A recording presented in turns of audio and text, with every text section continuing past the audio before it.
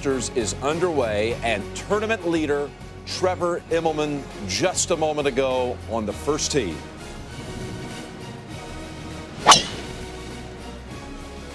Ranked 29th in the world, three rounds, sub 70, but not a good start for a player who has been driving the ball exceptionally well all week. Could this perhaps be the day, though, for Nashville's Brandt Snedeker, last year's American Rookie of the Year, ranked 44th in the world?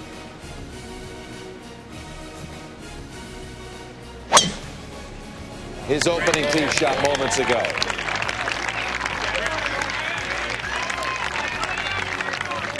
That'll be fine down the preferred left side. Tiger has his eyes on the big comeback. Beginning today, six off the lead. He's never come from behind on a Sunday to win a major.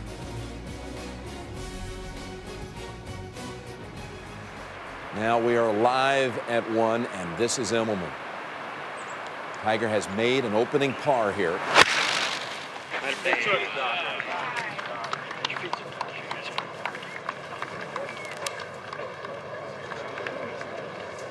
Stays right on the edge.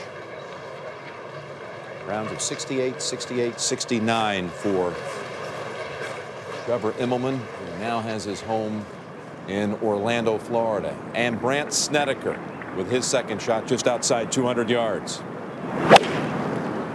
Leave it. Leave it. Begging for the win to leave it alone. It's going right.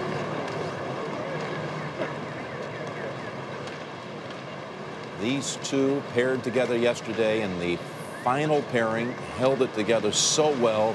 They both birdied the final hole on Saturday to remain, in fact, in that final pairing on Sunday. A jittery start, though, for both of them. You look at these names. There's Ian Poulter at three. Singh and Zach Johnson at minus two. Romero, Boo Weekley, Phil Mickelson plus one for the day. One of these players will pay off all the years of sacrifices made by parents and friends and coaches and find his game, his life, and confidence lined up in perfect harmony.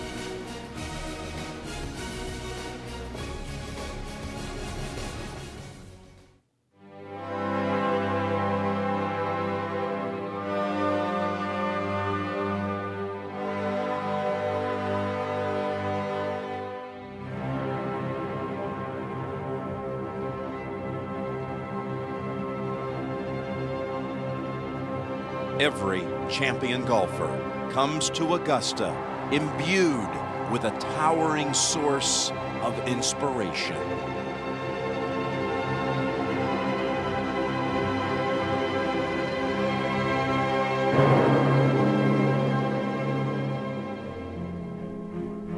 It's a solitary journey, but it's one that no player makes alone. For a boy from Atlanta, his greatness was achieved with the comforting guidance of Colonel Robert Jones. A little boy from Latrobe, Pennsylvania, lived out the vision of a man named Deacon.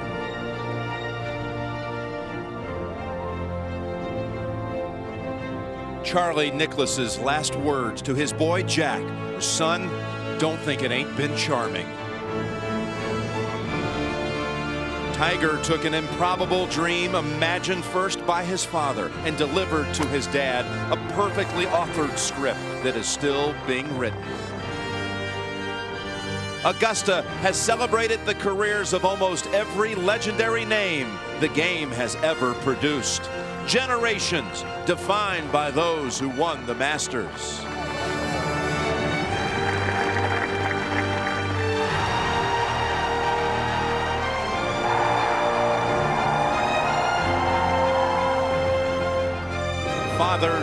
Forever remembered, and sons who are now fathers. It's simply the circle of life at Augusta.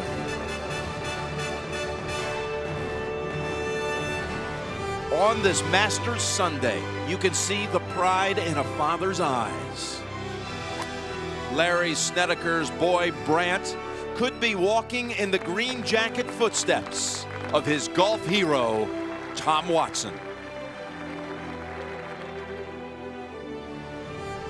Johan Immelman, no doubt, is feeling those same emotions as his son Trevor tries to follow the same path as his boyhood idol and fellow countryman Gary Player.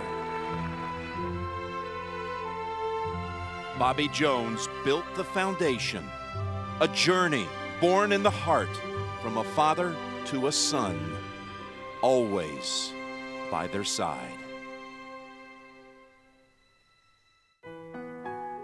From the Augusta National Golf Club in Augusta, Georgia, CBS Sports proudly presents the Masters. So good to hear your voice, Pat Summerall. And as you know, we are all so privileged to pass this way again. You come here once, nothing like being able to come back and experience it one more time. And we are at the first. And this was a moment ago. Immelman, long with his third trying to check it right into that back slope, try to curl it in close. So Immelman with troubles right away with the opening tee shot. Now Snedeker play his third. Jim Nantz and Nick Faldo, the CBS golf team, here at Augusta National. Plays it into the bank here. Nick will spin. No, it's uh, all down to the touch now around these greens today.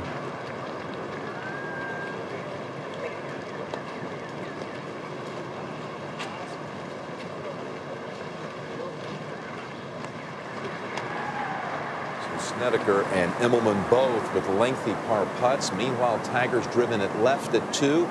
His par five, only 219 out, Nick. That's a massive drive. Better get down around the corner. Can he find a way to get over the bunker? And no, and that's going to leave a incredibly difficult third.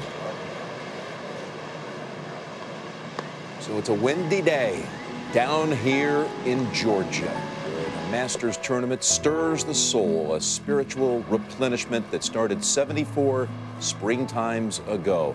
And yes, we are on the precipice of more Masters history, but beware of these windy conditions that will torment the tournament contenders all day long. That invisible yet undeniable intangible that can flummox even the most strong minded, resilient players in the game. Gusts expected to be at times exceeding 30 mile an hour gusts.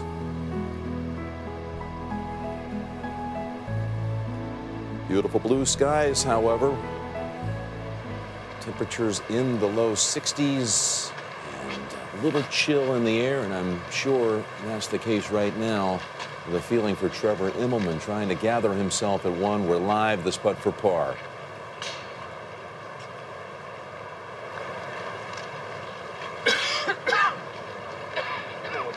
It's a good putt.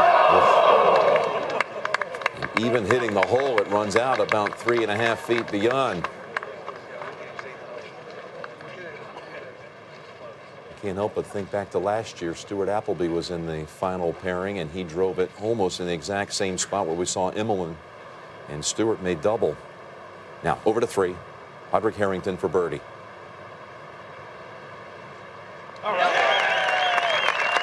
Two in a row for the Open champion. Now minus four. Back over at the first, and Snedeker with a closer inspection of his par putt.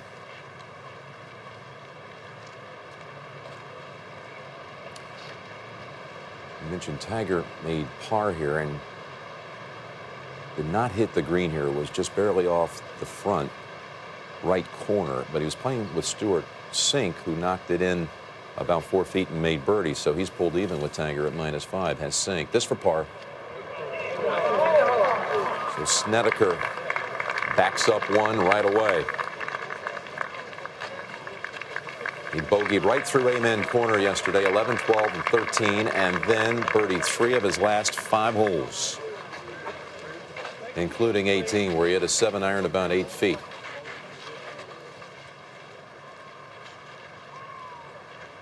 Immelman actually is more like five feet here, Nick.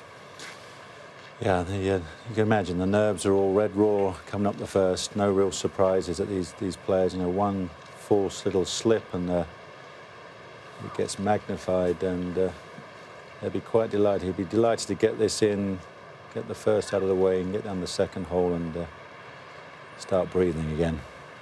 He was not feeling real confident with his putting, he said, coming into the week. Played last week in Houston, missed the cut. And yesterday, early in a round, Nick uh, looked a little shaky with this part of his game. Before the second side, he turned it on and had everything on go the rest of the way. This for bogey. Well, I feel the greens were very different uh, yesterday morning. That's a big one. And it's a five. Driving to uh, his home here in Augusta, the one he's rented for the week uh, last night, leaving the grounds, I got a phone call from Ernie Els, fellow countryman, wishing him well. Let's go up to two. Cink. From a fine angle, has an opportunity to go to get the checking pass. So Stewart Cink probably start with birdie birdie. Zach Johnson has picked up one. He birdies the second hole. He's paired with Boo Weekley in our featured pairings. Again, Woods and Cink now are both at minus five with Stewart's opening birdie. And Flesch makes par at one, as does Casey. They're eight and seven. Snedeker's dropped back to join Flesch at eight. And Immelman now at minus 10. There's Tiger's third shot at the second. just a moment ago. That's a little surprising. Seen so many shots in here, second shots in some occasions, like Vijay Singh hit one in here tight earlier, but they all curl around that corner and come off that back slope. But Tiger didn't have the action or the spin on that one. This was coming too straight up the slope and it was unable to get, as you said, that little bit of once it starts to turn here, there's nothing to stop it. So.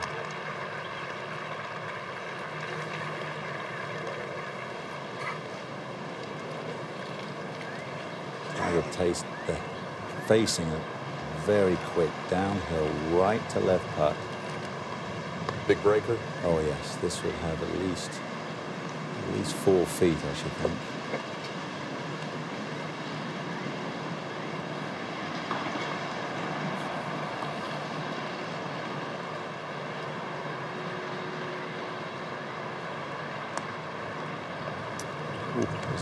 Gust of breeze that upset him or a sudden change of mind. You've seen him restart so many times on a full yeah. swing shot, but not often. Once he locks in over a putt, it's usually uh, with green light. He hasn't made a lot of putts this week, Nick, and that's kind of been the story of the, the last two Masters uh, right here on the greens. It can change with just one stroke confidence gets rebuilt, but not here. I'm on Stewart Cink now has a chance to go birdie birdie and suddenly kind of a hmm. forgotten man when assessing the field going into Sunday as you as you see Flesch back there along with Casey. They're waiting to go at this green and two. Which of course means there's a weight back here on the tee as well with Immelman and Snedeker given more time to reflect on their first hole miscues.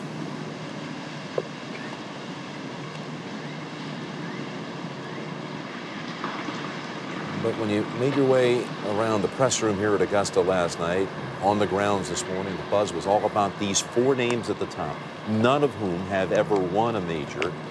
And would Tiger be able to perhaps make that big comeback on a Sunday against that if you will, inexperienced quartet. And Cink was not one that, that just kind of jumped to mind. Now suddenly he gets in the chase if he holds this one. Six under. Birdie, birdie beginning. Raised in Alabama, schooled at Georgia Tech, the alma mater of Bobby Jones. Now, Tiger for his par.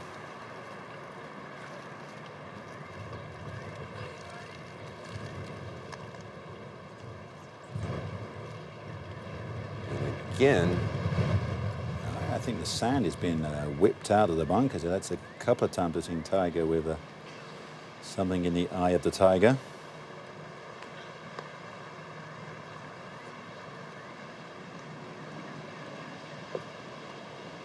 Pollen factor two. That's a par. Not what he was looking for through those first two holes. Ian Baker-Finch is down at 11-12. Peter Kostis at 13. Bill McAtee describes the action at 14. And David Feherty over at 15. Verne Lundquist, the Hall of Famer at 16. Peter Oosterhuis 17. The CBS crew scattered all around this famed second nine. Those first four names on the leaderboard that you see have had a combined, if you will, 74 starts in majors between those four.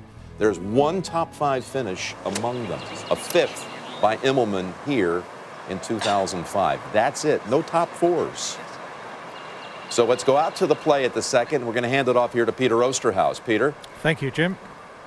And Paul Casey, the next player to attack this par 5 green with the second shot, the hole playing short today with the wind helping.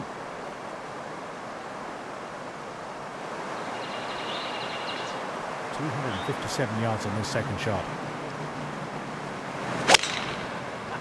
Almost 40 yards further back than Tiger.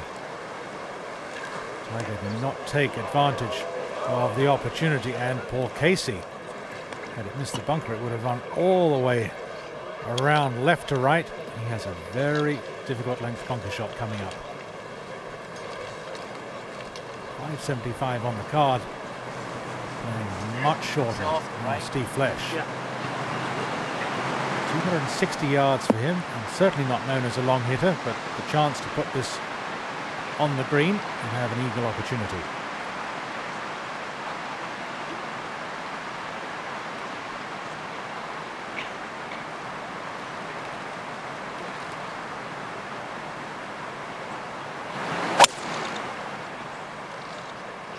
That's a beautifully measured takeaway. Good shoulder turn, and that was a good contact. But now, the downstroke, once he gets on the putting surface, is going to be a real challenge. And just in that second cut, maybe minimizing the spin he can get on the chip shot. So these two players not able to take advantage of being able to reach this green. Back on the tee. The final pairing. And Snedeker.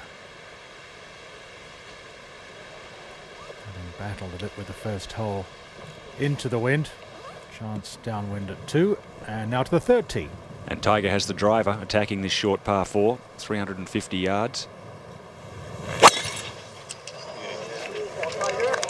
Not trying to knock it on, but trying to knock it down the left side to give a better angle in. Couldn't have asked for better. Beautiful short par four. This big nest of bunkers down the left side they have to avoid. We head back to two. Takes his time. Picturing the shot he's trying to hit. This hole turns right to left, so have this shot swinging right to left, helped by the wind, and then carry to the downslope and get some extra roll.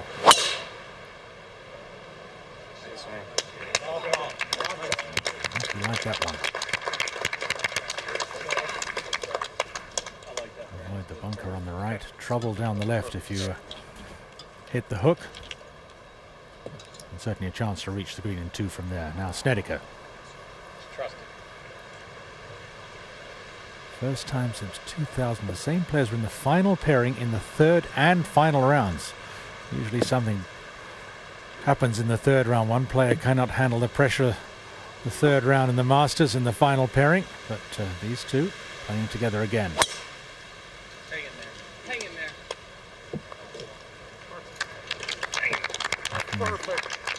If it might have been too far left. No, it's just fine. So, two good tee shots. We'll have a closer look at Pink Dogwood, the second hole. 575 yards, turns right to left, big bunker on the right. The tees aim pretty much straight at that bunker, and they're in play. It's a little downhill, little downwind, and wind from the right today. So avoid the bunker, and then these professionals and the top amateurs will give themselves a chance to reach the green in two. Look at the opportunities for awkward hole locations. Way back left, way back right today. Third easiest hole for the week, averaging under par. And just one eagle so far. Niclas Fasth yesterday. Paul Casey, long bunker shot. Ball is cut 25 yards back.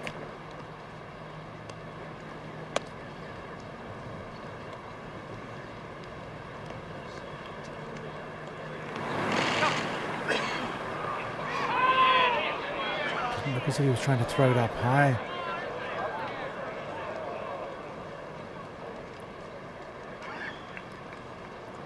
Uh, there's enough slope and enough speed on the greens, it's become very difficult to, to stop the ball close to that cup coming from short of the green. And number seven. And Phil Mickelson has found the front bunker. This the easiest hole location on the green. We have already seen Eagle by Miguel Angel Jimenez.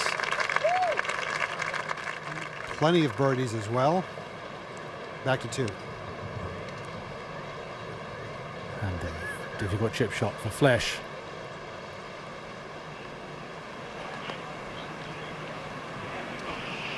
To hit this absolutely right. Get the trajectory and the spin just right. Get the first bounce as he expects.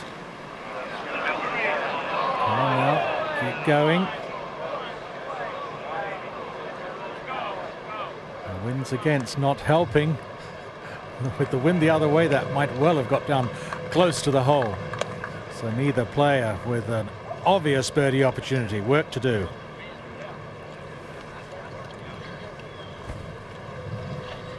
So Immelman and Snedeker bounce back after the opening hole bogeys, they both hit big tee shots and are well set up at the second. Should be another thrilling day here at Augusta. And hello, friends, Jim Nantz, and welcome to this tradition unlike any other, the Masters on CBS. Will this be a day the world of golf christens a new major champion? An Immelman, a Snedeker, Flesch, or Casey? Or will Tiger overtake them all or sink? In Tiger's case, coming from behind for the first time to win a major. No doubt it'll be a riveting day here in Augusta, concluding right here in Butler Cabin with the treasured ritual, the presentation of the green jacket.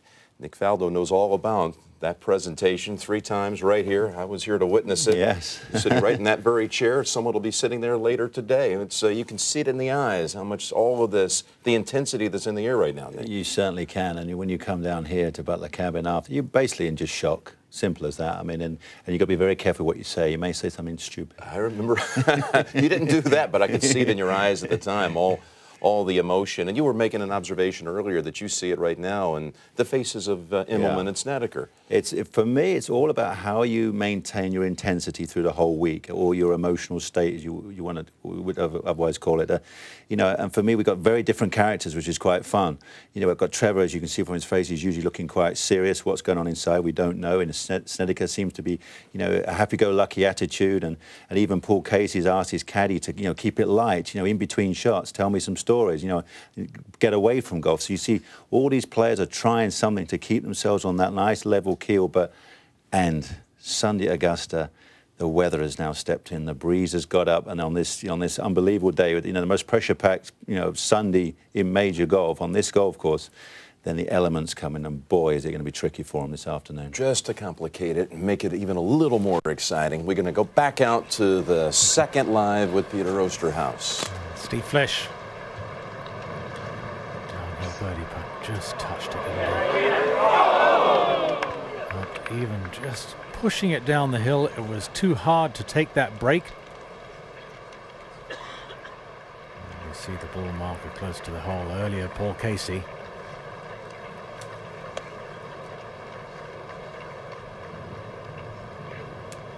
Just a little bit of right to left break.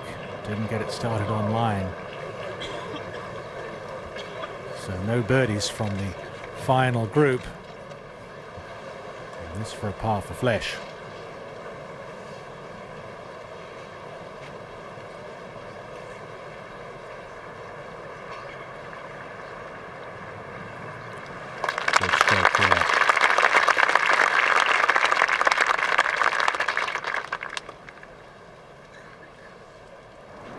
Number three. Four-time Masters champion, Tiger playing his second here.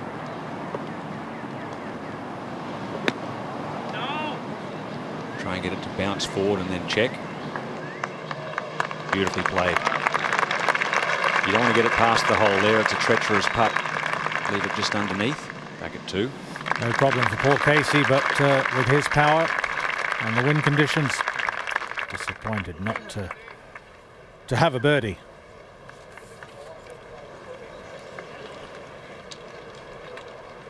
A little cool, a little breezy as they make their way back to the third tee.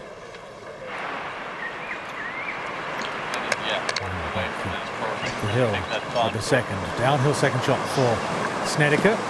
Wind should push it left too, correct? Yes, definitely. It's like this. Maybe right there, right there. Left over there. That's perfect. I'd rather see it on that left side of it. Just under 260 yards. And so automatically a fairway metalwood, but uh, downhill, downwind, and a lot of roll on the green. Once you get the ball, you can squeeze it through that little gap. And run 25 or 30 feet left to right.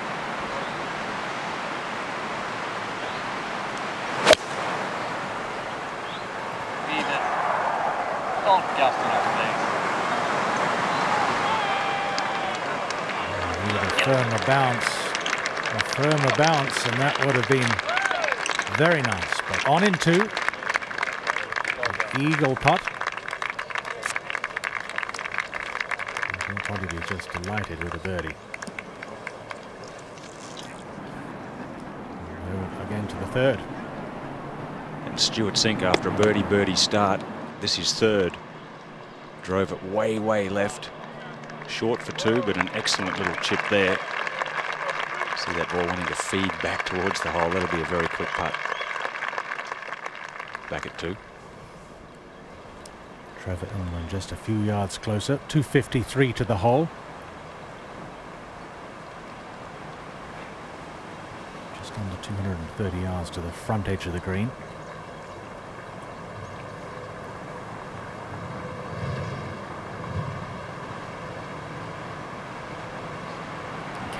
The right edge of that left bunker. Roll. Started it right. Will it come back? Didn't look as if it was going to. So we'll be hoping for a perfect lie in the bunker. Try and set up a birdie. And they did have a struggle at the first hole. They're trying to come back. Immelman way right off the tee. And just couldn't even attack the green.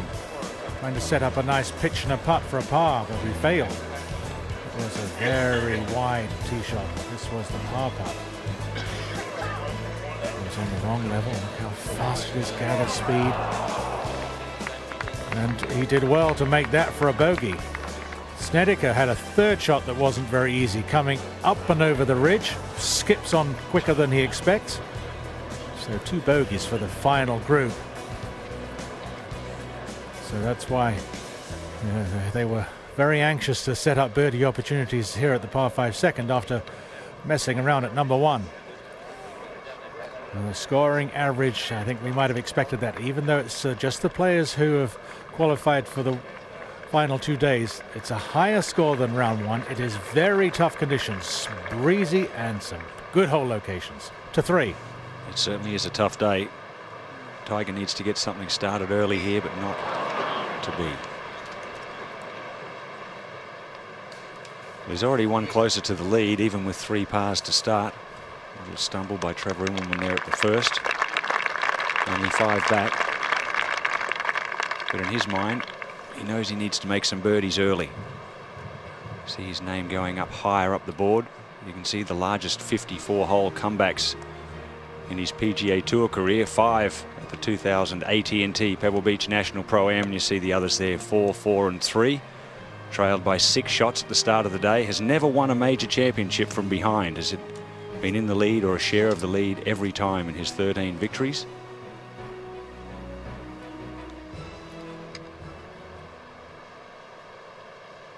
Stewart Cink for par. Big putt. What a start for Stewart Cink. 34-year-old from just two hours away. Over at Sugarloaf in Atlanta, he makes his home.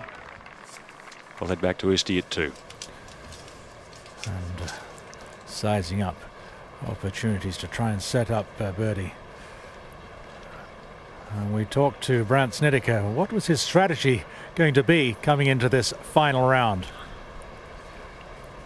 The weather's obviously pretty day, but it's going to be a little windy out there. It's going to be playing a little tough, but uh, above all else, it's going to be patience. You know, even even though I hadn't been in a situation before, that's that's what uh, what everybody's been trying to do out there: stay patient and realize you're going to have a couple bad holes and kind of rebound from it and make some birdies when you can. And more than anything else, I'm going to have fun. You know, today's a great day. This is why I practice for my whole life, and so I'm going to go out there and try to win this thing. And I think uh, having fun on the golf course is uh, what comes naturally to Brandt Snedeker. And be patient because uh, you know uh, it's uh, severe hole locations as we look uh, at number four. And Stewart Cink, 228 yards, trying to hit a cut here. Back into the wind. Hold it against that breeze. Flag just over the bunker. Oh, what a beautiful shot. What a start for Cink. Back to the second. Trevor Immelman is leading the field in driving accuracy and greens and regulation. Hasn't been in a bunker so far this week. No greenside bunker. And that's okay, not great. Now, Nick, what uh, what are you sensing about Immelman uh, protecting the lead? Well, I don't know about protecting it, Peter. It's you know they've come out. It's all very new. This is kind of a new experience for them. There's a lot of nerve jangling going on, and it's going to be a tricky goal. You've got to expect to miss a lot of greens today, I'm afraid. And over at the fourth, Nick, Tiger really, you know, I mean, all the money in the world. He hasn't been able to buy a putt this week. He, his frustration has been growing. That's the amazing thing, Dave, isn't it? I think we've seen one chip in on day one on the 15th hole, and that's been it. Nothing outside probably 10 feet. But, but, I, but he still looks, obviously, he's, he's given everything 100%, and, he wants to just, he's battling, you know, it's kind of like things are kind of going against him. Well, you, you have to sense that. Uh, you know, he feels that these guys may well come back to him, may give him a little help here. So he's very, very intent on at least not making a mistake to start off with here. He would love to have been off to a better start than this. At least a birdie at the second hole. Yeah, that's true. If you can just keep picking them off, just one in, in somewhere special. maybe one or two in the obvious holes.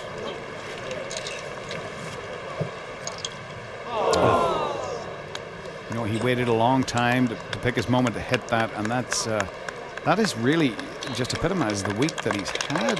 A good swing, he was happy with it. It's just not yeah. the right result. Just fractionally out so many times. We'll go back to two. And Snedeker. Long twisting putt four. An eagle. and uh, seems to be taking. I think he naturally plays quickly, Nick, but maybe uh, taking a little extra on this very important putt.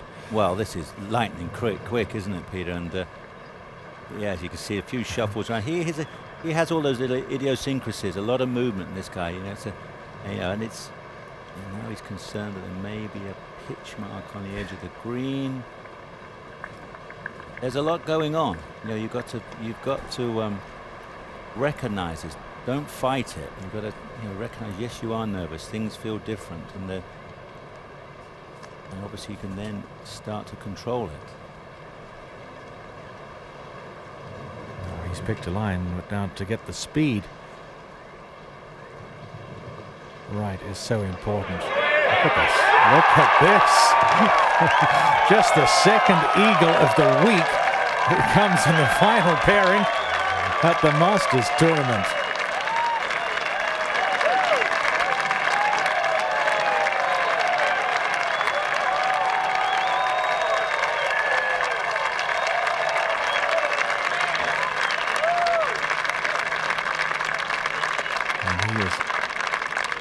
Instantly tied with Immelman. Just had to sneak it past the fringe and it was not slowing down, was it? But in it goes. Beautiful. he does enjoy the game. I think he enjoys having the patrons uh, have a bit of fun as well, watching him brush that in. I think, as we saw, Peter, he's not afraid to. He wants to hit every shot when he's ready. If it means he, you know, he looks to us like he's fiddling around, but you know, I'm sure inside he wants to be 100% comfortable. And now he's thrown a, a oh, some serious pressure at Trevor. And Trevor still with the birdie chance.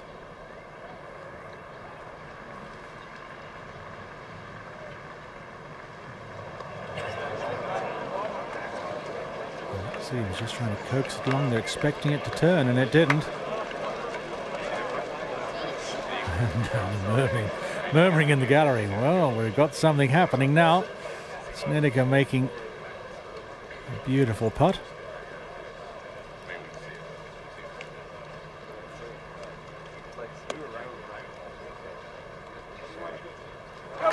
And just a par for Immelman. So co-leaders now.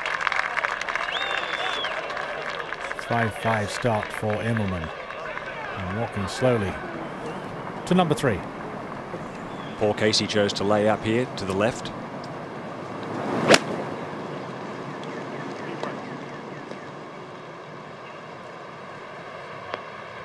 Oh, beautiful shot. Sensational there for Paul Casey. It's a good way to ease the nerves. Elevate the confidence mm -hmm. ahead to four. Tiger's come down in the flat of the bunker.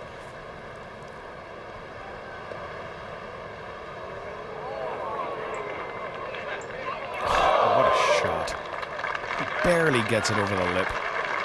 From the flat of that bunker, and you can see him, he's sort of easing him, heaving himself out of the bunker as, as if this is just a weary. Back at the third. Ooh, a nice little save there for par for Steve Flesch He remains eight under. Par, par, par couple of quiet years on tour in 05 and 06, but a brilliant season last year with two wins towards the end of the year. He was Rookie of the Year back in 98. Casey was Rookie of the Year on the European Tour in 01, and you've got a couple of Rookies of the Year behind them at the tee in their respective years, just a few years back.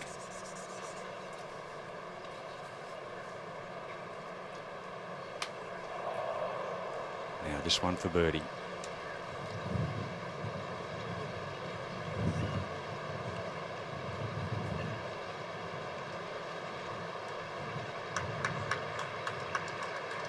Good start for Casey. Moves to eight under, just two behind. Excellent start. Was sixth here back in 04 in his opening appearance here at the Masters as we head to four. And Stewart Cink for birdie. Oh. Robbery. take the three. Back on the third tee.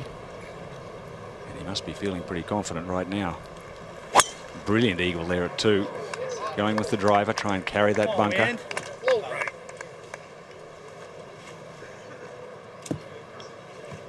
And I don't think it did.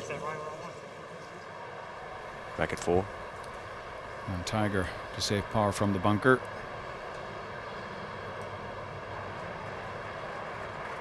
Oh, nope, nope, nope, nope, nope, I'm not. David, I was just about to say, I mean, the bunker shot he played, he, it was so difficult and he made it look so easy, but now... you got that one, uh, just yeah. to drop one shot, and, and these... Uh, you know, you expect him to make them every time. But I mean, he looks worn out by the effort that he's put in, Nick, uh, this week. Uh, he, I think he feels really shortchanged, and it's it's easy to feel that way. Oh, I agree totally. Gives hundred percent to every shot, and, he, and when you're not getting the result, it's uh, it's just so frustrating.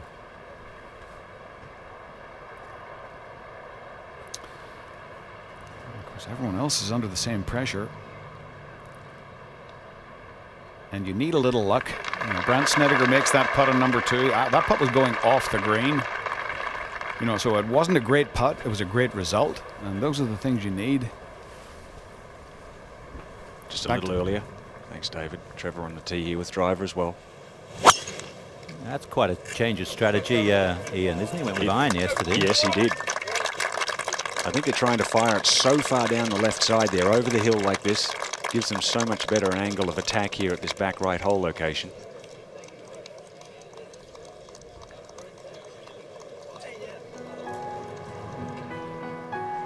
And back at the second, listen to the roar here.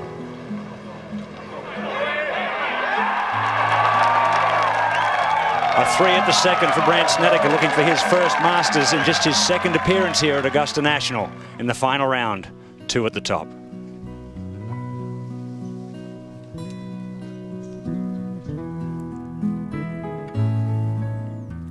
Brandt Snedeker has electrified the Augusta Gallery with his eagle at the second.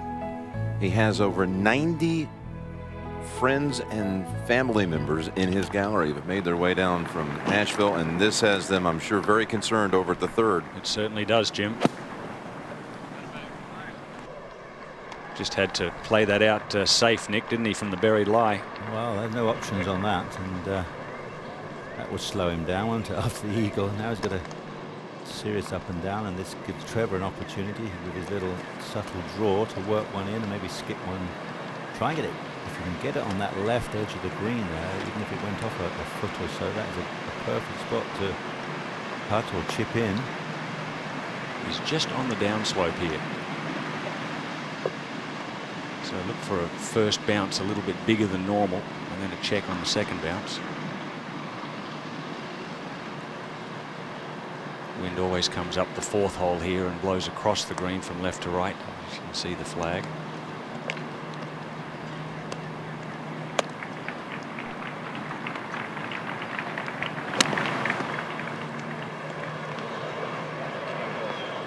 Oh, woefully short. Maybe a little chunky there. That didn't have the normal uh, characteristic, the speed of his chest and follow through downslope, I would suggest there, Nick. Yeah, things slowed down, so Trevor's got to keep that tempo going. Four. Paul Casey setting up for the cut. His club just nestles against the back of his neck in the follow through. Beautifully relaxed, but that's in a bad spot. From there, even more downhill to the flag. And he will be hoping that that's in the upslope. Now Flesch. Two behind.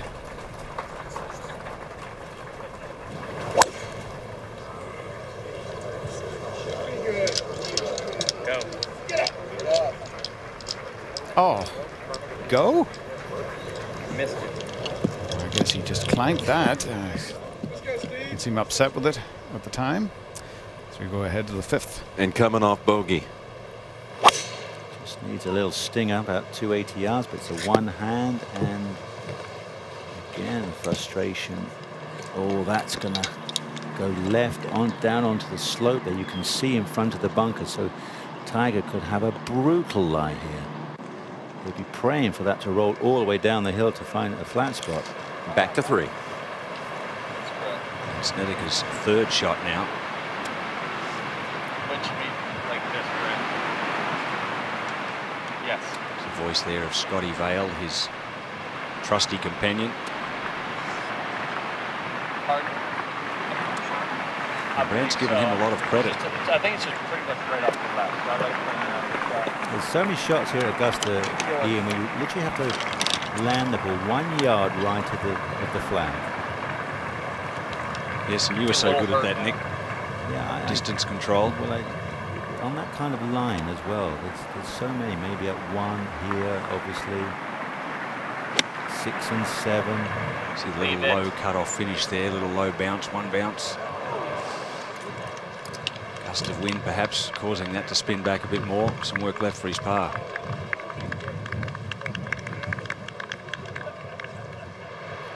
Five. And second shot, you see how it rolled all the way down to a flat spot, but blind shot. And I'm sure Tiger's just trying to, and he fails to get up the top of the ridge. And that, uh, once again, will be, oh, a brutal putt. That's up that ridge, which is almost waist high. And that will be it. He'll have to putt that 10 or 12 feet left of the flag as he would play it. Back to four. Paul Casey seems to have come a long way back into the bunker. Oh. Oh. Well, you know, this uh, this golf course uh, is going to win today. Somebody will wear a green jacket, but uh, I'm not sure that anyone is going to conquer this. And uh, moments ago, Steve Flesch on a clean line the fairway here. Chance to put some spin on it. Oh, well done from there. Very well done. Paul Fusco will hand him the putter. And now back to Paul Casey. Hopefully on the upslope this time. Oh, overdid it. Oh, that's just that to save double bogey. Exactly what he didn't want. We'll go back to the third. And a lag putt this one. Just try and get it up there somewhere close.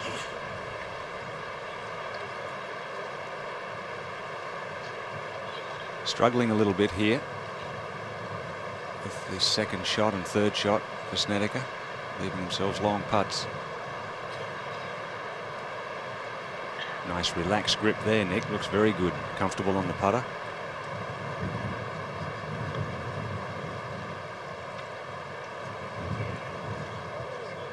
Yeah, these, these first few holes, uh, he and the players have got to deal with, you know, their, their, their body feeling very different, hands and arms, and the, the speed of the divot. Uh, sounds very strange, but Augusta, you have very fast divots. Uh, you know, the grass and the bounce of the club, the, the, the ball, the, the, club whizzes across the grass here. So it, uh,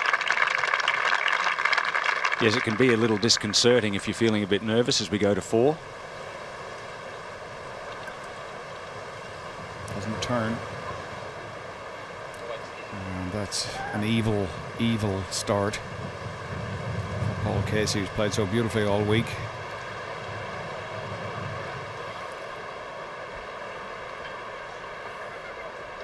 He has been working on uh, every aspect of his game, I know.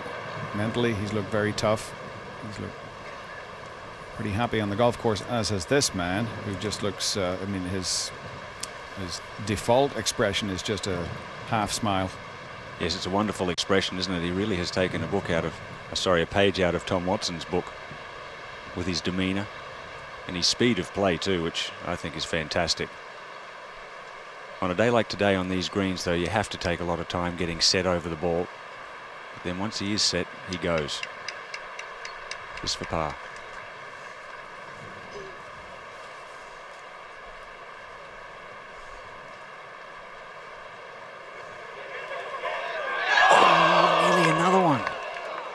No matter how good a putter you are, these greens will test every nerve in your body. And Sunday afternoon, I had a few chances here, and I always found it very, very difficult to trust that extra little bit of effort you've got to put in on these greens. Bogey, eagle, bogey, even after three. Not the way he would have expected to be even. And by the way, he might be frustrated too. This is how he handles it. Isn't that great, Jim? I couldn't agree more. I think he feels confident he's creating enough chances and hitting enough good putts that eventually, you know, he's in control of, the, of, of his golf ball. And this was earlier at four. Steve Flesch with a very, very good three, hanging in there. And this what uh, Will likely be a damage limitation exercise today. Over at five. And Stewart Cink has uh, had some real problems here at the fifth. He's been on that left side, and this is a long go at par. Oh, this is an even bigger problem to try and feed this down there and leaves once again the dreaded downhill left to right. And I can report, unfortunately, Paul Casey made a double bogey on four. You know, um, Stewart and, and Tiger in that match play final, that World Golf Championship event, about uh, five weeks back. It was an eight and seven Mm. Tiger victory. If this was a match play today between the two of them, Stewart would have him three down already. Well, and plus Tiger was probably being nice to him. You know, fellow Ryder Cupper and uh, President's Cup partner and uh, actually a friend. So I'm sure Tiger went easy on him on that day. That's the other way right now. Well, you watch this one. He's he'll have to swing this ball. There is the the bank, and you can see it's look at that. A good four feet high, and the higher he, the further he goes to the left, the more break. He's got to literally find the cliff edge at the top there to then run it down to the hole.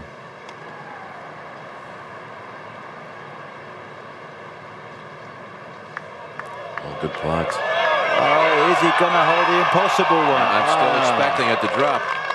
So many times Wow. he's done that, and this time one turn short. Mm.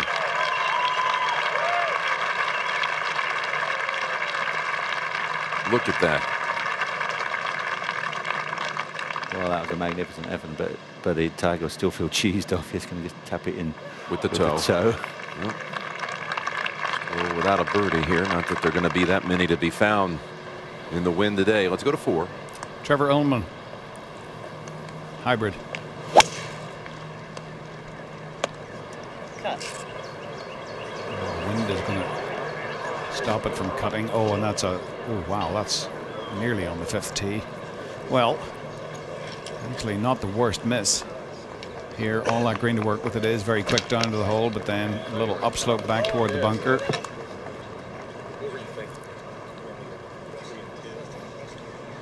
What the heck happened there? Up ahead. And can Stewart Cink escape with just a bogey? This is a pure feel. Just set the ball into in motion somewhere like half a ball outside the left edge. Yeah, nice touch. Um, his strong Sunday issues this year. He played with Tiger at San Diego. Got, again, throttled at the match play. Blew up on Sunday at Tampa when he was in the lead and got disqualified in New Orleans after a bizarre ruling that was a carryover from the day before. And this is how close Tiger came. Oh, one little quarter of a roll to go. And back over to four.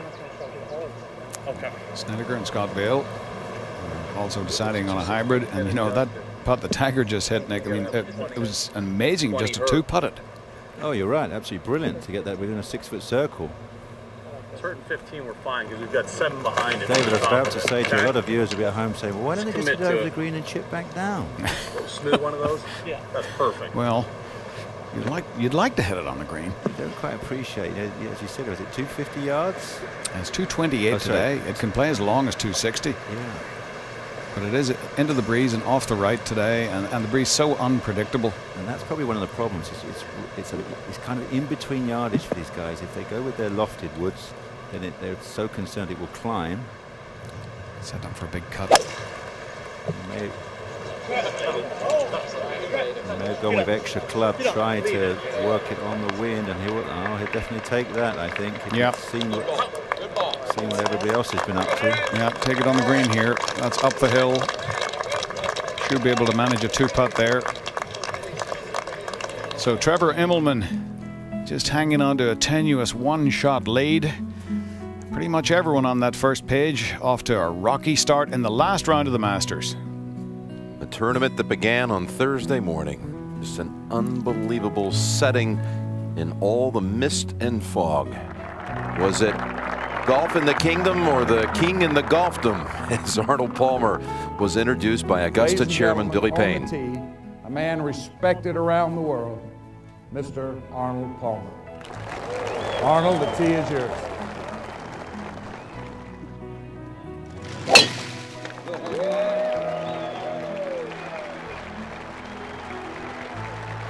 Ladies and gentlemen, the 2008 Masters has now officially begun. Thank you. Thank you, Arnold. It is a beautiful day as we make the drive down Magnolia Lane here at Augusta National. Brilliant blue skies, but Mother Nature playing a hand in this final round, stirring up all kinds of trouble.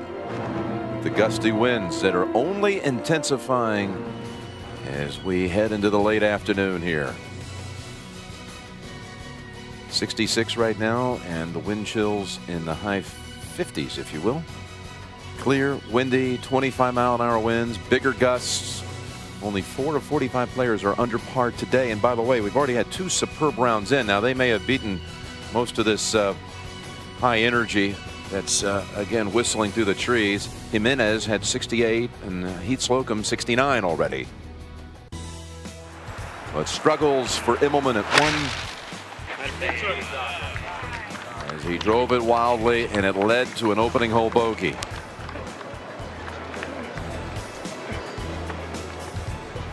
Brandt Snedeker. People talk about luck. That's unlucky that that ball did not settle more in the middle of that bunker. And that would lead to a bogey for Snedeker coming off his eagle at the second. Paul Casey with that delicate second shot just trying to get it over the edge. Failed, may double. Tiger with the miscue close range at that very hole, the fourth, to make a four, a bogey. And he's plus one for the day, settling in on the tee at the sixth.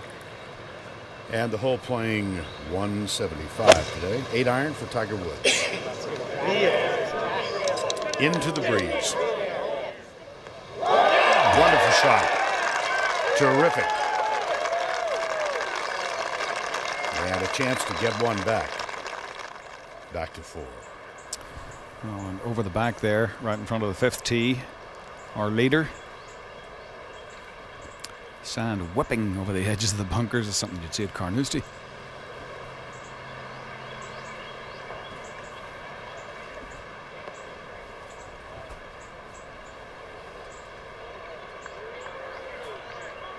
Stay there. Stay there. Very well done. Very well done. That putt will be almost straight up the hill, just what he needed. And if he can handle that one, uh, these are the difficult moments. Not that there'll be any easy ones today as we go to the fifth. It's Steve Flesch who has been steady here, all par so far. Yeah, they got 14 uh, yards over that ridge directly in line. Oh, good shot. That's impressive. Managed to land it right on the upslope behind the, the flag there. Uh, anywhere else, it's basically all downslopes. He resides in Union, Kentucky, and plays out of Triple Crown Country Club. As we go back to the fourth, David. And Happy Snedeker. You're reading this with the flag in. You don't often see that. player looking through the flag stick all the way there, just looking at the middle point up the hill. Not really a great deal of break in it. David, I always thought, thought it was always great to have. I always had my caddy ten those because it was great for depth perception. To, you know, have a, you know, a, a body to give you that idea of distance. Yeah. Well, uh, you certainly want the flag in, I believe, you know, for most of these, especially when they're uphill. These uh, flag sticks are very light, not like the old wood and iron things that would tear the hole out of shape if the wind was blowing like this. And some of the links courses that we played, it's, uh, it'll absorb a lot of the shock, even if the ball is going too hard.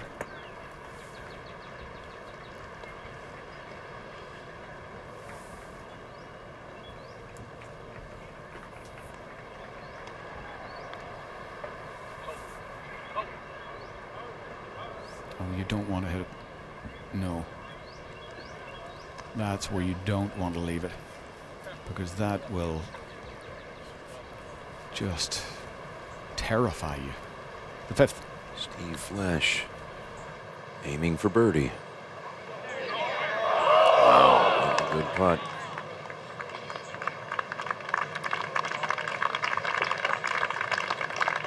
Five for five now.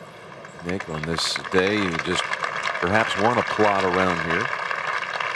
You never know. The old 18 pounds might come in very useful today, Jim. yeah. you know all about that, don't you? Yeah, they gave me a real hard time about that one, but I tell you what, you try and make a part the first and the 18th at Muirfield. It worked out. Let's go to six. Tiger Woods. There we are. Well, he began the day six back. He's now five behind Trevor Immelman.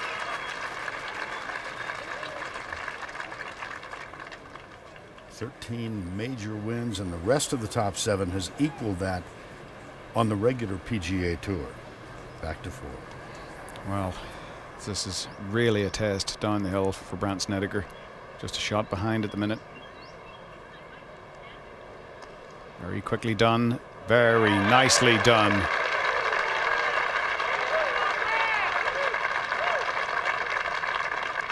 That's great nerve.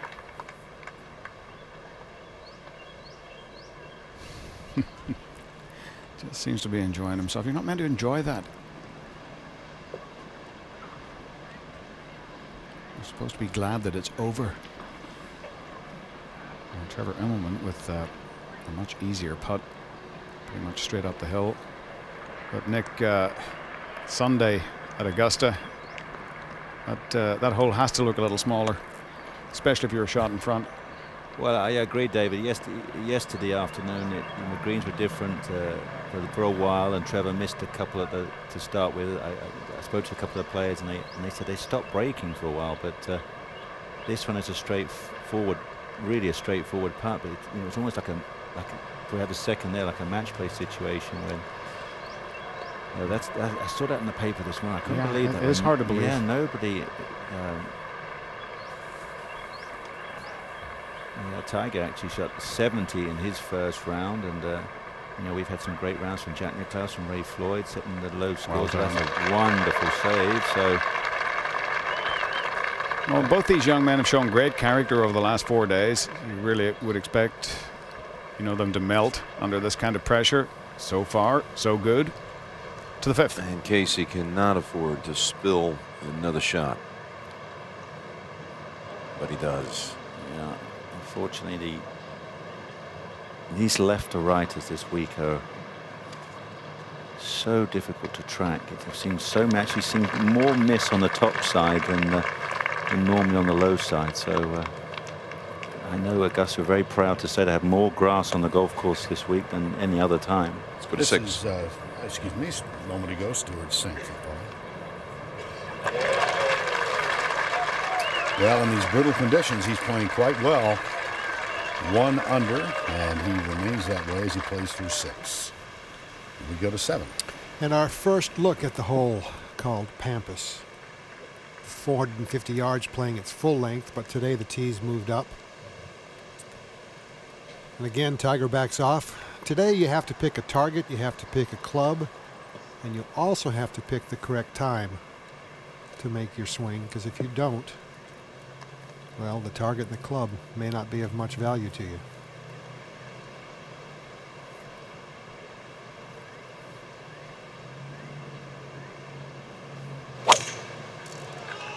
Now going for his low stinger fairway wood, turning it right to left to hold the fairway. That is nicely positioned, and with the hole location today, well, as I said earlier, we've already had an eagle from Miguel Angel Jimenez and multiple birdies. Let's go back to five. It's Trevor Immelman, the leader by one. Mm, surprise going with driver. But happy. Gets a shot from everybody. Beautifully done. They changed it. This fairway a good eight or so years ago. Over to six. Here's Steve Flesch, who has played remarkably well in the first three rounds and playing well today, and he is safely on. Flesch at eight under par, two back, 40 years of age. Hadn't shown real form coming in. He had played nine regular PGA events, missed the cut in four of them. Yeah, in fact, it was Tom Fazio came in and remodeled this fairway. Uh, changed it so it's like a more like a plateau up the, the right side. Oh boy. How do you like his move through the ball, Nick? He's looking very free. I mean, you either have a very, you know, it's a very difficult game to play from being static. Here is Magnolia, the fifth hole, the longest point from the clubhouse here at Augusta. Yeah, just naturally, you can see turns right to left, but you don't have to shape it. You could hit a little power fade, anything up the right-hand side. The bunker's there about 280 yards. Turns in, and it's all about the second shot. It's all about this ridge that runs through the green. You can see how it twists. It's 10 paces into the middle of the green. It's 14 paces over the ridge on the left-hand side. It's 18 paces on the right-hand side. So extremely difficult hole. So the two youngsters, if you will, 28-year-old Immelman and the 27-year-old Snedeker, both solid tee shots at the fifth. They're still 1-2 at the Masters.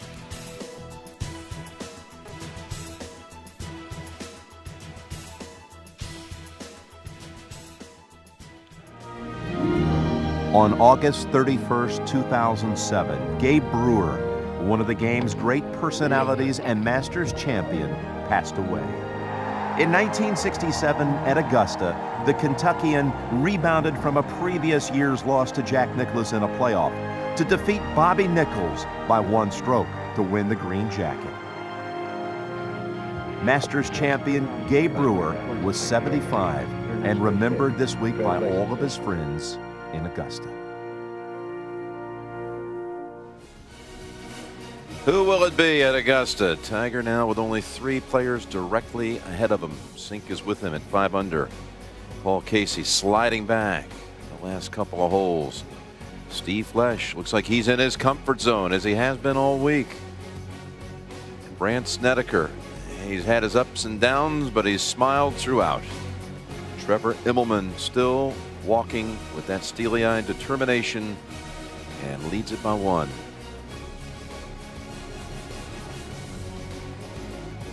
Immelman with his family in the gallery, his father Johan, who used to run the Sunshine Tour of South Africa, the main tour over there, the CEO of that tour, much like, say, a Tim Finchem over here for the PGA Tour. His mother, June, wife, Carminita. And his brother Mark, who resides actually, his brother Mark resides right here in the state of Georgia at Columbus State University. He is the golf coach, his brother, his older brother.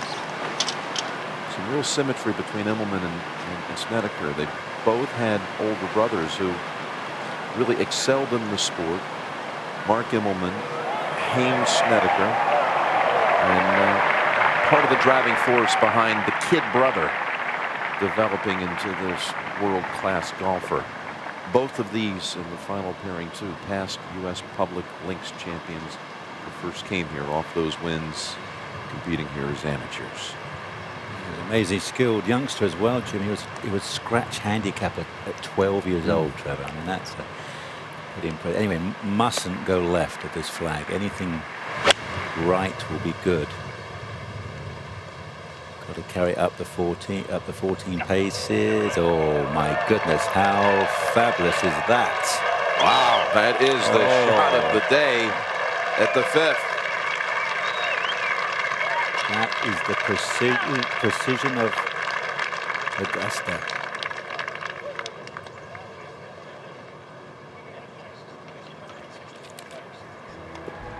Trevor won the Public Links in 1998. How about this? He won it at the site of this year's U.S. Open. He won it at Torrey Pines. So then he came here in 99 at Augusta. That got him in to the field, and he got to play with his boyhood hero, Gary Player, the first two rounds. And he first met Mr. Player when he was five years old. Snedeker I'd like to see that flag moving a little play here in 04 and made the cut as an amateur. Let's first go to seven. 148 yards left for Tiger. Ideal play, just a little bit long and left of the flag. It'll funnel back down towards the hole. And he doesn't carry it far enough. That's going to roll all the way down. That is a miscalculation, either of the wind or the effect of the uphill shot. If you want to sum up this week for Tiger Woods and you want to use one word, it would be frustration. Let's go back to five. You know, though, Peter, everybody in the field feels that. I mean, it's not exclusive to any one player. And, uh, you know, here's Snedeker. Take it left. Oh, that's a brilliant response. That Not sure bad. Looks like- this looks like 18 yesterday. Yeah, that's two of the finest shots you will probably ever see at five. Kid Snedeker, don't underestimate his toughness. His boyhood friend since he was just a couple years old is a linebacker for the Chicago Bears named Hunter Hillenmeyer. One time they were playing a, a football game in the parking lot before a Vanderbilt game, and he broke Hillenmeyer's arm playing football, and now he's in the NFL. Let's go to six. That was Steve Flesch. That was for par. I beg your pardon for birdie. So Hillmark to 14. Nick Watney from 115 yards out after a huge drive. Favorable hole location at 14. We expect to see birdies today. Coming back, this is very good. This is great.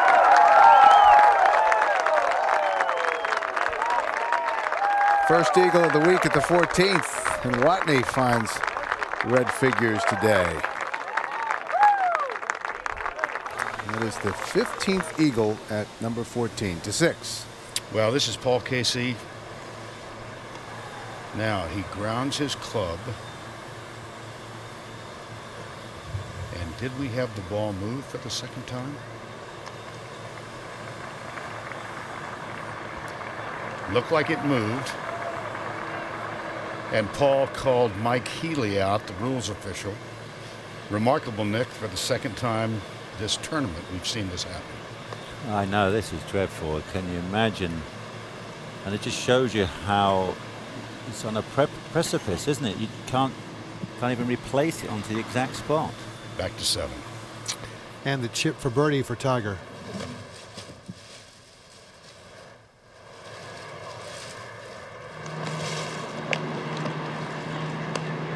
Now, when I was talking Jim about his frustration, I'm not sure that he's handling the emotional part of this week as well as he has some other weeks. He's, he's showing more frustration than normal. All players, you know, get frustrated in the course of the week, and it's how well you deal with it that helps determine your score.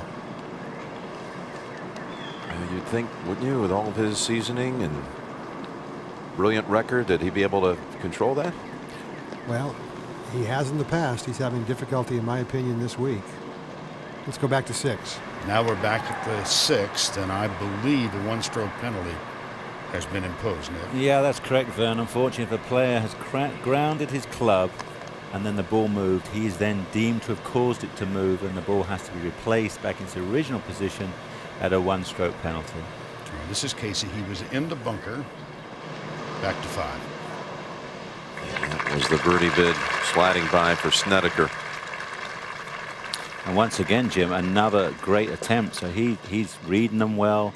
He's you know he's obviously tracking the putts very well, and you know that keeps you in that great mind. I mean, he's only he's looking every time, trying to make it. When a lot of players are looking and have have such a defensive mode going on, but he has a very positive, aggressive, aggressive mode. Anyway, this is Casey trying to finish up on six.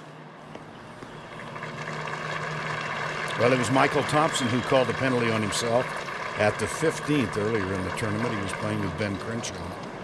And uh, at the time he imposed that penalty, he was right on the cut line. And so now we've seen Paul Casey call the uh, Mike Healy, the rules official, out.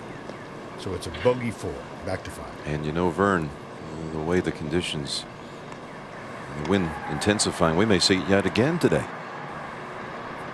Well, obviously, you know, the, the course is dry. I, thi- I think it was that humidity factor. It was extremely low when we had that little update on the web, something around 30%, and that will dry these greens out. That may cause them to get a little bit uh, you know, crusty on the top. And anyway, Trevor, a fabulous three on the fifth to, to extend his lead and get himself back to level par. And this is a very, this will settle him down now. And uh, six sixth hole is an easier flag location. He can start moving along now, feeling a little bit easier. his first birdie of the day. And Snedeker, if he knocks this in, the lead pairing will be right back where they started through five holes, 11 and 9. That's how they went into the night after they each birdied the 18th on Saturday. And I'm sure there'll be a few more leads changes as we go along. Snedeker just kind of happily marches along. He's got a big personality, does uh, young Brandt. Really gets it from his mother. If you've ever been around Candy, it's just, you can tell, no doubt, where Brandt gets that, that great spirit.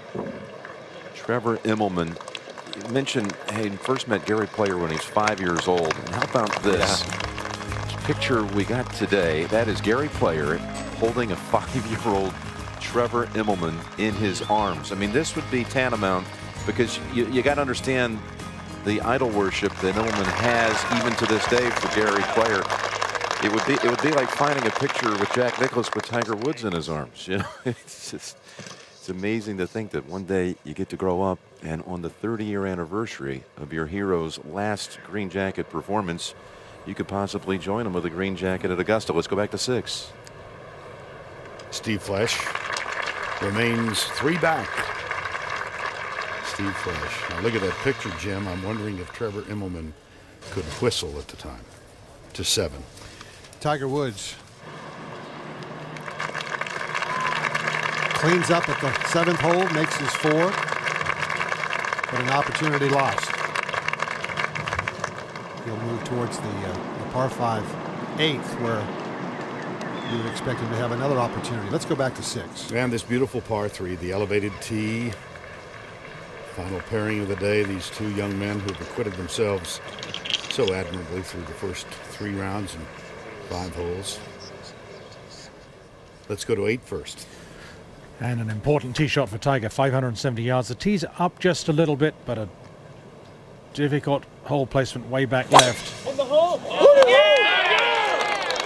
And uh, is is hurting. It needs a big tee shot, and that is huge. And a great line, just right center of the fairway, missing the bunker, gives himself a chance, distance-wise and with the line from the right side to find that green. Back to six. Well, the wind has subsided for the moment. It's uh, instead of a brisk wind directly into the player's face, more of a gentle breeze, but that could change momentarily.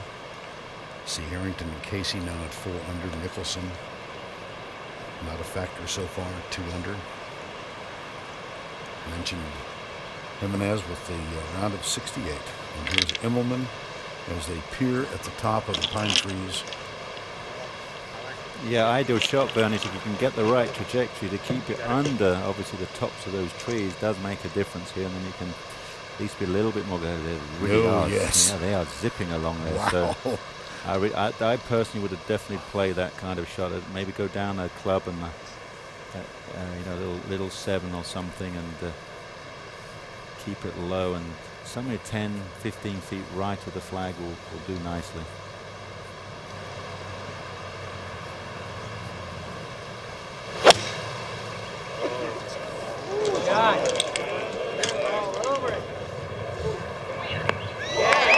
Was a seven iron, and that was well done. Yeah, that's a brave shot.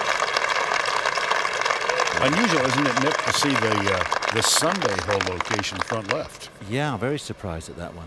They're normally traditionally up in the back right-hand corner. To seven. And Steve Flesch challenging this hole with his driver. Downwind. If he finds the fairway, this will be good, but that is not. He will have trees to deal with, the newly planted trees, taking away a lot of options for, for recovery. He'll have difficulty making four there. Let's go back to six. And Brandt Snedeker is on the tee.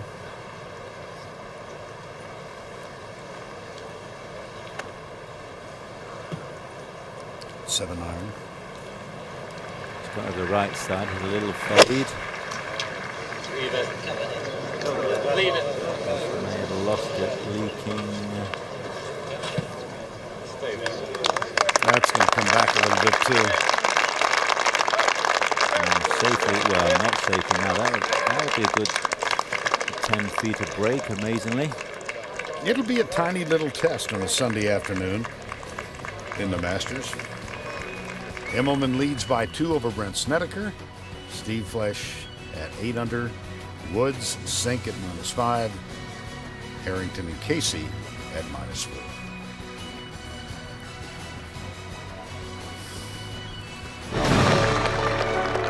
It's a great thrill to be playing in my 51st Masters. It's a tournament that I've had great admiration for throughout years and time. I vividly remember going through the gates the first time and saying, wow, I'm going to have an opportunity of meeting President Eisenhower, Bobby Jones, Clifford Roberts, who ran the tournament so efficiently. So playing 51 times, first of all, the word that comes to mind is grateful. To win your first Masters in 1961 obviously is a great thrill and something that you never forget. I come now to 1974 and at the 17th hole, which is the 71st hole, I hit my second shot to the green and I tell my caddy, I'm not going to need the putter and I throw the club down. Look at this shot. Look at And you win your second. Wow, now you won two. And then in 1978, I was the oldest man to ever win Augusta at that time, 42. And I come back in 30 to win and I actually touched the hole three times. It never went in in the 30. Thank goodness they didn't go in. Shooting 27 at Augusta, you'd never get another invitation back. We're back at the sixth, the final pairing of the day. Brandt Snedeker, Trevor Immelman. Two shots separating them, just as uh, was the case at 225 when they teed off. Let's go to seven. And a good view of what faces Steve Flesch. Ooh, hits the tree. Tried to cut it around that tree and run it up through that little opening between the bunkers. Ricochets off the tree, and we'll have to wait and see where that one ended up. Back to six.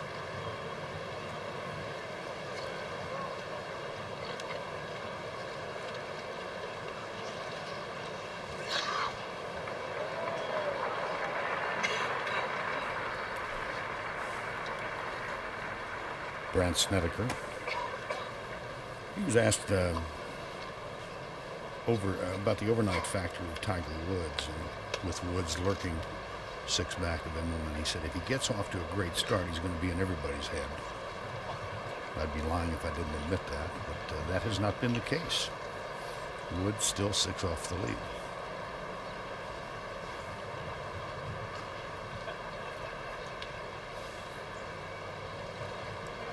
Eight to ten feet of break.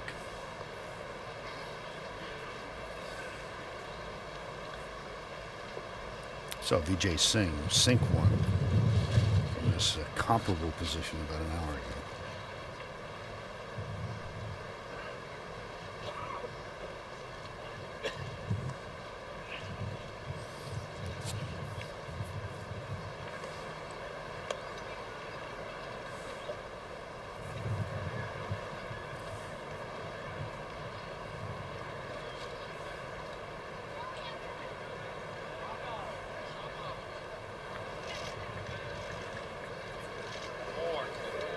Come on.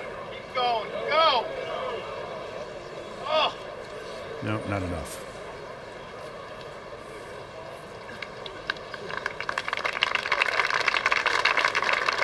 Little challenge remaining. Snedeker, a graduate of Vanderbilt University, and played here many times with that golf team. Let's go to seven.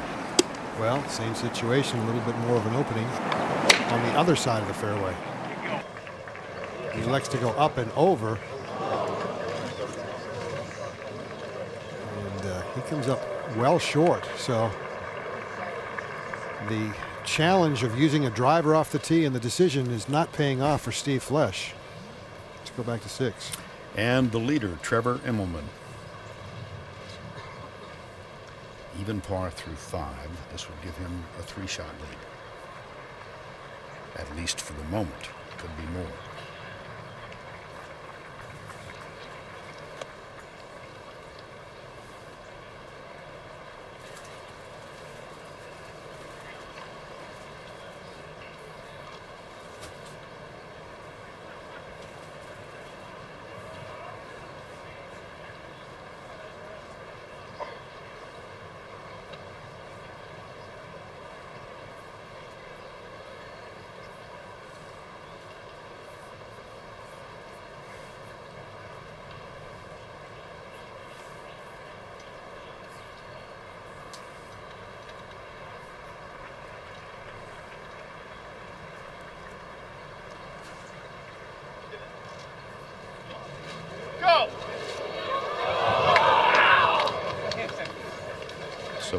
Stay at 11, one third of the way through the final round.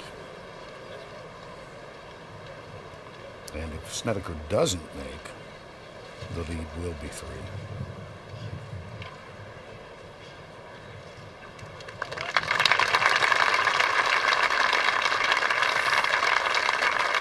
He's really him himself, hasn't he, Nick? A little shaky start back at one. Yeah, just the one tee shot, but uh, you know everything else. Swing's looking very good, and you slow down a little bit on that pitch at the third. But this is that's what it's all about. You learn to feel these new sensations on a on a Sunday afternoon. The seven. Steve Flesch now his fourth shot at the seventh. That will be a very quick putt coming back down the slope for his bogey. Well, you challenge this golf course, you better pull off the shots. Back to six. And a critical par effort now for Brandt Snedeker to remain within two of his fellow competitor Trevor Immelman.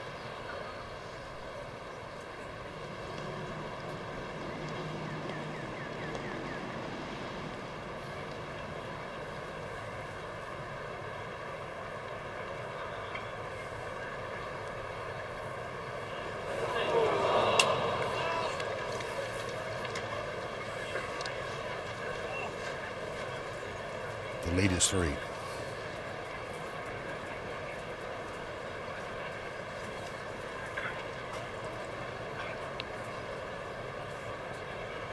Although not officially yet. Now it is. Bogey for Snedeker at the sixth. Three bogeys and an eagle through six holes to eight. A very important shot for Tiger Woods. 264 to the hole. Look at the hang time on that, but even then, well, maybe with the wind against, even Tiger couldn't reach in too, but he's got a good angle on his next shot. The pin way back left, coming over a ridge. He hit as if he was trying to reach the green. Back to seven. For bogey. Well, well done. He only lost only lost one there. So his string of six straight pars ends at the seventh hole. Conditions difficult. Three shot lead for Trevor Immelman. And the number of players in red figures is dwindling rapidly.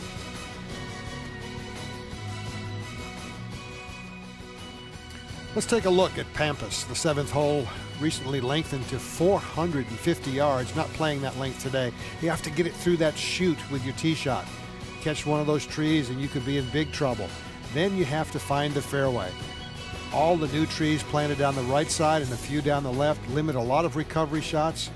The green, very difficult, not very deep. However, today the hole location in its front right position is clearly the easiest hole location on the green. Fourth toughest hole. Used to be one of the easiest par fours on the golf course.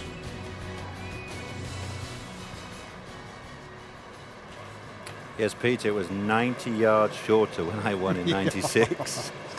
Oh boy. Yeah, it was a two iron. It's a two Eight iron, iron, well, two iron. wedge, nine iron, Yeah. that sort of thing, just depending on your trajectory. Now there's no choice on uh, Now Trevor Immelman with a three shot lead going with a fairway wood.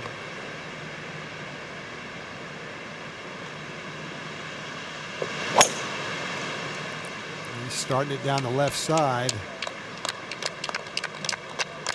Mm, It's going to be okay, but you know, with a three-shot lead, Nick, this thing got easier and harder both at the same time for Immelman. I mean, physically, it's easier because he's got some shots to play with. Mentally, it becomes a little bit more difficult to I- decide what to do. I quite agree. When I, th I thought, I bet he wasn't expecting to have a three-shot lead. Now, you know, you start thinking, well, and all the people around you was to suddenly start thinking, well, this is the guy who's going to win it. Puts a little, uh, well, exceedingly a lot more pressure on you. He has to decide, should I lay up? Should I play safe? Should I be aggressive? A lot more options mentally with a three-shot lead. Now, Brandt Snedeker, however, is behind. For him, it's physically more difficult. He's got to hit great shots to recover. But the decisions become simpler. He's going with a driver.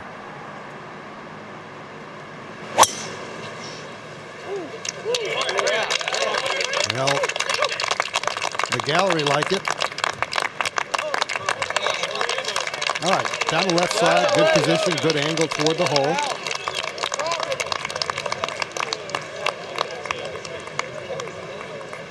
Our final pairing making its way up the seventh hole on a blustery day in Augusta, Georgia on a Sunday afternoon.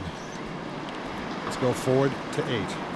And Stewart Cink, his third shot just over 60 yards. So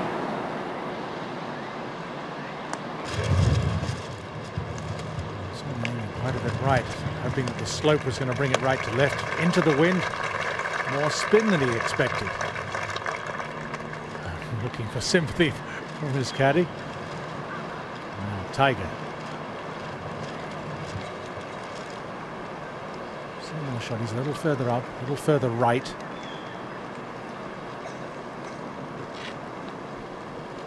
Just to carry up on the green. And the green runs away from him.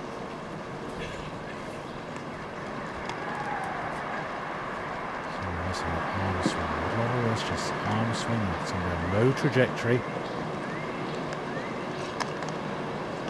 And for maybe a couple of skips forward and then some spin.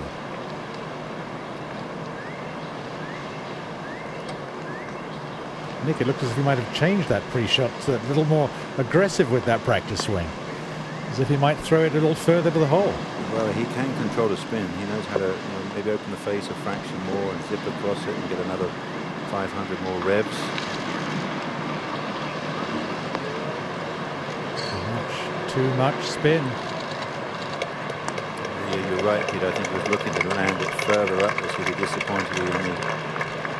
Because once again, it leaves a downhill putt.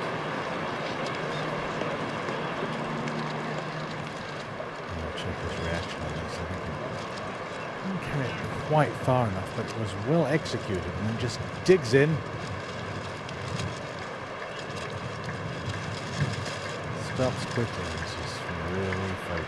Uh, turn away in disgust. And, uh, needed to set up a better birdie opportunity than this.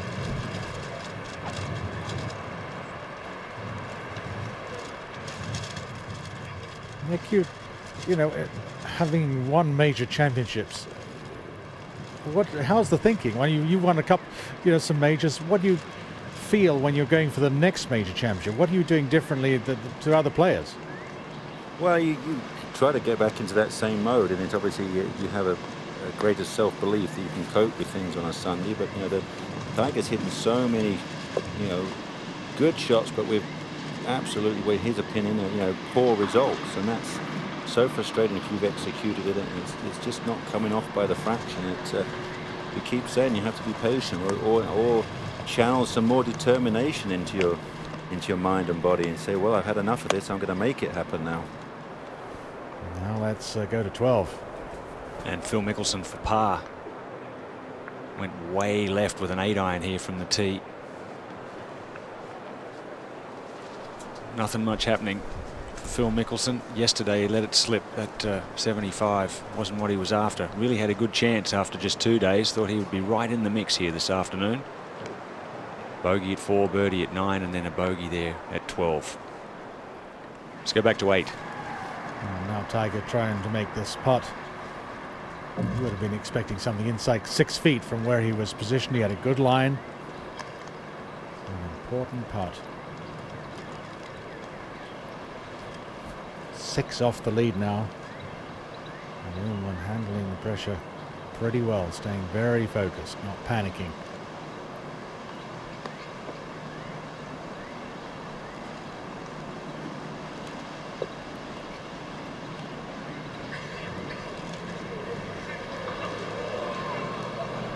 And that, after the good tee shot, the long tee shot down the right, he was set up for a birdie or an eagle chance and didn't take it.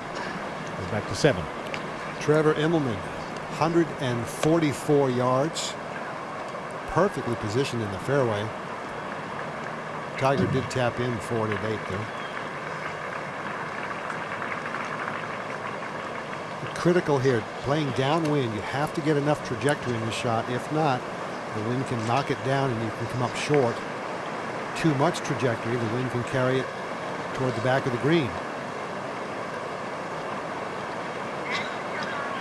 Yeah, I'd like to play for that front edge, Peter, and go for an aggressive one. So hopefully I just, you know, if they squeeze it a little bit, it would go just two or three yards more than I intended. Yeah, because it'll funnel back towards the hole today. Good acceleration of his body through the shot. Oh, that's a lucky break there. Well played shot, but that, that ball could have bounced up and rolled back. It doesn't, it rolls forward. And he has an excellent opportunity for birdie at seven.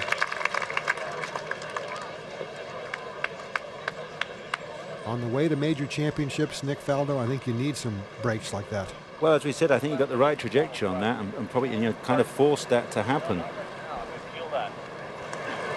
Now Brandt Snedeker, only 136. And he's in a part of the fairway where he's on a little bit of an upslope too, so.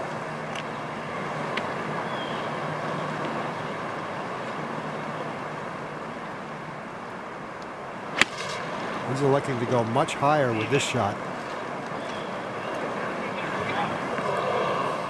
And not enough carry. You're right, Peter. So that may have gone too high, and then the, the wind buffers it over. It can do all sorts. That's yeah, I the mean, thing. you know, you have to hit the ball solidly in these conditions. Let's go to eight. Stewart Cink probably has learned something from Tiger's birdie attempt. And unbelievably, that hangs out to the right after Tigers went left. So two pars. Just one under today for Stewart Cink. And six off the lead. Immelman looking pretty comfortable, staying focused. Three shot lead the fellow competitor Brandt Snedeker.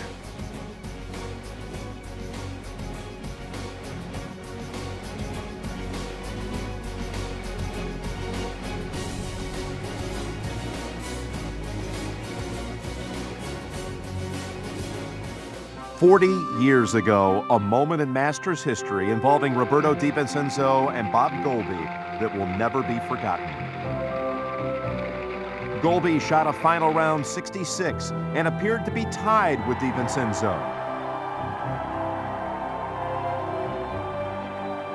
But Roberto returned an incorrect scorecard. He had made three on 17, but signed for a four, alas, allowing Bob Goalby to win the 1968 Masters. We're back at the seventh hole. Brandt Snedeker in the front bunker.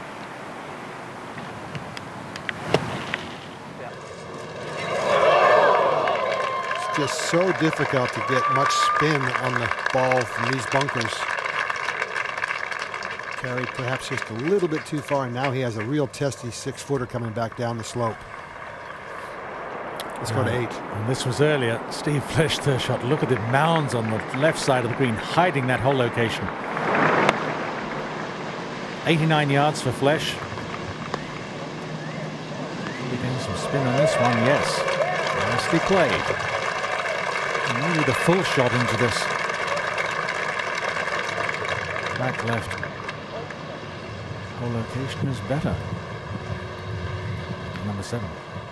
And Brandt Snedeker has not lost his turn. He will be putting for par before Immelman puts for his birdie.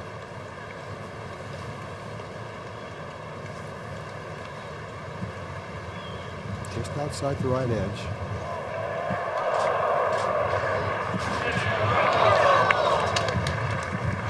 Wow. In the short space of two holes, Immelman makes this putt, he will have a five-shot lead. And I know that wasn't in his game plan. when he was visualizing how this day would unfold, Nick Faldo, I don't think he envisioned five shots after seven holes. No, absolutely not. And uh, I quite agree with what we were talking about early, earlier on. It, it- this will put a lot of pressure onto him. Maybe he can you know, completely get into the zone and and continue on. But you suddenly start thinking if somebody catches him or if he goes backwards, it will be deemed a scar, wouldn't it, in your career? Well, yes, and, and, you know, I think it makes the decision processes at, at 12, 13, 15, uh, as we head to the second nine, even that much more difficult. But right now, this for birdie to get to minus 12.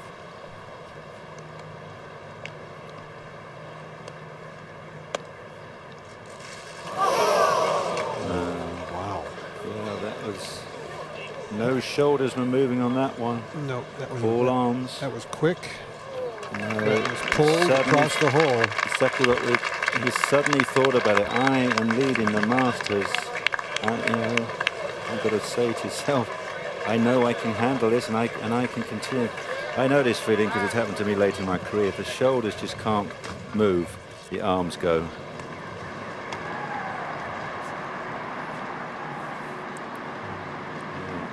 He grimaces a little bit, but uh, I think he pretty much knew that that was not a very good stroke. So he misses an opportunity to have a five-shot lead. He still has a four-shot lead on a very difficult day for scoring at Augusta National. It's one of the great paradoxes in all of sport this serenity, the tranquility of Augusta National, and then on Sunday, all the pressure of trying to contend with this first major of the season and chase down that famed green jacket. Aaron Snedeker has an eagle, but four bogeys through seven holes. And Trevor Immelman is the leader as he has been since day one. He's on the tee at, at uh, the eighth. And 570 yards playing uphill. Teaser towards the front. Maybe 15 yards further forward than they have been. Looked as if it was a power fade. And it'll find that huge bunker down the right-hand side. And now he needs to get a good lie in there in order to, to advance it to the top of the hill. Otherwise, it's a very difficult third shot. Up ahead at nine. And you could see the flag stick uh, and the flag just uh, flapping rather violently here in the wind.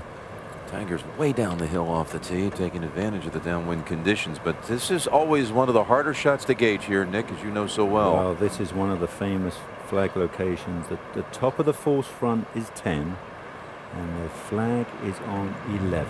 So literally a yard to work with.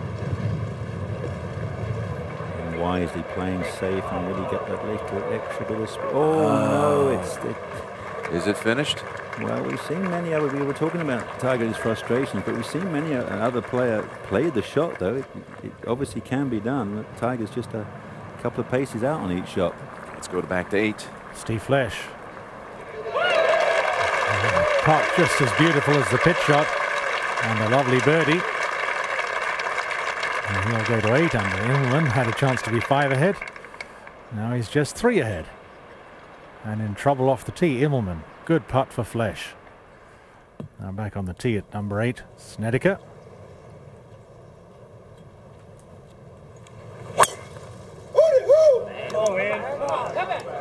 As if the arms were going quickly across the body and up the left-hand side, so he might have a challenge getting to the top of the hill. And a closer look at Yellow Jasmine, the eighth hole. 570 yards uphill, 50 yard log bunker down the right, challenging those tee shots. Lots of trees and pine straw down the left, and then sharply uphill on the second. And depending where the hole location is, players choose different clubs, different lines to open up today to the back left hole location, give themselves more room to maneuver. Steve Flesch did it very well. And Trevor Immelman is going to have to shake off that short miss on the seventh green. It wasn't a great swing on this eighth tee. And it will be a challenge getting this second shot to the top of the hill, giving himself the short arm approach. So uh, the pressure is on from the comfortable five-shot lead after a tap-in birdie. Now he's just uh, three ahead. He might not be aware of Flesch's birdie. Second easiest hole this week, the eighth, one eagle from Adam Scott in round two. And go ahead to to nine. And you can see Cink has judged that false front. Yes, and he's on the mean side of uh, any room to work with Jim there. He's got to actually carry this to about six paces uh, short of the flag, and he's got to guarantee it hops forward. Yeah, he hit it into the bank, and it had a violent kick to the right. It's not good. Tiger really here unlucky. That could have just maybe with a another fraction of an inch, it, it could have curled in there pretty close, you would think. Back on the tee is Steve Flesch. Nice recovery birdie at eight after giving away a shot at seven, which could have been far more severe, could have been a six.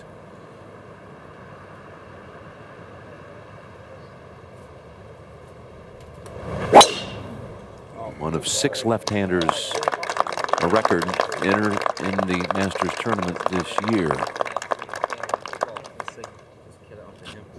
He came into this tournament ranked 107th in the world rankings. Got into the Masters by finishing in the top 30 on the American money list in 2007.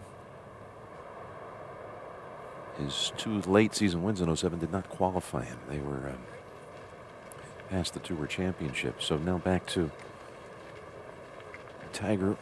And how ticklish is this one, Nick? Oh, this is incredible.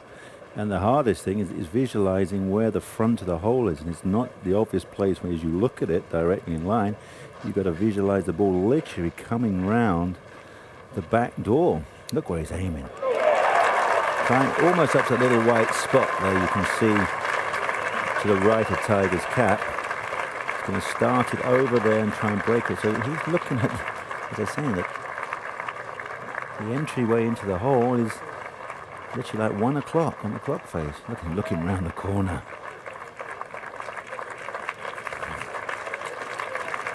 This is usually when he makes the impossible one. He almost did at five. And it's going to be on the high side here. But you can't ask for much more. Not realistic. Yeah, maybe can find the uh, a sixth gear on the uh, on the back nine here to just maybe just decide. Well, I'm far enough back now to just go for everything. I've got to get to maybe uh, at least 10 under par. Back to eight. I don't about the 10 under par. Trevor, I think we'll be happy with 11 under after this hole. Second shot at the par five.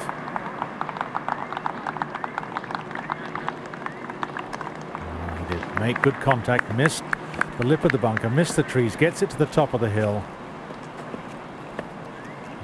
And was always going to be a challenge. No, sclaffed that one a little bit. He would have been uh, halfway up the hill on a blind third shot.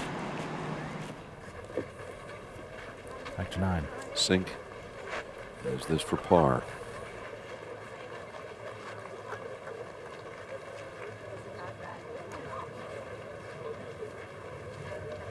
Yeah, also aiming a good two feet right.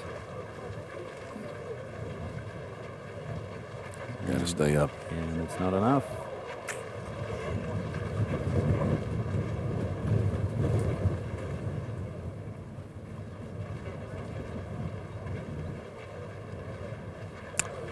So he had that blazing start with birdies at one and two. Does not record another one.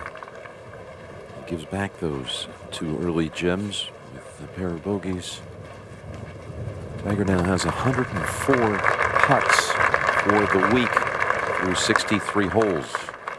That's tracking to be extraordinarily high. Tiger even on that first nine, six back just as he started this final round.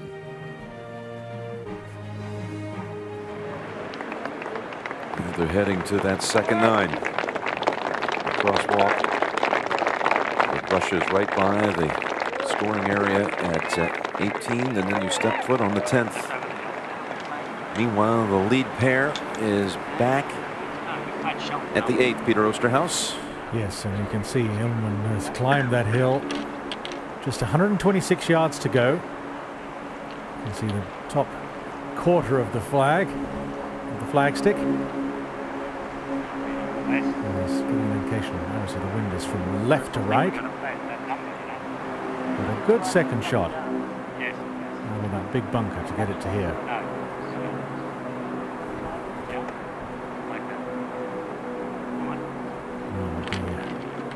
very significant if he could hit a good iron shot here and brush it in for a birdie and forget that tiny miss on the previous screen.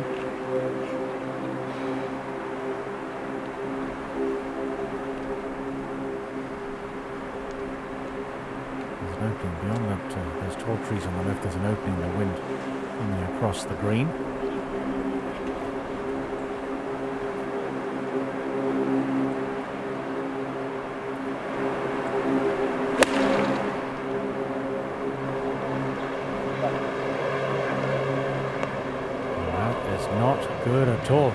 Heavy.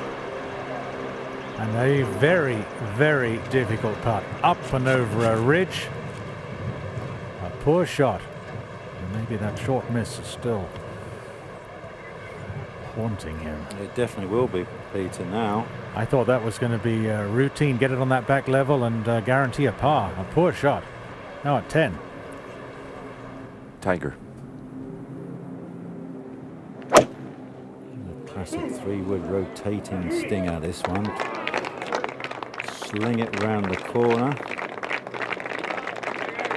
Hands up on top of the hill and just manages to release down. A difficult lie.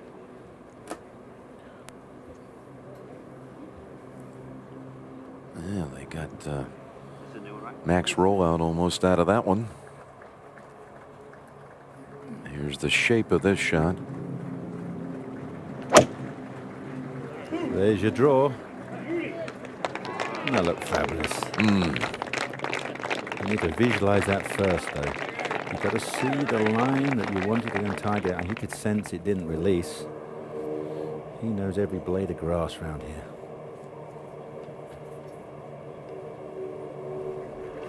Back over to eight. And Snedeker four behind. And he knows how difficult Immelman's fourth shot's going to be here, so an opportunity. Get this one in close. A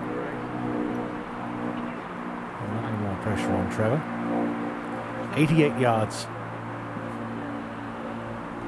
for Snedeker. I think we saw the gesture there. He's also having difficulty judging just what is the wind doing? What is it going to do to my ball?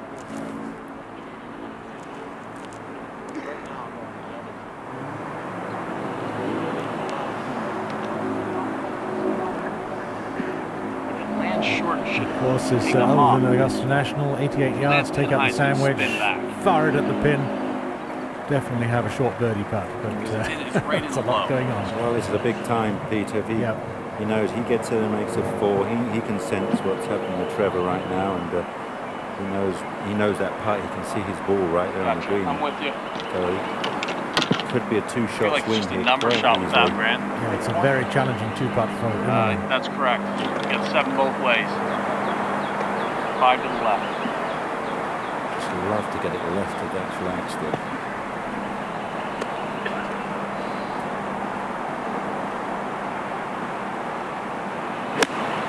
Five yards have been to the left. Doesn't look like it, but there's room over there. And this is oh, it skipped forwards and lost the spin. But still a good chance for a birdie from there. Well played shot at nine. And this was a moment ago, Steve Flesch. Yeah, it's coming off a slightly downhill lie, so if you heard me a few minutes ago, flag only on 11. So it can be done. There you go. If you land it right on the number, that's a fabulous shot.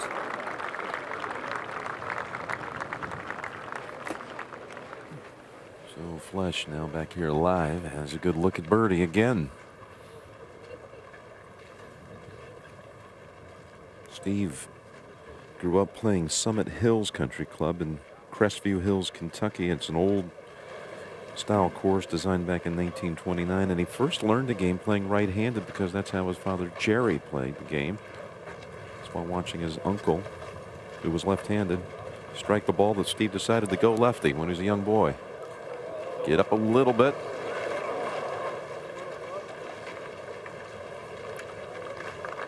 So like and Tiger up ahead and Cink as well. That's 36 for Flesch.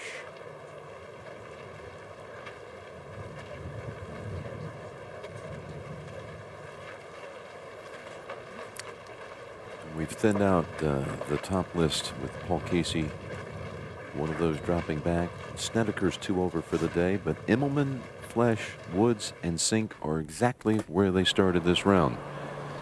And we go back to eight. And Nick, this is such a difficult putt. Yeah, it certainly is, Peter. He can, he can almost putt this off the edge, left edge of the green. That's all uphill over this ridge, and then it just breaks so hard. There we go. It's a great view. He can go, as we're looking now, right to the edge, just fractionally left of the flag. But any miss hit is going to be so exaggerated by the contours. The hardest bit is you actually have to hit this quite hard to get it to the top of the hill, and then that's all it needs. He's. He's almost got to visualize that his his hole is only one or two yards over that hump.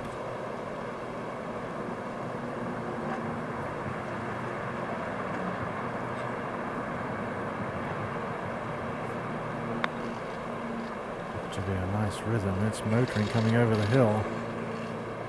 And anything within four feet is going to be a good putt, but uh, it's not that close, and the pressure is on.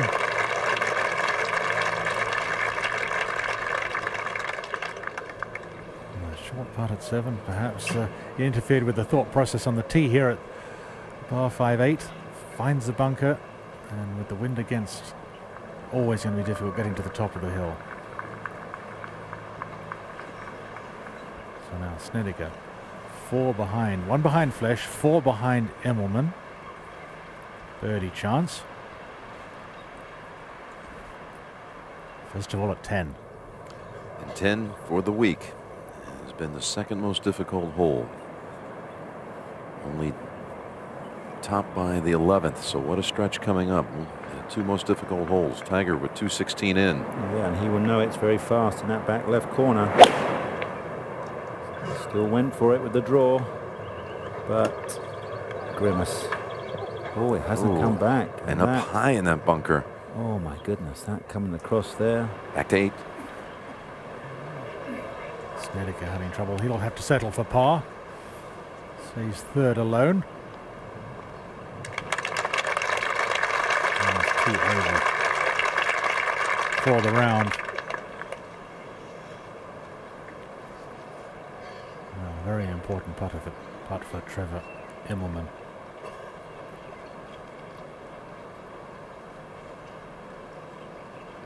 Make a good stroke here. Tap it in for a par and go with some confidence to the ninth tee and, and maybe forget about the miss at number seven. Well, he needs, needs to recognise, Peter, what happened on the seventh. It definitely looked to me and, and, and Pete Kostis, you know, that the body stopped, the arms went.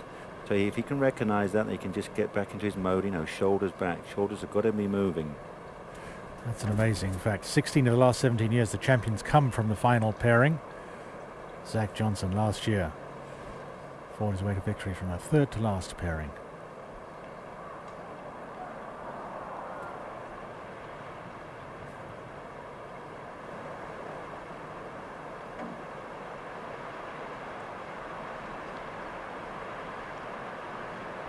And Putt, it's just a little bit left to right. Little uphill has to be struck nicely.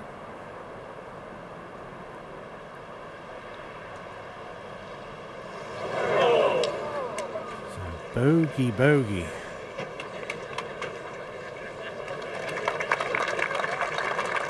Excuse me, not a bogey, though. Very short birdie miss and then a bogey, but it felt like a bogey, that tiny miss.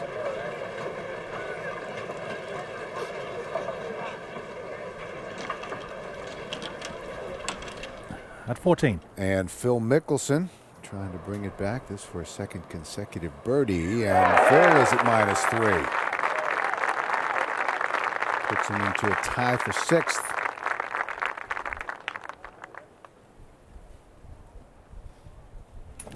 Final round of the 72nd Masters. Immelman gives one back. He's at minus 10. Flesch to eight under. Snedeker still within striking distance. Three shots back. There's Tiger in trouble at the 10th, alone at minus five. Playing competitor Stewart Cink minus four, and there's Phil along with Padraig Harrington at minus three. Andres Romero having a nice Masters A young player from Argentina, now to the tee at the 10th. It's Steve Flesch. And with the wind coming hard off the right to left, Steve has to hit a little power fade and it will really ride round the corner. You can see that one disappear. Too much left? No, I think there's more room there than you, you think. Yeah. Oh, that's going to be just fine.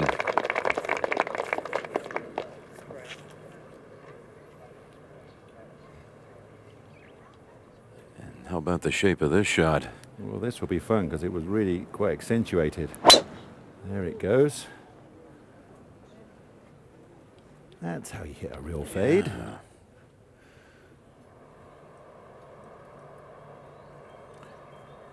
Check out our 3D animation to fully appreciate the drop here. Look at this elevation change at the 10th.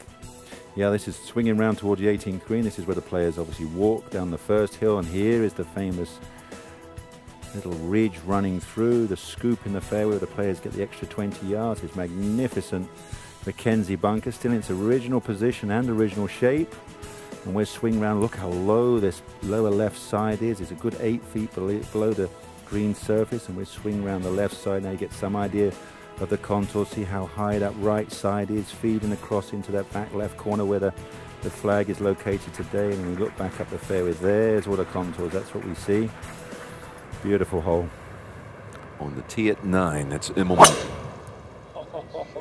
Who entered this final round, Nick, number one in the field in driving accuracy and number four in driving distance for the week.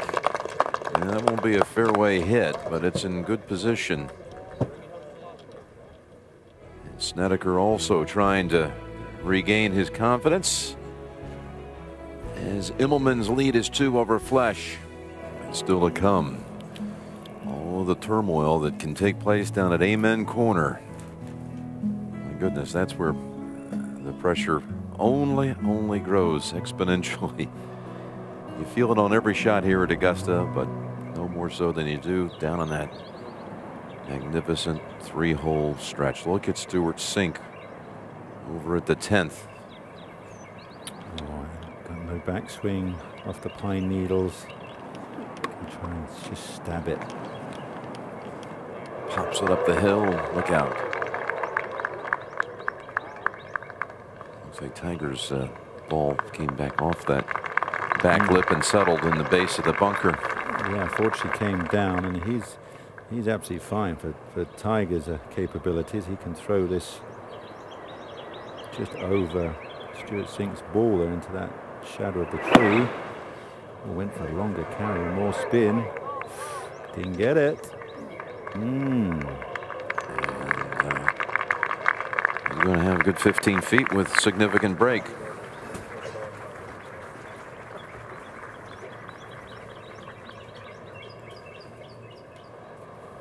Yeah, I'm surprised here. I would see that the, obviously the shadow from that tall pine there. I would have thought that would have been enough. This this green really feeds off. Nothing wrong with the stroke or anything, but, but maybe got a fraction too close.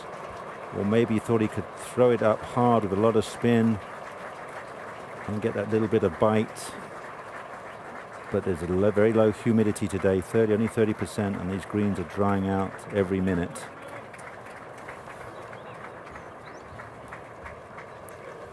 Well back over at nine.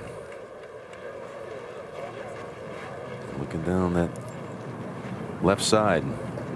Not good. It'll be Snedeker. Oh, there's no shot from there, Jim. He's got to just punch it out and try, if he could get it pin high, or even just a little bit past pin high, off the right-hand side of the green, even if it ran into the patrons, into onto their, their feet line, that would be a safety first here. He's got to, he's got to plan plan the chip shot, the third shot. Uh, and no, scuttled it down the fairway. I would think trying to gauge it just right, what you're going to get off the pine straw is not easy. The hardest thing is your feet move, Jim. You know, as you as you you start the uh, the transition down, obviously your feet have you've been so used to to to holding you perfectly still. And if that moves, you watch his feet there.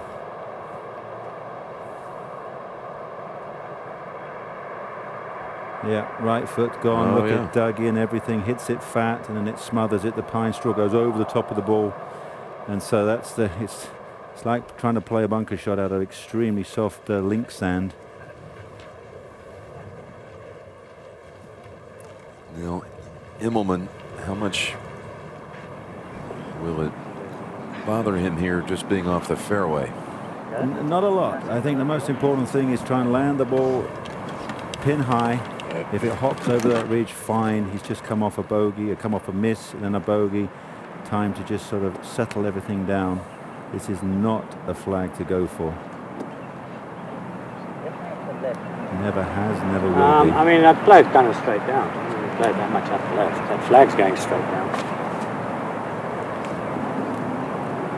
He knows the danger that lurks here. He has videotapes of every major championship since 1984. Watch them all, study them all. This is very similar to the type of thing that Tiger's done since his youth. He has the complete library of them, no doubt.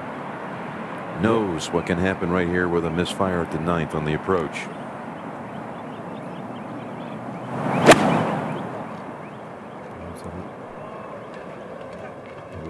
Better keep- oh, no. oh, my. Again, the chest has stopped moving. The arms are going faster. So he, unfortunately to say, Trevor's in trouble right now. I'll tell you Thursday a fascinating thing. I look down from the tower at 18 and I see that Gary Player is right here in the foreground. He's in the gallery to come out and watch. There's a young protege of his and it's Mr. Player about to make his way back to the clubhouse. That was Trevor holding that putt from some 40 feet. Gary had finished his round about an hour earlier and re-emerged from the clubhouse just to come check up on his boy Trevor as he was playing the ninth, and he delivered the goods. Now he got a uh, voicemail from Gary Player last night. Gary Player was traveling to the Middle East and regretted he couldn't be here. He was hoping to travel and get there in time to be able to watch this on television. But here's what he said on his voicemail to Trevor. And Trevor woke up to this this morning. Take your time and keep your eyes on the ball an extra second on putts. Remember what's happened here at 7 and 8. Keep your eye on it for an extra second. There will be bad breaks, and I know you're going to win. Let's go to the 10th, and this is Tiger now for par.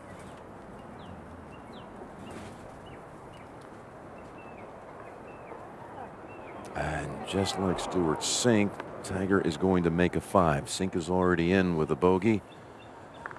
Tiger taps in for his five. Tiger now for the week when he's been in greenside bunkers, one out of six recovering.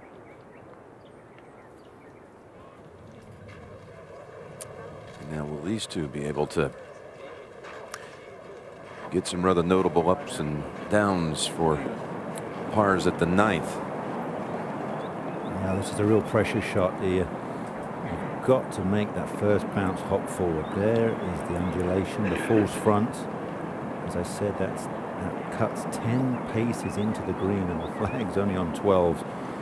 So you've got to make sure if you need to take a you know a club less instead of pitching with a wedge, go with the nine iron just to guarantee it bobbles forward.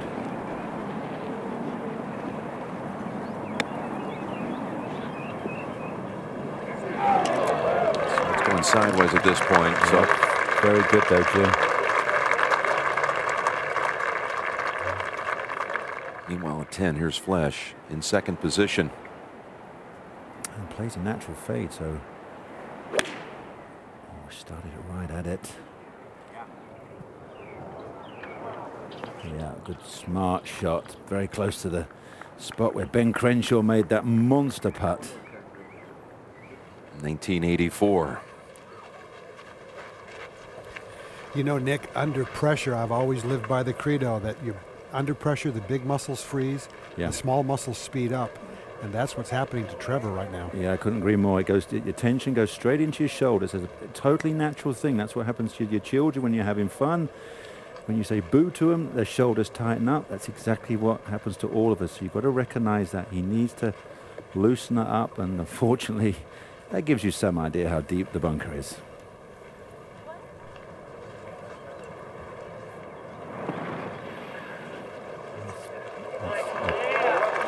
Pull back in a little bit. Yeah, that's very well played. Gives him opportunity because right now things are starting to feel very strange in his mind and his body. I just would love to get through a couple of holes to calm things and still, you know, realize that he's still leading the Masters and uh, and then the the dramas of the back nine will begin. You know, maybe a lot of Americans don't know that much about Trevor Immelman, though twice a member of the International President's Cup team, a winner at the Western Open a couple of years ago, defeated uh, Tiger in that one by two. But he is a world-class player, Nick, and it's interesting. Last night I was in the company of Curtis Strange, and he said a lot of guys on tour will tell you the two best swings in golf belong to Tiger and Trevor. Yeah, I agree with that totally. And as you were talking earlier, he's done an awful lot of research. I sat with him, crumbs, a good three or four years ago. We were in, we were in, I believe, playing in South Korea, and he wanted to sit down and he asked me every single question he could think of about, you know, how to prepare for tournaments, how to prepare for majors. And he did then, I believe, only about a year or two ago, did exactly the same thing with Jack Nicklaus. Sat and so he's basically done all the research, all the preparation, and he, and he wants to put it, you know, so he's kind of covered no stone unturned, I guess we basically should say. Came to the United States as a young boy. His parents realized that there was a gift that their son had, and he ended up moving over here and living with a family in the Lake Nona area of Orlando. All right, now here's Snedeker for par, and he needs it.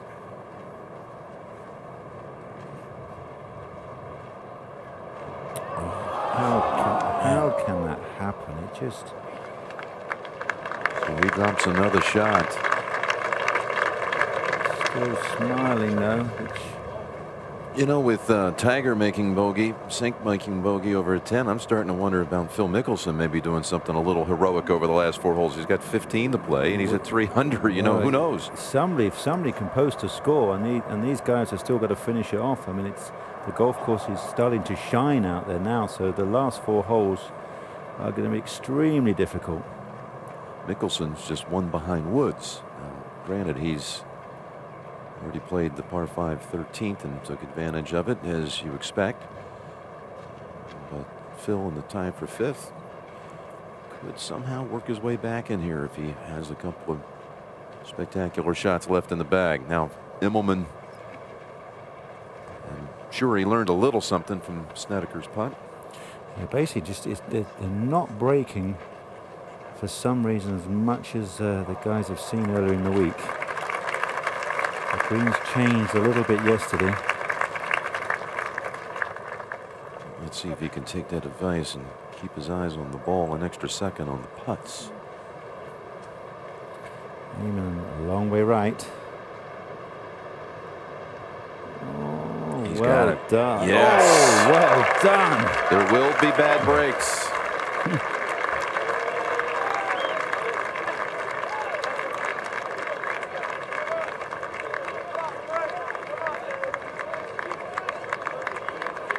And He's learned how to handle him coming back from the miss putt at seven and the bogey at eight and this whole idea of winning the green jacket. Who better to put it into words than those who have experienced that great triumph?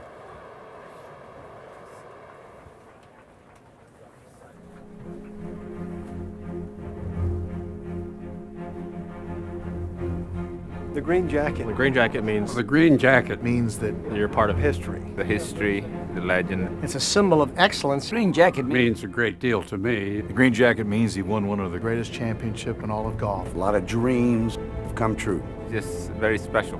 some of the greatest players that have ever played the game have won this event. Most amazing thing is that you're, you're part of this club. It's a responsibility and a privilege to be a part of an elite fraternity. This means an awful lot to carry that and wear that green jacket. We're very proud to put this jacket on every year. It is one of the greatest things that can happen in a golfer's lifetime.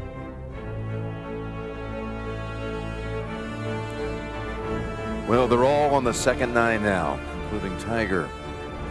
Finds himself Still six back. Flesch, hanging tough. Immelman the leader. After a much needed hold putt a moment ago over at nine. Here comes Snedeker with Immelman on a casual walk on his way over to 10. As we look up the way at 10.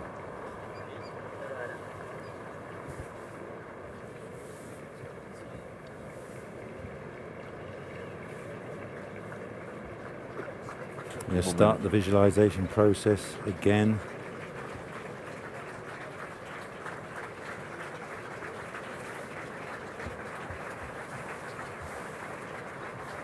Picks his spot, little three wood, as we've seen.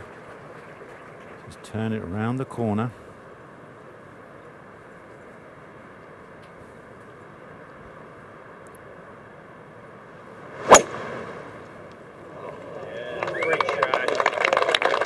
And he loves it.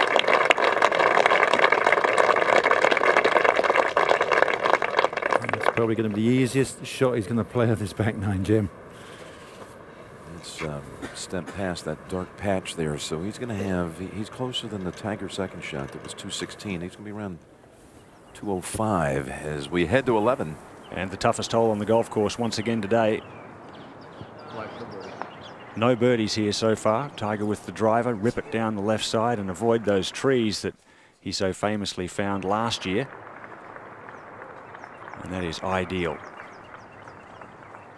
The four hardest holes on the course today 9, 10, 11, 12. Only six birdies have been shot by the entire field on those four holes as we go back to 10.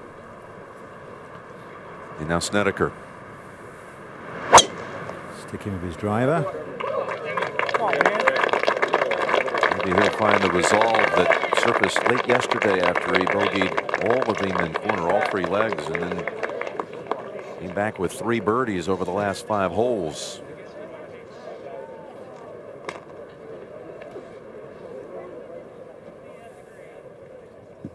Snedeker shot and how he shaped this one.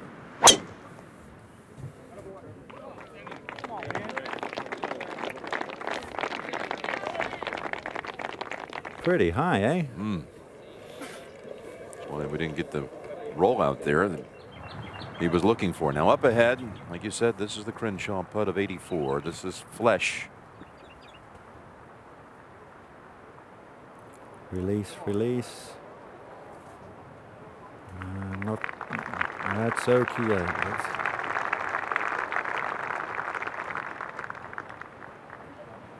His left. Slow now. Great putt. This is, that's one of the greatest putts I've ever seen. And it still is. Can you believe it's been 24 years?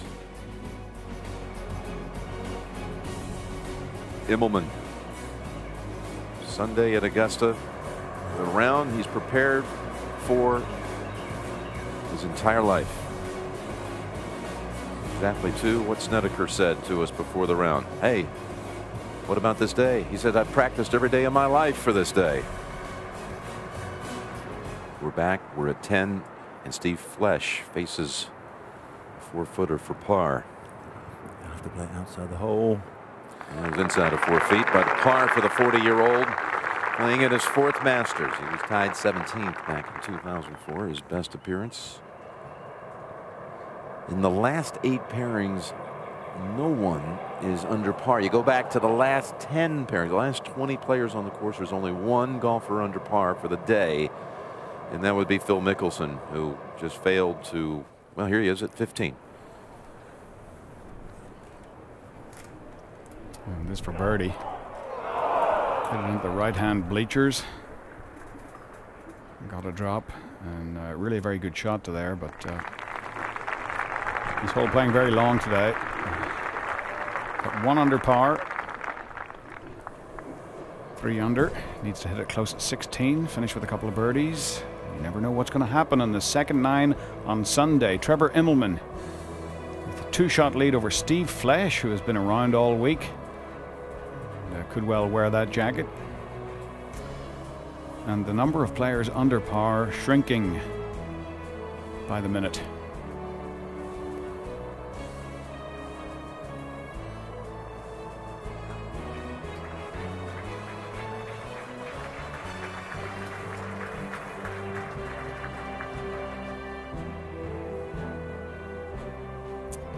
Top 16 and ties get back here play next year. Right now, Stuart Appleby tied for 14th at uh, plus one.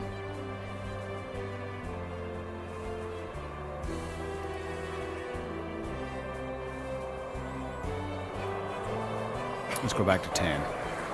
This is going to be difficult for Snedeker just because he's still going to be a little bit on a downhill line. Now, he was really raised on a public course in Nashville that was up and down, a hilly venue, much like this called Shelby Golf Course, a hilly venue designed back in 1926. And there was another little public course he played less than a mile from his home called McCabe Golf Course, where his parents told me last night he would sling the bag over his shoulder and he'd walk down to the club and practice every day.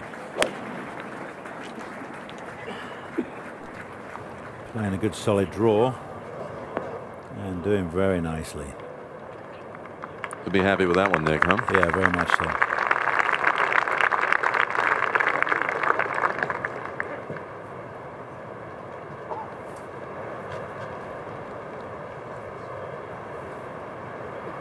Immelman has a flatter lie here. Mm, you can see the eyes are up in the pine trees looking for the, the wind direction and Neil is caddy uh, indicating there. It's coming right to left into them but it will it can come over and obviously the wind can oscillate and start to tumble up the avenues here.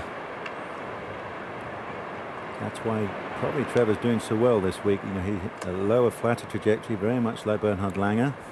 A lot of people said you had to hit the ball, you know, high to get it to stop at Augusta, but when it's breezy like this, keeping it below the tree line and land it on your yardage on the green, that's exactly what you're looking for. Still rehearsing after a long discussion with his caddy, Neil Wallace, who's also from South Africa and has been with Trevor back in here talking about it now. They've been together since 2002. Trevor says about Neil that he really cherishes his experience and he knows exactly what to say to me. That's this is going to be the most important time of their whole career, is what Neil says to Trevor right now. This these next uh, two hours.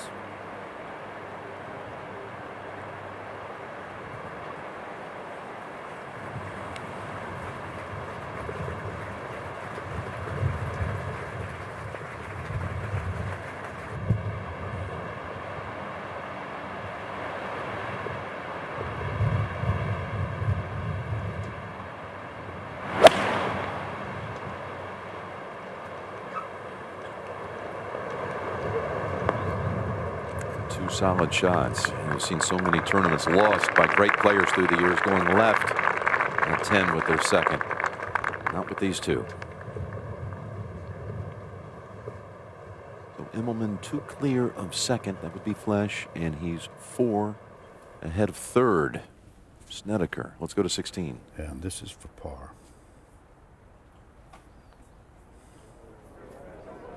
Now there are no players in the last 20, 20 people who are uh, under par for the day. Mickelson was back of the green. So he falls off the front page. Immelman leads by two over Steve Flesch. Brandt Snedeker at sixth, and Tiger Woods not doing much at all today. There's Mickelson, who was one under until the bogey you just saw. Paul Casey and Harrington also at minus two. Champion from a year ago, Zach Johnson at plus one. I think Phil would like to have the 16th hole back this weekend, Verne? Oh, gosh. Double bogey yesterday and bogey today. 211. And back up on the hill, Tiger Woods has 198 yards. Stewart Cink 196. They've been waiting down here because uh, of all the swirling winds down here in Amen Corner, lots of debris blowing from the pine trees down onto the greens and they've been bringing the blowers out onto the greens to blow away all of that debris before some of the players putt or hit into the greens.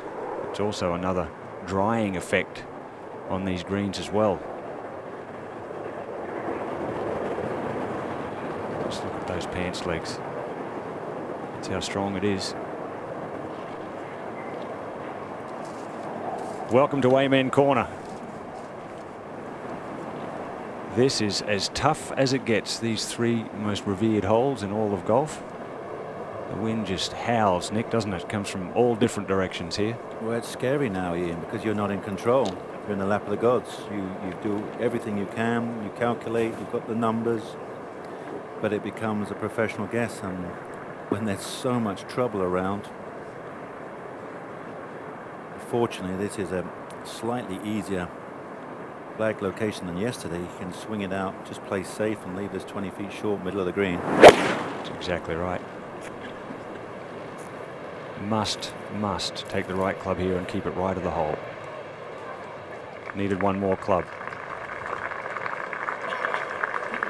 Well, 50 years ago it was named here, 1958 by the great writer Herbert Warren Wind, and Nick Faldo tells us all about it. Amen Corner.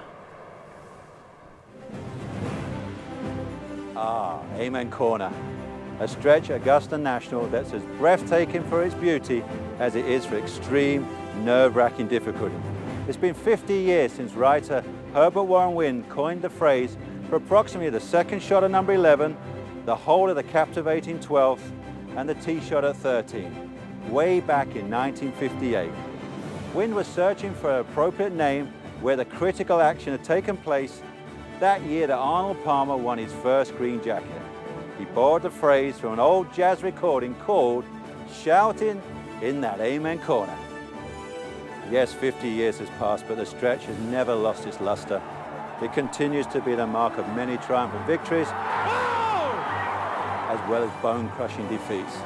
For the rest of this tournament and the following 50 years, There's your champion. Amen Corner's story will be told again and again. And I know founder Bobby Jones, course architect Alister MacKenzie, and Herbert will be very pleased what they hear. Amen to that. There's a look at the 11th green, bottom of the hill over there to the 12th, playing just 157 yards today. And then you walk up the corner there, another 50 yards or so to the 13th tee, the beautiful par 5. And we'll be back there soon. Right now, back at 10 green. And Immelman's a few steps closer than we saw Flesch, who was able to two putt from this range. And Immelman would love to be able to duplicate that.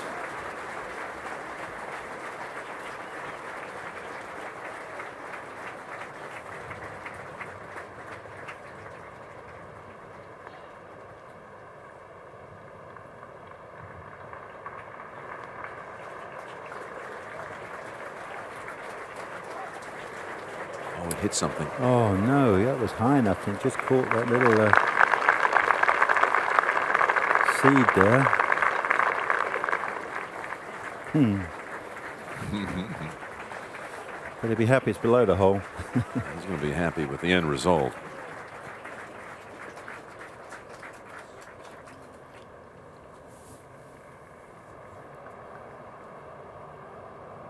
Was tracking quite well. I'm sure it was just fractionally low, but uh, that didn't help.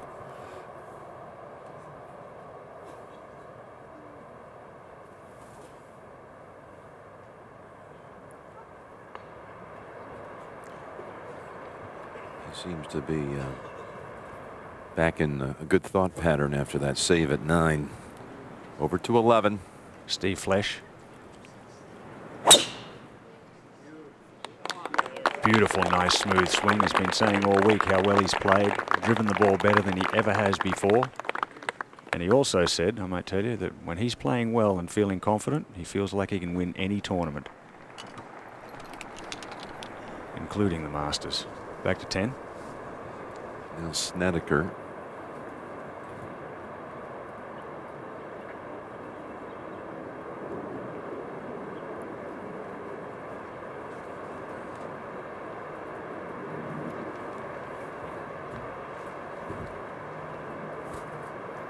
Sure his man Scott Vail has cleaned up that area around the cup and and just lagging it to within about two feet, two and a half feet. Trying to become another Tennessee golf legend, if you will, like a Dr. Cary Middlecoff, who won 55 Masters and two U.S. Opens. Lou Graham, who won a U.S. Open. Shaun Micheel, who won the 03 PGA.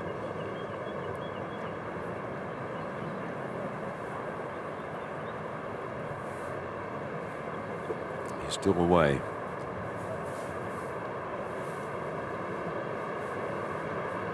You think this kid has it in him, uh, Nick, to bounce back from a 39 on the front? Well, I think it, he, he will because you know yesterday was he managed to do it then, and I think with so much going on today, something could happen that uh, gives him that glimmer of hope. This is not going to be plain sailing for these two players or any of the top half a dozen players to get in today. Checking out the scoreboard.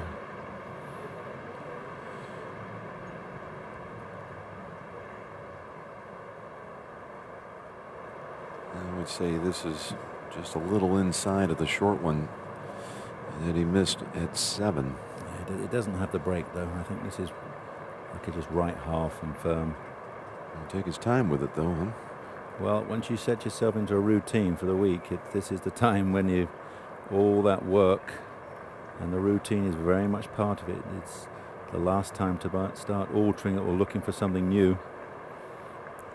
You know, Nick, he has struggled with putting in his career. One time actually went to a long putter, which is pretty unpopular with some of those he's closest to. Back with the regular length putter, knocks that one in for a par. Eight holes remain. Lead is two.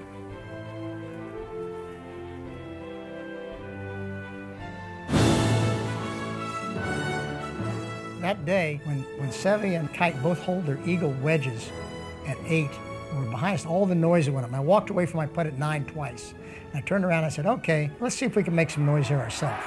And I hit the putt, knocked in. That was a big cheer. Then I buried 10, buried 11, and, and then I made a stupid bogey at 12. But I think the bogey at 12 gave me a little bit of a kick in the rear end. Well, anyway, I buried 13, parred 14. I'm standing in the middle of the fairway with Jackie on 15. Yeah, I hit the shot. And Jackie said, nice shot, Dad. And she said, yes. Let's, let's, let's, let's get going. I mean, I said, yeah, okay, yeah, let's go. And I remember, I remember the, just sort of saying, yeah, this is, this is, this is fun. This is what it's all about. I mean, I always loved being able to be in the hunt. And I, that's what I've enjoyed all my life. And uh, 16, I stood on the tee. When I hit the shot, I didn't even look at it. I just reached down, picked up my tee, and Jackie says, be right. And I said, it is. I just knew that it was right. Then uh, I'm on 17. And I never stand over that putt. Or, uh, Jackie and I were looking at it. I said, what do you think? He says, Dad, he says, it's got to go a little bit right. He says, it's going to tail. I says, but Jackie, Rae's Creek's down here to the left. He says, I think that ball's going to tail a little to the right and then straighten out and try to turn left into the hole. Maybe. Yes, sir! And then, of course, 18, Jackie and I were just uh, father and son emotion. It's always one of my one of my favorite moments in golf. We're here at 11. Tiger with a good 75, 80 feet for birdie three.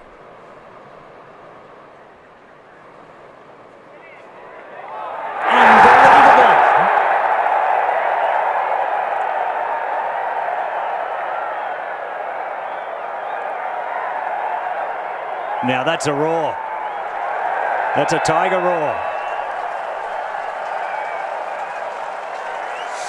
Sensational stuff there at the 11th Tiger Woods. We've seen a two there today by Stephen Ames, but that the only birdie. Let's take another look at this.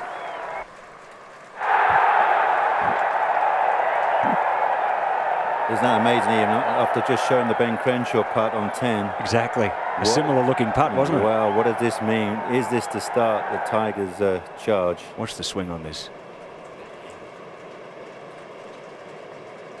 They blew all the debris off the green earlier before he came in here. and that's what we're used to seeing. Can he make it five?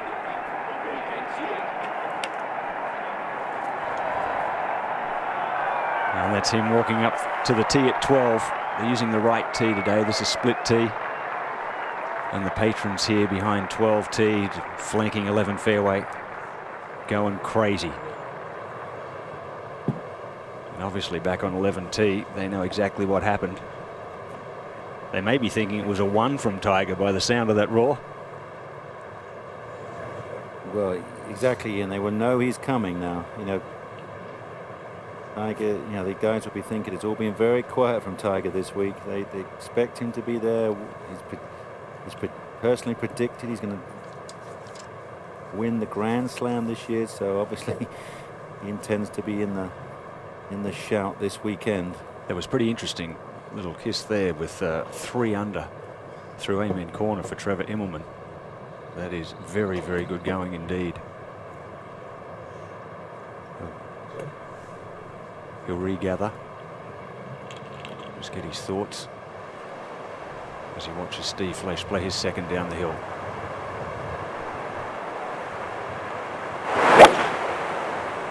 Two hundred and twenty-three yards.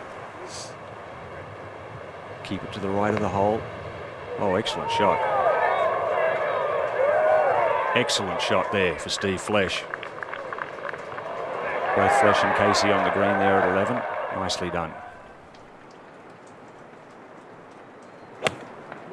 Ooh, just a little cut off seven iron there for Tiger. Keep it out of the wind. Ooh. Actually, that's not too bad. That's a good safe shot playing wrong there. Anywhere but short. Boy, that looked good through the air. That was right over the flag. Back to the tee at 11. Immelman with the honour. And let's see, see all the little pine kernels, pine seeds, the debris there on the tee. That's what's gathering and causing so much havoc on the greens. We saw Trevor's putt back at 10 hit one of those and just take a little bit of speed off. And there's rules officials out on every hole, every green, and they'll bring the blowers out every once in a while and blow off the debris.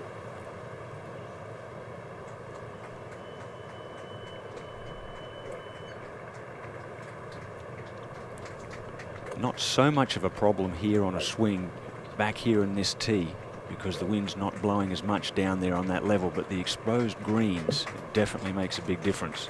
That stuff blowing around all over the place.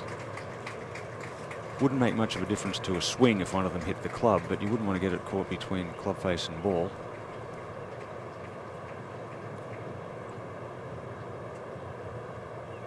It's intensity right there.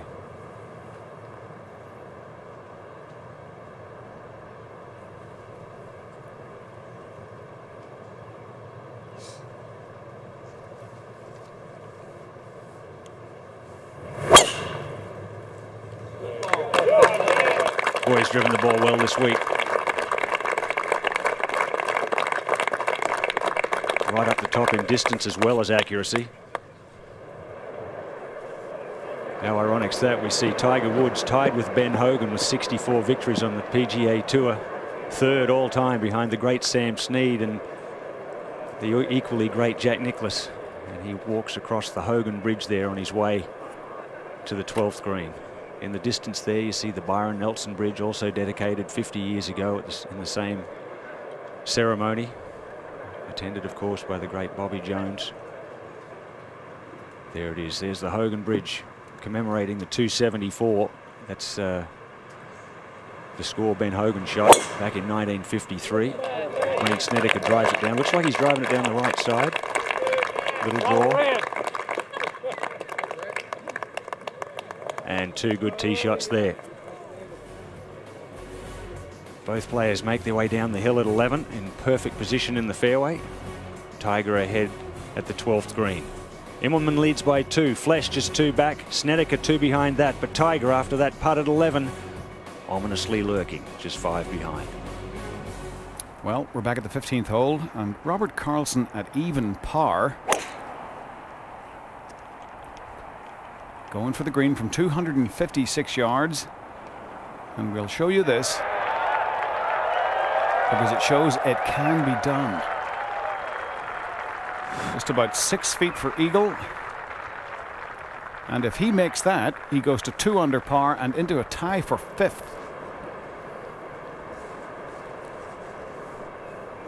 Back at the 12th.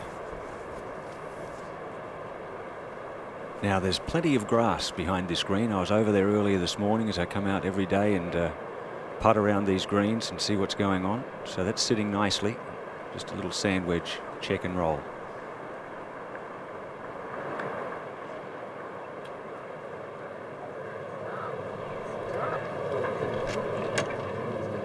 Mm, a tad aggressive.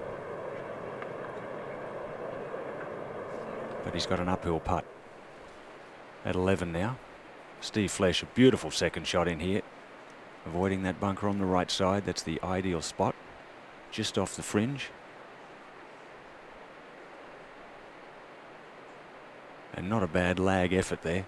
Left it below the hole. The last place you want to be here is above the hole. Scary fast.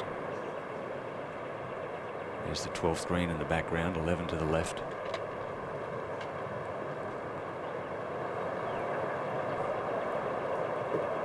Tough day today. And no tougher area of the course than down here in Amen Corner. The wind swirls. I've been watching it all day. The wind can be blowing hard right to left and against at 11 and downwind and left to right at 12 just 50 yards away. Incredibly difficult to choose the right club.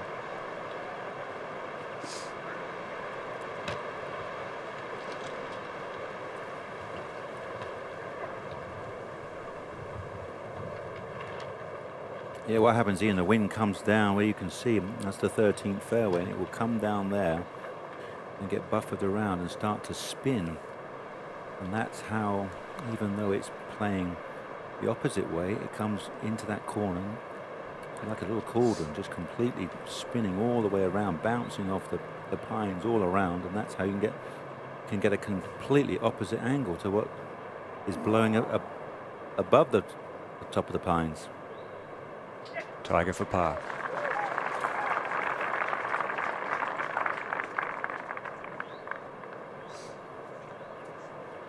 Beauty.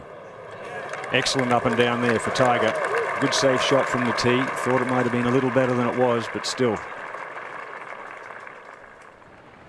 Three's a good score there. Just a little earlier, while that was going on, Steve Flesch for his par to remain eight under.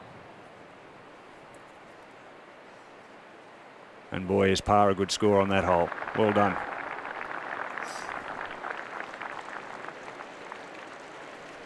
Casey made bogey, unfortunately, there at 11. Now back up the hill. Once again, the blowers out there you can see in the distance. Just blowing all of that debris from the green. Just uh, adding to the shine effect of the surfaces.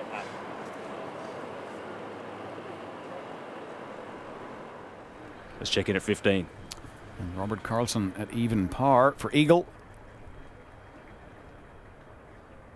And there you go. Into a tie for fifth, and anything and everything can happen over these final few holes. I've seen here at 15, uh, well, Ignacio Garrido just a few years ago make 11 here. Justin Rose made eight earlier this week. Anything can happen. Back at 11. And earlier this week, David, Tiger was quoted as saying that 11 has become by far the hardest hole on the golf course. They put the trees in down the right side, took up a lot of the, the old fairway, raised the green up on the right side. You can't play that old Larry Mize shot anymore because there's there's no uh, flat area. It's a little lip. Definitely made it the hardest hole at the start of Amen Corner.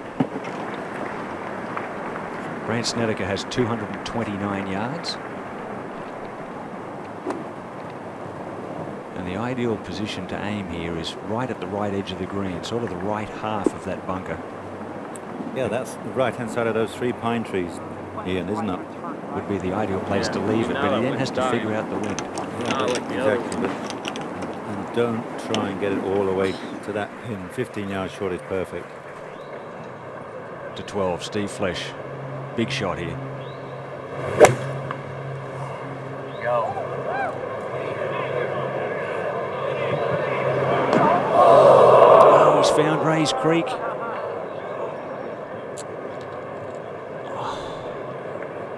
Tom Weiskopf once hit five in a row in here on his way to making a 13 back in 1980. Said he never hit a bad shot either. Let's go to 13. And the tee shot of Tiger Woods. Three wood trying to turn it around the corner. Oh, Tiger. That's headed up toward the trees. That will most likely be a layup from there. We'll have to see exactly the position he's in. Wind coming hard from the left on the tee shot. Difficult to turn it back to the left. Back to 11. Second for Snedeker.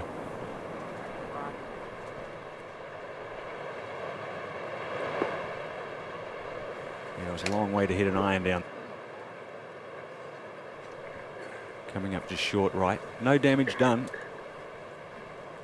Similar line to the putt of Tigers.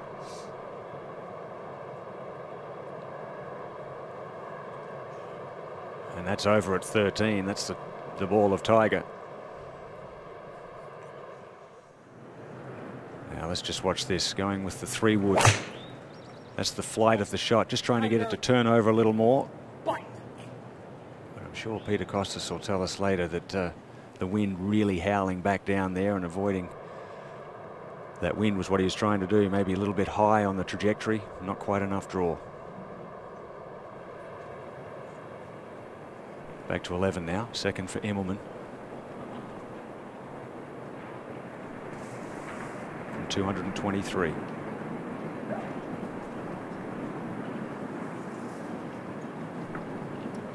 I like it. I definitely like that. Definitely. That was scaring me for a second. Ian, he was aiming right at the pin. Neil Wallace has just said, I, I like it though, Nick. I heard Neil there in the background. I like it. That's the one.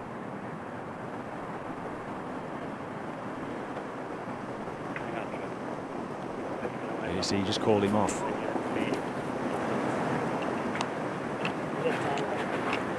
Supposed to talk that high, you know? Yeah.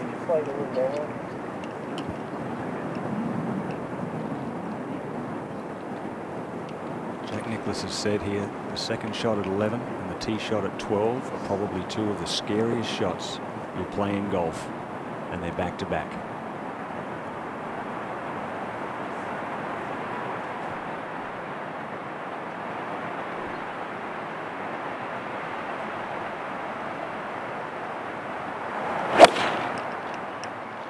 Ben Hogan also said that if he ever saw him on the surface here, he'd hit a bad shot. Can see both those guys just making sure they didn't do anything stupid. That one was a little worse off than Brandt Snedeker before him. That's going to be drama. Ian, look at this lie across there, across the corner of the green. No room to work within that breeze. Oh, that's a dangerous situation now. Certainly is straight down breeze. And let's take a look at this 3D rendering. Sensational stuff. That's where he is, down in that little hollow to the right, almost over on the same line that Larry Mize was in in that great chip that he held in 87 against, against Greg Norman. Runoffs on the back, runoffs on the left side, down into Rae's Creek there, down into the pond here that's been banked up.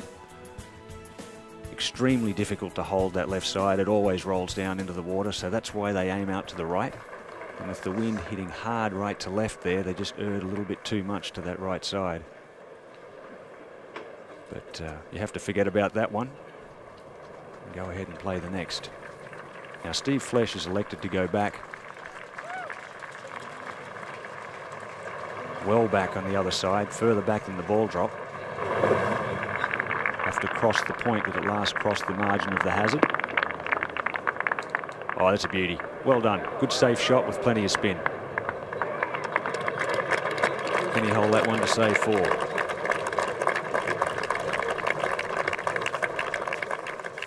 Let's go to the home hole. And Phil Mickelson has this for par. And an even par round of 72. And it's going to be the first time in quite a while we won't see Phil at the end of the day in Butler Cabin. He had that every other year thing happening, so he was here as the champion in 04 to present in 05, the winner in 06, presenter again last year to Zach Johnson. Really saw his tournament hopes disappear after hitting the flag stick at eight yesterday, and the ball just uh, spinning back and ending up with a bogey. Let's go to 13, Peter Kostis. Well, Tiger's standing over his ball and uh, trying to figure out his options. He's trying to figure out where he's going to lay up. We'll take a look again with our 3D animation. Right down there underneath that tree is where Tiger is. He may be looking to go out into the 14th fairway and then play down across the 14th fairway, across the hazard into the 13th green that way. Do you think he'd try that, Peter, with that hole location? He's got a, he's got a little bit of room behind the hole, Nick, but uh, it may just be a chip, That's 50, correct. 60 yard chip back Same into the 13th fairway as well. He certainly doesn't have a full swing. No, he's just looking at a chip shot, he, whichever way he wants to go.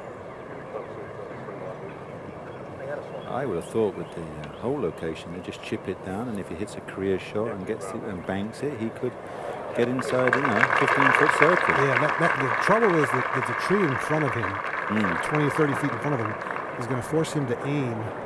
See that tree right there is going to force him to aim well left. And uh, now he's going to have to try and cut it off of there. Otherwise, it could bounce on down toward the hazard or toward the second cut on the left. So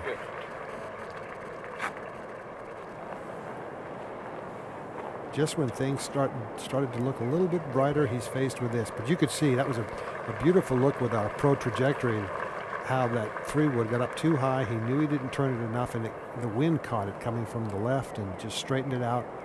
And here he is.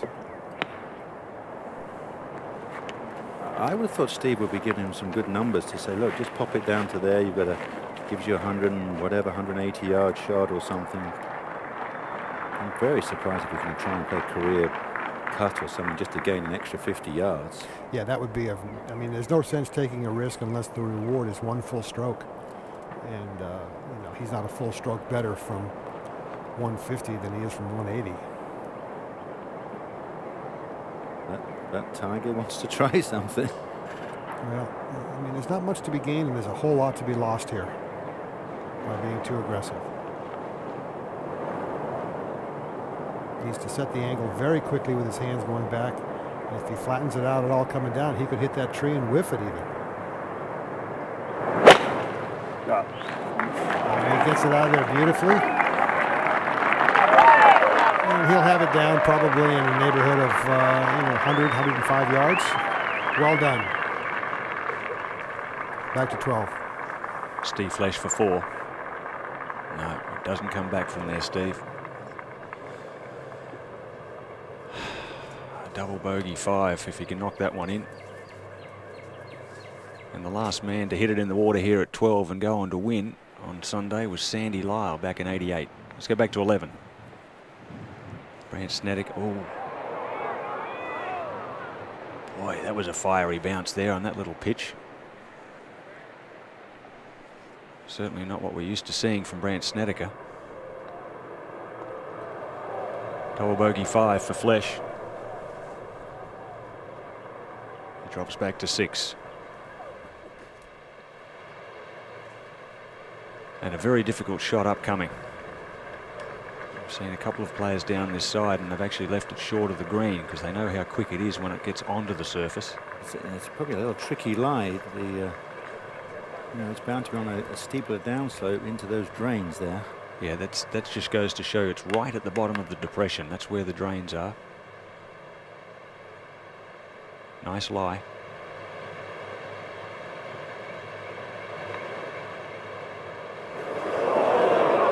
And that's the fourth one I've seen today. Leave it short of the green. It goes another yard, Nick, and it runs all the way to the hole, doesn't it? Oh, exactly. You've got to calculate the number of bounces, but it is such a scary shot. If you, as you said, if it went one bounce and then onto the green, that would go 30 feet past easily. But you need two bounces. You need one, then the two, and a third bounce has got to just bobble on, and then. But can you imagine trying to calculate that on a 11th hole at Augusta on a Sunday afternoon? Exactly, especially with all the debris laying around there Oh. off the green. It, it uh, It's a scary hole, and that's why it's the toughest every year. And obviously, there's drains there, there's probably a fraction damper as well in that in, on that spot. You may be one of the few people that has fond memories of this hole, Nick, with uh, two of your playoff victories in Yeah. 89 and 90. I'm the only one. I was trying to sell that picture, but nobody wants to buy it. I'm quite happy with that painting on, over my mantelpiece, I can promise you. The first one was uh, 89, the second in 90 against Ray Floyd. Now Snedeker with a long par putt.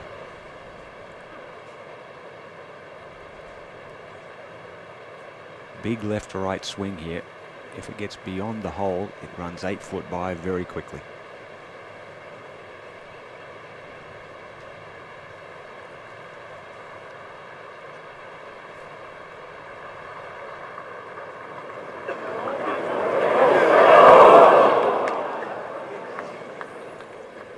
Well, the damage done there with the, the little pitch.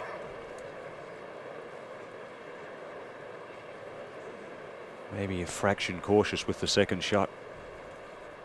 And a fraction aggressive with the pitch. He'll go ahead and finish off. I love his pace of play.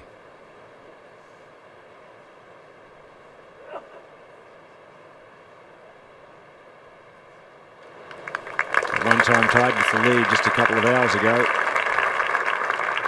After the eagle at the second, he was 10 under tied with Immelman. Now he'll drop back to five and be tied with Tiger. And here he is. Yes, and he is just inside of 100 yards now. Downhill lie has been looking at the wind, trying to gauge what it's going to do. Stevie just called him off a little bit there. He's, he's laughing now because it was into him. Now it's downwind. This is a delicate shot. We have seen upwards of 16 balls in the water hazard here. So if he throws it past Peter, it, will it spin back? It, he, he needs to throw it about 20 feet past and he needs to get it up in the air for it to spin back. Yes, Wow. but it will.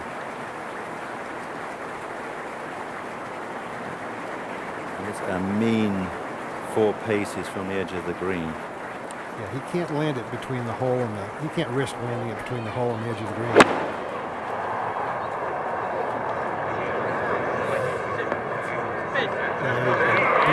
Done. Absolutely wonderful.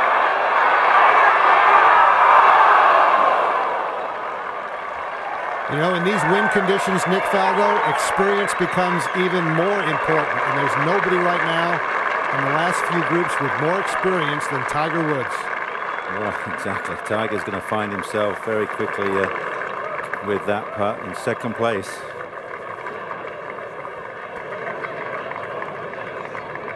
Boy, he waited and waited until he got the right moment, pulled the trigger, and pulled off the shot.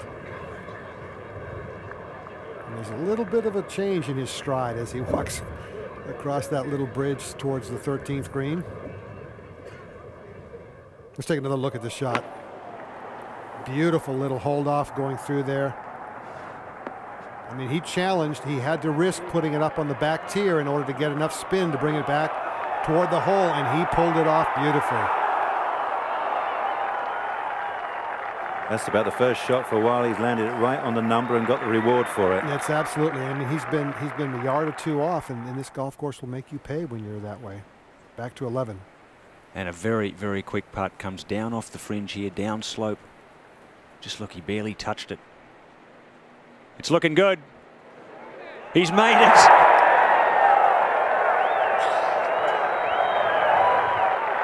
And the tough South African seeing if he can become the second man from his home country to put on the green jacket.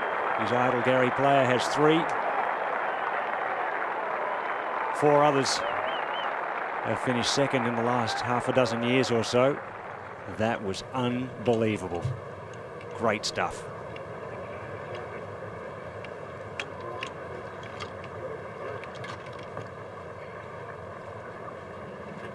Pretty incredible shot over there at 13 for Tiger.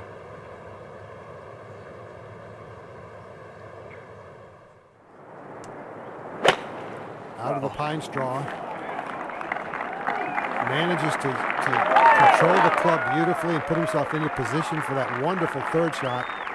And I can tell you, Ian, that uh, he heard the roar coming from that other portion of Amen Corner and showed no reaction whatsoever. Yeah, I thought he might have. Can you teach me this follow through, Peter, please? he, he made a lot bigger swing there than I thought he was going to be capable of making. Yeah, exactly. that's- That, that was- tree in the middle of your backswing. Most most guys would have noticed that.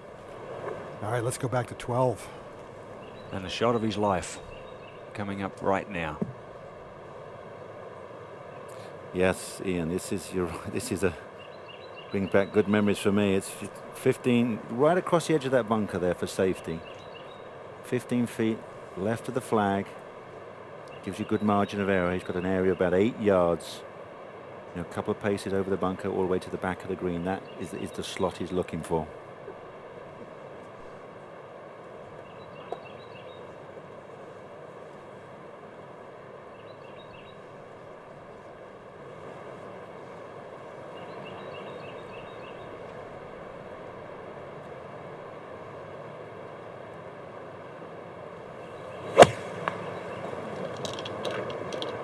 Took the extra club, a little hold off. Safely to the left, but a little long. May hang up in that pine straw. He dodged a bullet back at 11. Can he dodge another one here? That's a serious problem because his feet are going to be so far above the ball. And I think that bunker comes into play from there too. Oh, Let's go to 13. For birdie.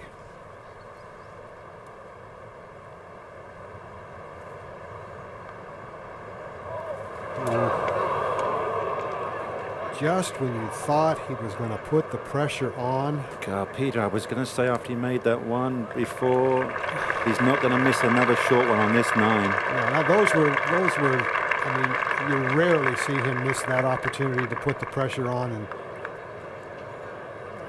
disappointing par for Tiger Woods at 13, and he knows it. He had a chance to really make some noise. Now back at 12. Last man to tee up here.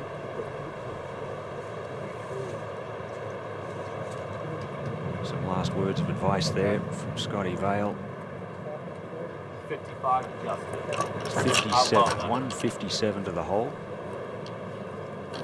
And you cannot be short right. A little long and a little left, as Nick Faldo said, is the perfect spot.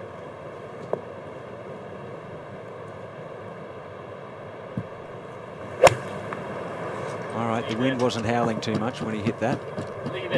Quite calm. Okay. Middle of the green. I'd love to have a heart rate monitor on these guys as they play this hole. I think it'll be up about 20 notches. What about mine? Mine is too. I'm just I'm sitting 50 yards behind them and it's up I about pro- 30. I can promise you, as soon as I said to you, uh, it reminded me of my situation, my heart rate went up. Trevor Immelman there as he approaches that Hogan Bridge. Has idolised Gary Player his whole life. They've been good friends. It was a fun time for me the two times he was on the President's Cup team in 05 and 07. First time as a captain's pick under Gary Player. He's a very fine young man. Wishing all the best today and in the future as he makes his way across the Hogan Bridge. Gary, in fact, once declared this to be the toughest par three in all of golf. And on a day like today, when you got a chance to win that green jacket, it certainly is. So our leader by four makes his way to the 12th green. He leads Flesch by four, Tiger by five, Snedeker by five. Can he win his first green jacket?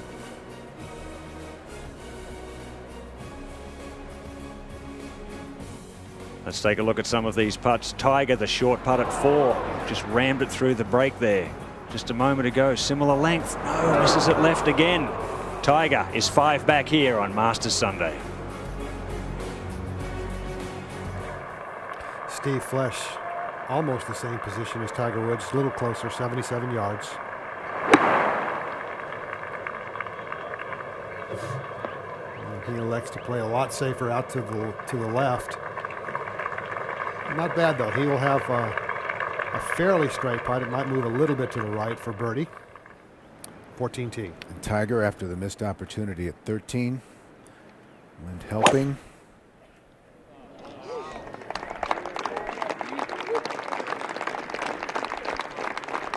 Shaping it around those Georgia pines. Tiger still five shots back. Go back to 12. Back over at 12, Trevor Immelman surveying his situation here, trying to figure out which way to go. This will be so difficult, Ian, because it's just going to explode underneath the ball, those pine needles. But to be aggressive on the downhill lie, wow. If you play it like a bunker shot, you could leave it right in front of you, couldn't you? Well, there's no way you could do that. You know he could risk that. He's going to just try and clip it off. And he's going well left. Try and clip it, land it in the fringe to deaden it, and maybe just release out. Hit it fat though, didn't he? Well, he was aiming well left. He was just trying to get it just onto the green, I think, from that lie. Yeah, but understandably, that is such a difficult stance. You know, with a four-shot lead, just avoid the double bogey, right?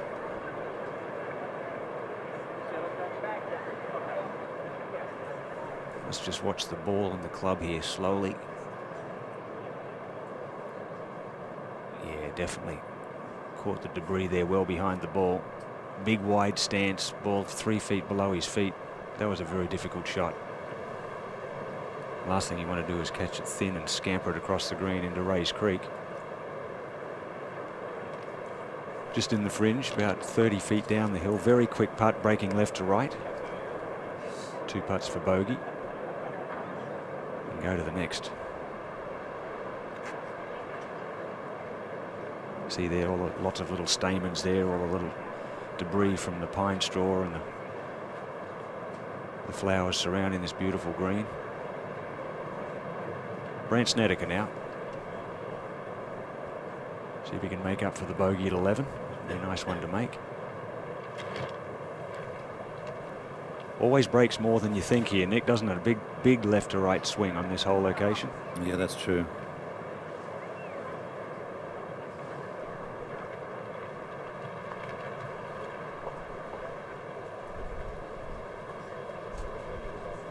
Yes! Brandt Snedeker.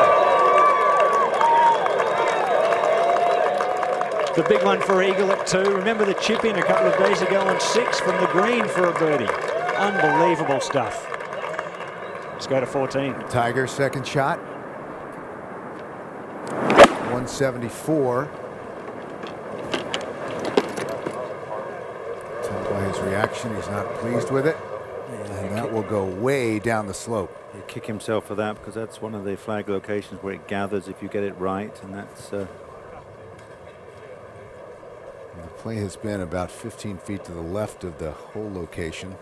Let it uh, kind of funnel down, but Tiger well to the right. Back over at 12 now. Boy, that little putt there just sort of adds a bit of fuel to the fire too with all of the thoughts going through Trevor's mind right now. Decided to pitch it.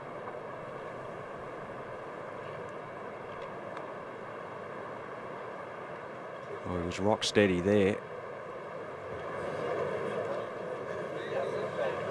But a tester left for the four. This is a diabolical little putt here. And let's take another look at that beautiful putt from Brandt Snedeker. This is a very difficult putt, I can tell you. 35 to 40 feet. Big left to right swing. You can see it now. And in the heart. Great to see these two young competitors doing so well. Needed that, obviously, to make up for the bogey at 11. But he's got to be thinking now with Trevor with this four-footer, five-footer for a bogey. Lots of things can happen, as we've seen over these last few holes on the second nine at Augusta. Well, Ian's going to be a three shots, and that is nothing. Really isn't, is it? Right now, with the turbulent conditions, only need somebody to play well.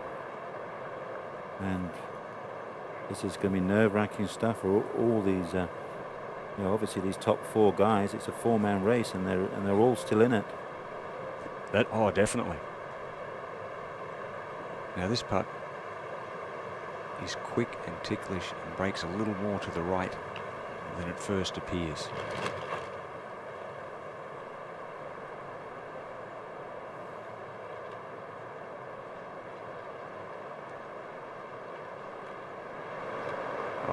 Rock solid. A little unlucky there with the tee shot that it didn't roll back into play. A smart second, just left it left of the hole, and very nicely up and down for the bogey. He leads by three. Let's go to 13. Steve Flesch now for his birdie to get to minus seven.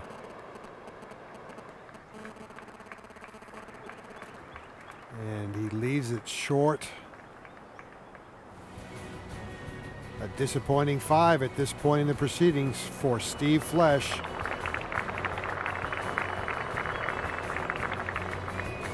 Well, some more brilliance being displayed here on Augusta's second nine. Snedeker trying to get back into it with a birdie at 12. He and Immelman will now come to 13. So crucial for both of them, really, to take advantage of it. Tiger was not able to do that. Let's go back. Bill Macatee's at 14.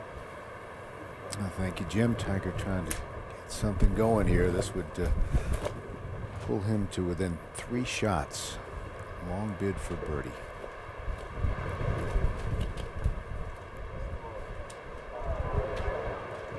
No.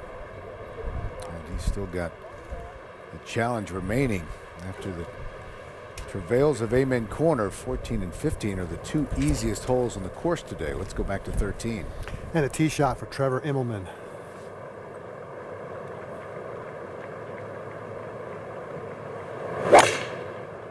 Starts this left, likes it, bends down to pick up the tee. You know, in 1985, Curtis Strange came to 13 with a three-shot lead, the same as Trevor Immelman, made bogey, and eventually finished two shots behind Bernhard Langer. And this was earlier Brandt Snedeker.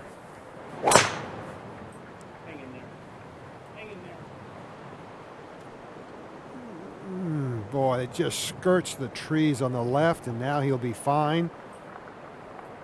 Very aggressive play by Brandt Snedeker. This hole has been all over the place today. We've had a three, we've had an eight, and a whole bunch in between. Let's go to 14. Tiger has about nine feet or so remaining for par. That's to remain four shots back.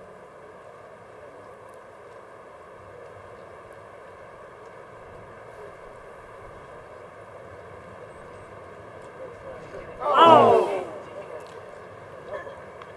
So Tiger will make at least bogey on the second easiest hole of the course today.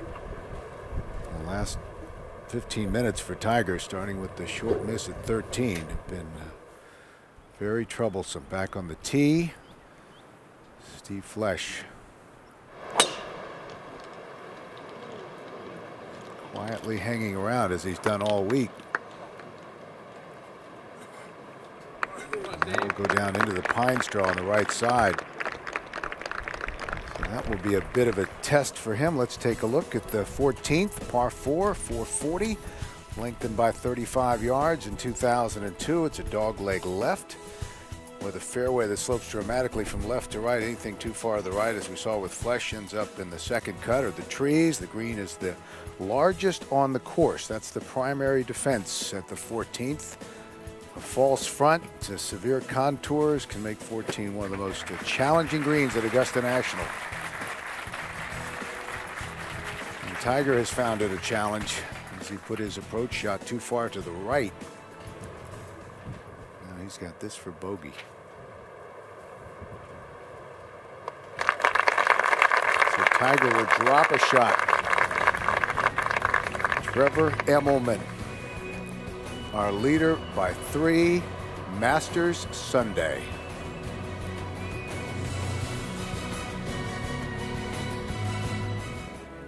Just to give you an idea how this day has evolved. Immelman led by two at the start.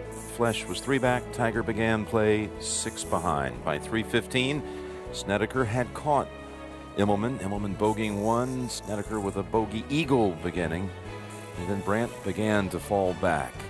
Immelman had the lead by three at four o'clock Eastern time, and now currently the lead is still three. Flesch is also in second position, and Tiger was surprising missteps at both 13 and 14 on short-range putts. So he's five back, and now big decision time, Peter Kostis. Well, I don't think there's much decision actually, Jim, because he's 233 yards back, and I can't imagine in this situation that he's going to go for it.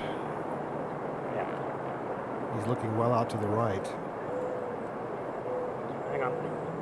Saying 93 to the creek. Want to hit at 80? Want to hit at 80. Yeah. Yeah. Come, come to Smith. And he's talking about 193 to the hazard, so he's going to aim out to the right, lay back, and allow his wedge work to help him here. And actually, the farther down the right side he can get it, the better he'll be. Virtually identical to where Tiger Woods was moments ago. But Peter, remember the mega spin he got at 15 yesterday. Yeah, I mean, but I, I think this is going to take bogey out of the equation. As long as he puts it past the hole with his third shot, he's going to take bogey out of the equation, give himself a chance for birdie. He still, still has to land it right on the number, though, oh, right? Oh, yeah, You know, absolutely. Five paces past the, the, the flag. Yep, absolutely. Let's go to 14. Steve Flesch, 173, just in the pine straw. Runner. Asking for it to turn over. That'll catch the ridge. And there it goes, gathering momentum. That's the difficulty in this green. It can be brutal. 13. Now, Brandt Snedeker bogeyed his way through Amen Corner yesterday. He hung his second shot out to the right. Well, here it is. Aiming it at the Well, bridge, right. expecting it Right. to go left, but it doesn't. And that has to be weighing a little bit into his decision process right now. He only has 199 yards. All right. But there's no way he'd be looking at that flag stick, Peter. One, Yeah, actually, I think if he if he can aim it at the, uh, the strip of grass between the back two bunkers, just a little low flight, he can catch the the contours of the green and funnel it toward the hole. Exactly. There's the strip behind the green. He was talking about that's a perfect line. We might want to build kick it off up as too, another though, slope. to keep it from going left. left corner. Because it should be a smidge off your left. Okay? Splitting those two bunkers is perfect. Okay. Look at the trees in the background. You can hear us, Peter. That's exactly the spot they're saying. Well, he's got a, he's, he's picked his club, he's picked his target. I hope this is the right time. Oh, no. No, he started this one out to the right as well. Oh no, almost a exact replica of yesterday. A huge error. From that distance, 200 yards, there was plenty of options to bail out, wasn't there? Yeah, and I mean, you need to you need to have the shot there where you can hold it off of that lie. Start it left. If it goes farther left, fine, but you're dry. He went to try and release it and pull it back online and just didn't do it.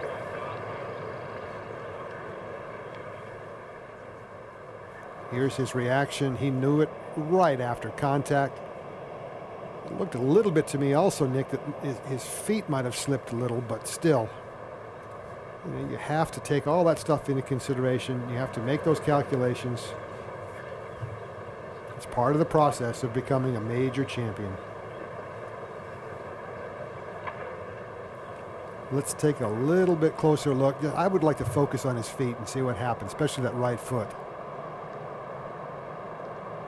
Well, it was fairly solid. It wasn't bad. I thought it came up a little bit earlier than what it really did. Boy, he is just talking to himself right now. Let's go forward to 14. Steve Flesch, this is about the same range where we saw Tiger three putt just a few minutes ago. A very steep slope right there. Steve judges it. Oh, not too bad. Flesch, the only player in the field without a uh, three putt all week. driven the ball well, putted well, and that's why he's in contention. Back to 13. Now the third shot for Immelman. Off of a downhill lie, 83 yards. Two things here. He needs to make sure he makes clean contact, cannot afford to hit this heavy. Needs to make sure he carries it past the hole.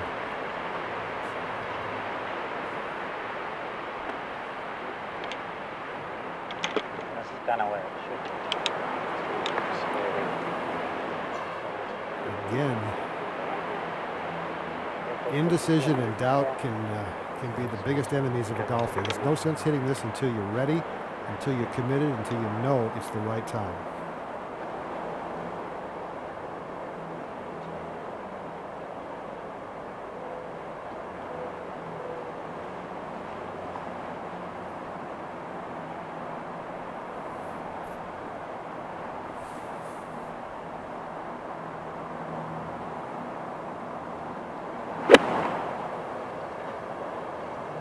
It's going to be past the hole, but not by much.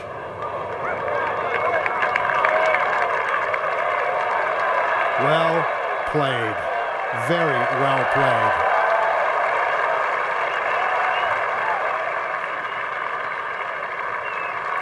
It is tough to play a wedge shot like that with your heart in your mouth, isn't it? I tell you what. it really, that was special. Yeah, and well, to, to have the courage to lay up, you know, and, and, to, and to have the conviction to know that it was the right move. Yeah, true.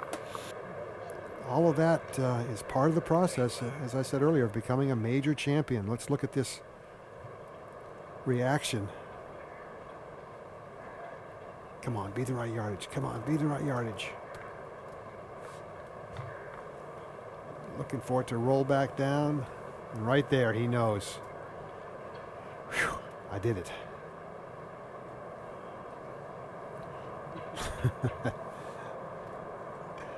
Great golfer, but a lousy rapper. Yeah. and there's Brandt Snedeker watching the shot, knowing that uh, in some manner he made that shot a little bit easier.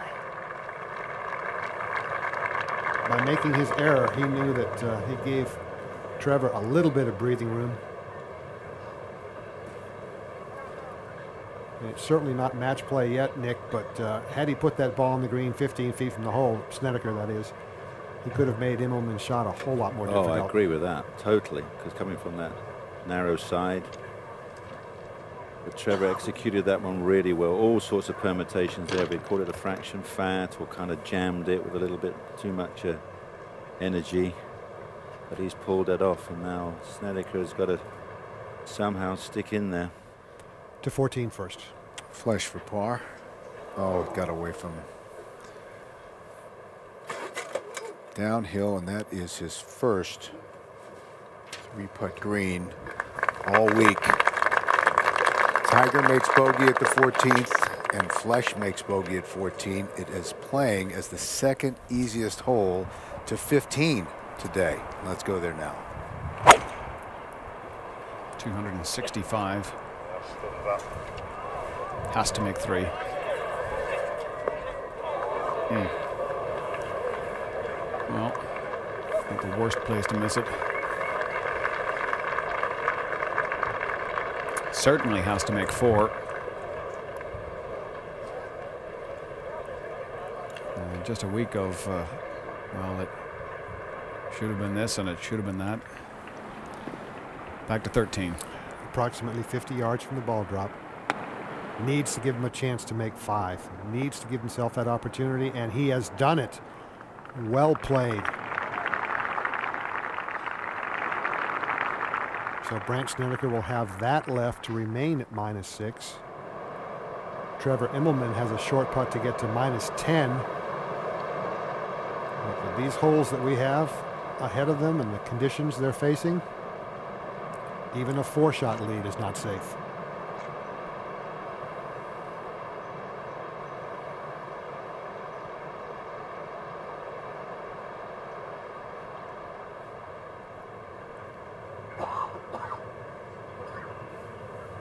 Great view back now, the shadows engulfing the 13th green. You know, Nick, I think it's it's easy to uh, second guess a a younger player trying to win his first major. Can he do it? Does he have the mettle? But pretty much every time that he's needed to, Trevor Immelman has responded today. Oh, very much. I, I think it's you know it's been a long week. As, as I spoke earlier, you know, he's, he's, stayed in the same intensity all week, basically the same look on his face. He's complete concentration, able to con control his emotions all week, deal with the the, the, the, poor shots. You know, prior to, to the final round, had only bogeyed two holes in the whole week, which is incredibly impressive already. But you know, just completely staying within himself. And I guess if he keeps repeating Gary's words, if you know, I know you can do it. If he keeps saying to himself, I know I can do it, that'll be very powerful. Well, to have someone of the stature of Gary Player telling you that he, he knows you're going to win has to be at least comforting. Now, for par. Boy, that was just never had an opportunity. That was misread, mishit.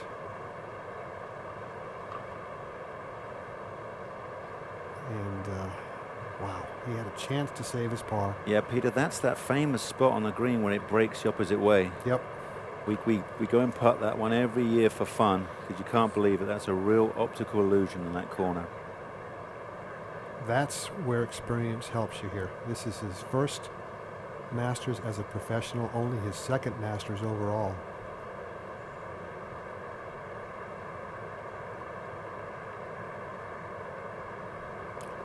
Seems like we were just saying the same thing, Nick, about uh, a couple hours ago on the seventh, but now Trevor Immelman has a putt for a five-shot lead. He had that aimed well out to the right. It was never going to break left influenced by the slope in the middle of the green, but perhaps a little bit of a lack of experience there.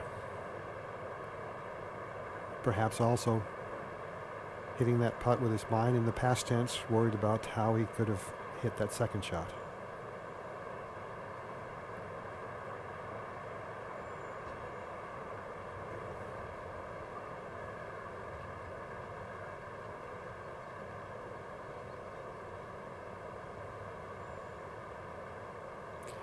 A five-shot lead with five holes to go for Trevor Immelman. Is it enough? That same look of determination on his face as he walks across the bridge behind the 13th green over to the 14th tee and let's go to 15. Tiger Woods over the back right. Bump and run shot here.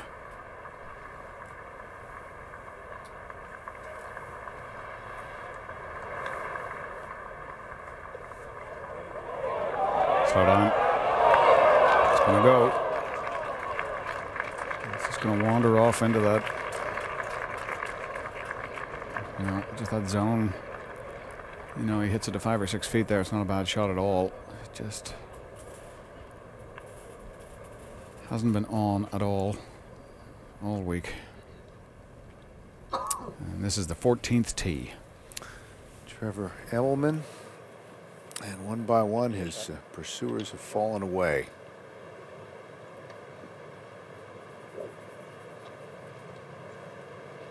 Just want to be safe here. Only hole at Augusta National without a bunker. There's not a hazard here. Just try to let it sweep along the dog leg left. Find the left center of the fairway.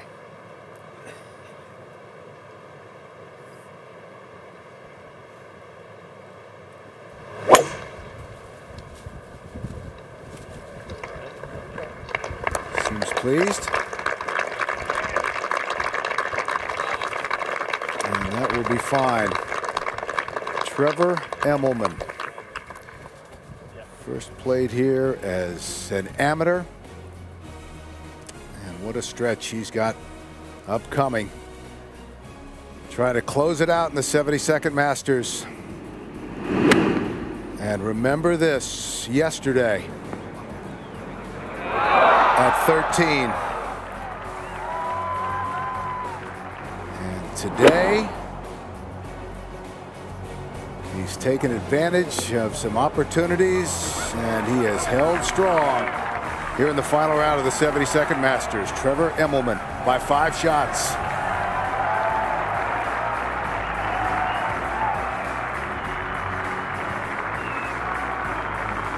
We're back here at Augusta, and Trevor Immelman has a five-shot lead with five holes to play. The 28-year-old now resides in Orlando, father of a young boy, turned two in July. His boy Jacob, born just on the eve of the Open Championship at Hoylake. And let's go back out to 15. Tiger for birdie. Oh, no. Never on And a mighty struggle it's been, that's for sure.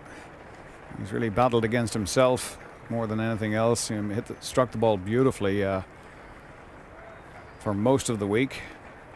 He's been very good from uh, 160, 170, 180 yards in. His long game, not where it wanted to be, and certainly his putter. But Trevor Immelman has been fantastic. He has the guts, he has the heart, just like Gary Player.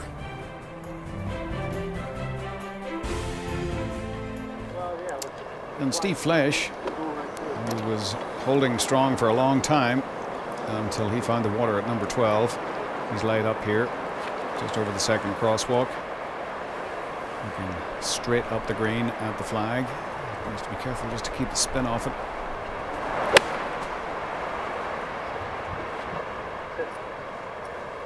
Oh, well,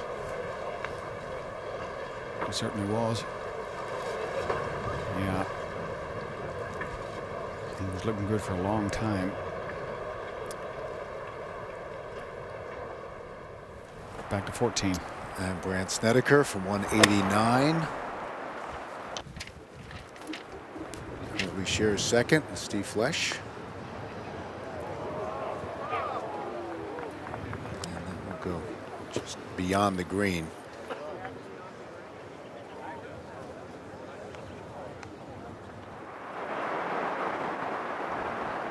Immelman has 190. He has been so impressive this week. He leads the field in both driving accuracy and greens and regulation.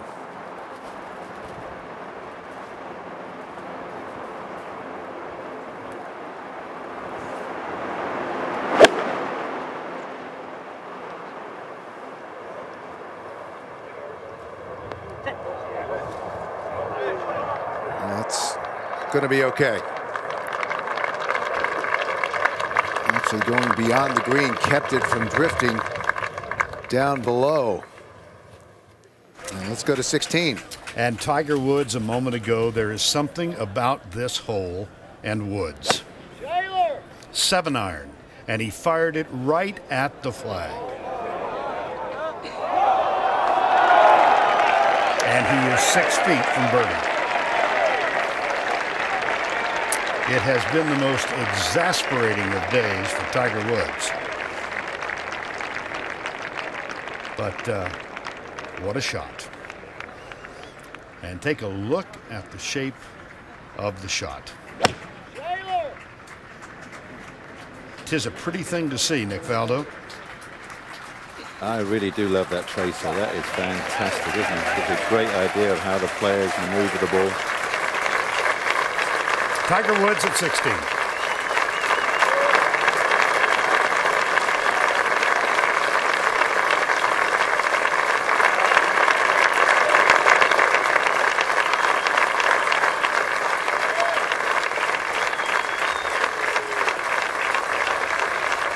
Nice to see him smile. It's been a long, long day.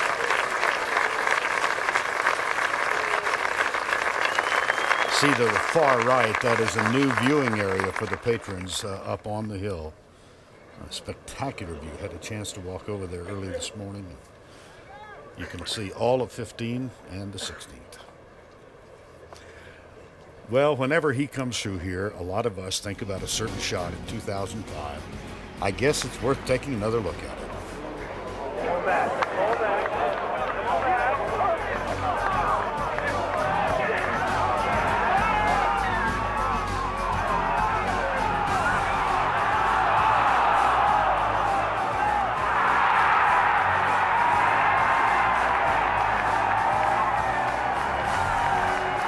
Put a stopwatch on it. The ball held up for 1.8 seconds. But that was three years ago and he went on to win. I'm sure he's getting a little tired of the way things have gone today. To 15. Well, Steve Flesch could use a chip in. Oh, just getting raggedy.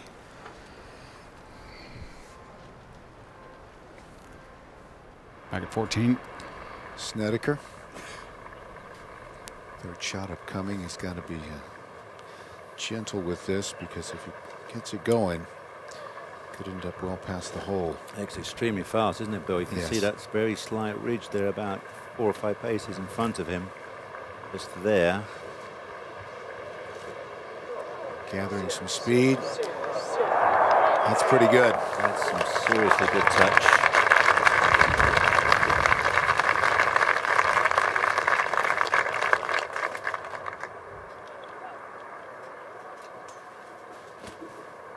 He'll have about four feet coming back up the slope for par. Now Immelman. He's got his putter out. And Nick, how much does his strategy down the stretch here change with a five-shot lead?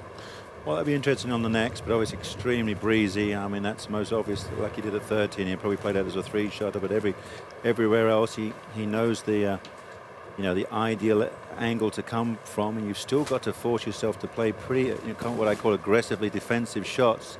You know, you have a new target, and you've still got to hit it. You can't just hit it anywhere at Augusta because, as we know, that the massive breaks, the massive slopes make life so difficult. But get it in the right right corner, the right right quadrant of each green on the way in, and he'll be fine. So again, with the putter from the French.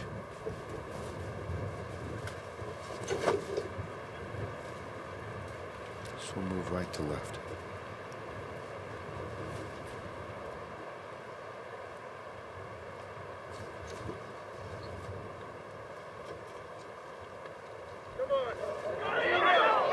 That's okay.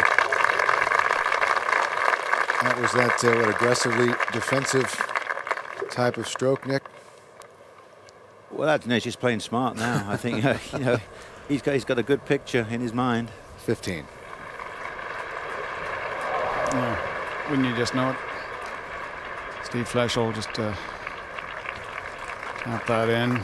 It's a six.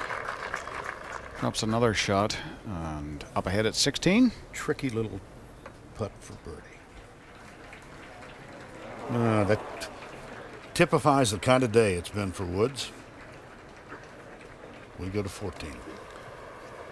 Snedeker backs away. We had a pretty big gust of wind. This is uh, up a little bit, so we can get gusting breezes. Tiger, by the way, did make his par, but uh, that was frustrating after his tee shot. Tiger still at minus four. Snedeker to stay at minus five. Hmm.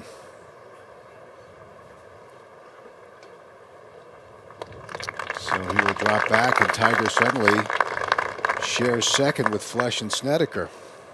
And that is his eighth bogey in 14 holes, and Immelman's lead is now six shots. Four holes to play.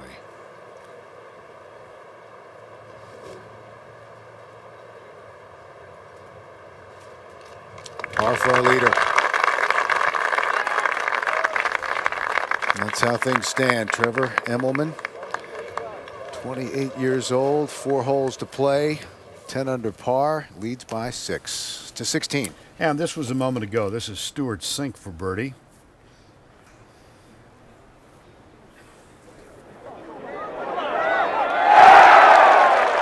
That helps. At one point today, Stewart Cink was among the challengers. Got off to a quick start, but it's not been kind in the back after bogeys at 10 and 11. But he has uh, negated those two with that. area. Cink among the quartet who are chasing Trevor Immelman, also among that quartet at the 17th. Here's Peter with Tiger Woods. Thank you, Van. 440 yards up the hill. No water in play at 17. Good has on the second nine here at Augusta National, but not 17. Tiger hit a huge tee shot here yesterday. He's well up on top of the hill again today, but not uh, in the position on the leaderboard that uh, he was hoping for. And we go to the 15th tee.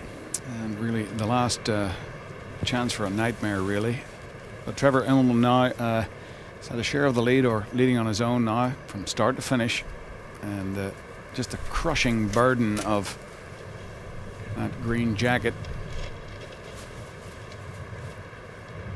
First round leader, Justin Rose, made eight here in the second round, so he just needs to get it down there somewhere. Lay it up. There's a little left. Yeah, it is, but it won't matter. That'll be in the shadow of the big pines on the left, but he'll be playing just a little punch shot down there. Leave himself some 80, 90 yards. The flag in a place today is not too dangerous. Flat spot in the green. Uh, Nick, you know, when you look at the scoreboard here, uh, Immelman now with six shots, how many times has Tiger Woods seemed to just play awfully uh, here this at this week uh, and finished second? Well, I agree. How do you do that? It's been a struggle all week for him. He's, he, he's missed his yardages, he's misread. Um, he hasn't hold a thing yet. For a while, he was. If something had just happened, he was right in there. Well, 15, uh, so often such a part of green jacket history. Uh, take a little bird's eye view, fly through the trees, up and over. And fairway squeezing in there, a little flyover, shadow and all. The green out in the distance, Sarazen Bridge down just to the left of the little pond in front. Pond behind at 16, fairway sloping from right to left. Trevor Immelman just in around here with this kind of a view. We'll punch it around the trees, let the slope take it from right to left. You don't want to do this. You don't want to go through them. Doesn't always work, and the flag is actually pretty much right there. Maybe just a little bit left of that. And that'll leave him a punch into the wind. You've got to carry it over that false front.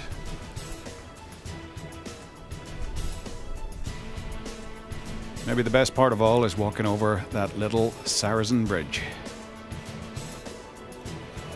Well, it's about 12:30 in the morning over in South Africa, and you feel, with the love of this game in that country, that uh, half the country's awake right now, just uh, waiting for this final step to be completed for their man Trevor Immelman. Let's get to 17, though. Tiger, 112 yards. Coming downwind out of the rough was always going to be difficult. And that is going to be a very, very difficult birdie putt. Up and over the ridge. Left to right, wind from the right. And he's really had a struggle on this uh, second nine where we expect in major championships him to be uh, in, the fourth hole, long par three. And at 13, when we thought he could make a miraculous birdie, having been up against a tree on the tee shot, missed opportunity there. And then at 14, straight up the hill, just crashes it through the break. So very surprising. And then you'd think he'd just love to make a birdie at 16, just to give everybody a thrill. But uh, misses that one also. Very surprising on the second line for Tiger. Back to 15. Snedeker also with the layup.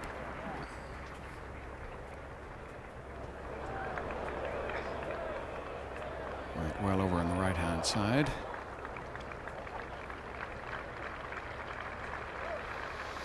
And uh, you know, you look at those short putts that Tiger has sorry, missed. there's no chance of you going. I mean, I can't get through this. No. Neil Wallace, born in Bangor, County Down, my hometown, and then moved to South Africa with his parents. Has been with Trevor for a long time. Some good advice there.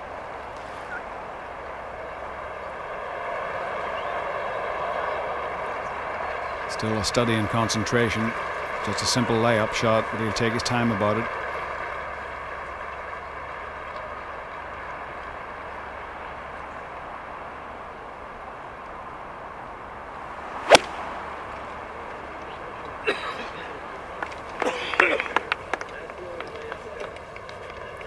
Perfect. That gives him a good angle. Coming more straight up the slope. But the strangest things can happen here. Justin Rose makes eight. This was yesterday off the down slope. A very, very difficult shot. And look at this. Didn't get it deep enough in the green. And the ball always goes in the water when it comes off this part of the front edge. Had a little rain and there's a tiny little flat spot right there. So you need a little bit of luck now and then. But you can't say that's why Trevor Immelman is six shots in front. He has played superbly from start to finish. Showed tremendous courage. And as Jim Nantz said, uh, most of South Africa will be awake right now, a country with which I'm very familiar. Spent a lot of years down there in the winter. Fantastic place to play golf. All be watching. This was earlier at 16. And this was Steve Flesch out of the bunker.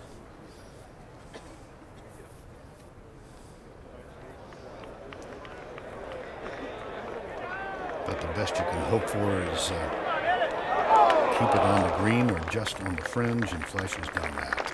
That was a moment ago. Flesch, one of four, tied six back.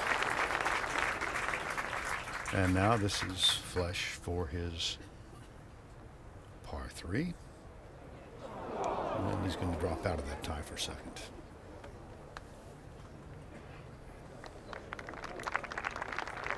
Flesch with bogey, bogey, bogey now at 14, 15, and 16 to 17. Stewart Cink. The level of the green, playing a pretty good bunker shot. And Stewart Cink was going along nicely until bogeys at 9, 10, and 11. He was five under par after the eighth. Now the 15th fairway. No, I don't mind having one from here. 103 is down two. 103. Clear back to 17 and Tiger's long birdie attempt after losing control of that shot from the right rough. Up and over the ridge.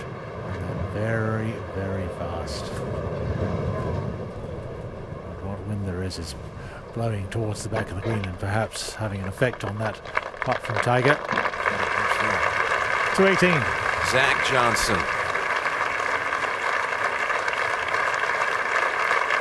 Like so many, it has been another torturous walk today and the high winds. He's three over for the tournament, five over for the day. Going to be nowhere near as gleeful as what he was feeling at about this very time one year ago today. But he'll be going down to Butler Cabin to present the green jacket. Let's go to 15. Snedeker's third shot. Stay there. Yeah. Nicely done. Yeah, I think Trevor will be really watching that one hard, David, to give him a good indication how the ball will bite and release. Yeah, now he's he's not coming off such a severe downslope here, and he's just got to resist the temptation to, you know, there, there's a natural urge. You just get it over that last bit of water that's in play. You know, the water hazard 16 really not in play for these players today.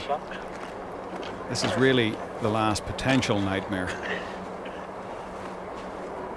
But he has a little bit of room. He could land at three or four Yeah. paces short of the pin, and if it takes a hop and goes three or four past, that'll be absolutely perfect. 85, eh?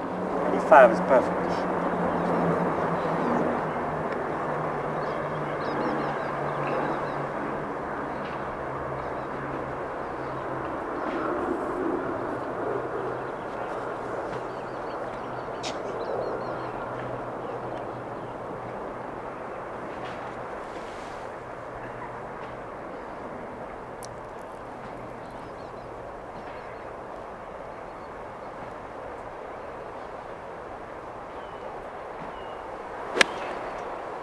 Trying to carry it 85 yards. Yep, that's just fine. Just a natural tendency to overdo it a little bit. Little fist pump, he knows. That's the last real obstacle. We'll go to 17. Where Cink has already made his par now, Tiger for his four. Six behind. Plus one today, we did not expect that. And he'll walk quietly over to the 18th tee.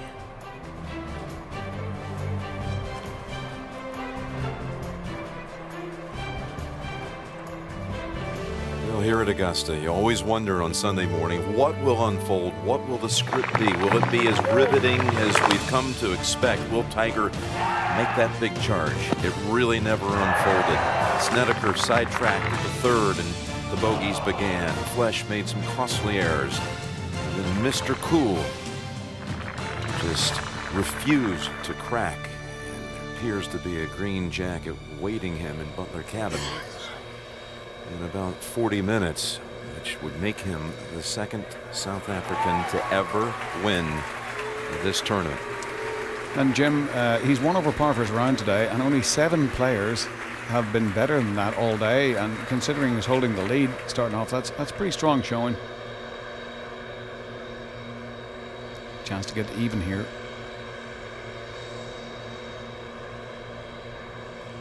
Left to right. Oh, he had a good putt. A beautiful pace.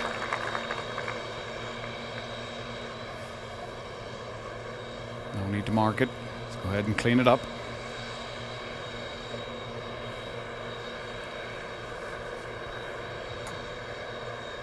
He has a six. Three to play.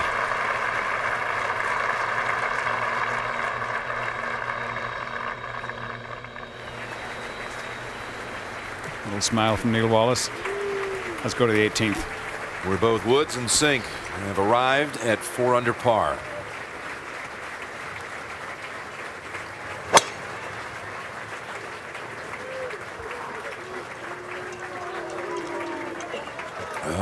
You never see Tiger over here at 18.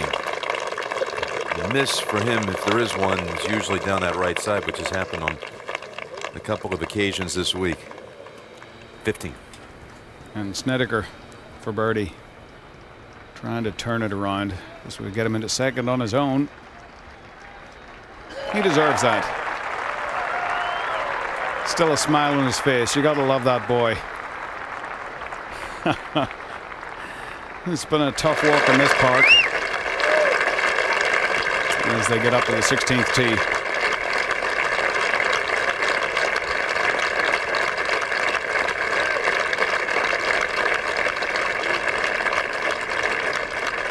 They've given us quite a performance, haven't they? These two young men in their late 20s. Brandt Snedeker, Trevor Immelman. They began the day separated by two shots. Immelman shared the lead after the first round with Justin Rose.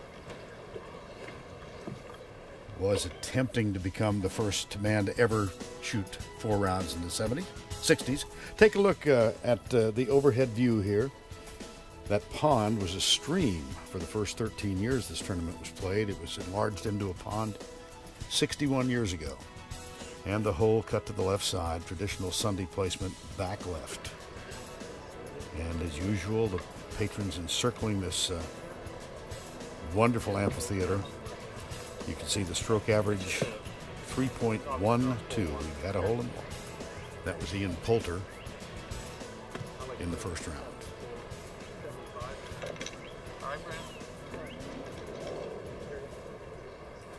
Snedeker first to play.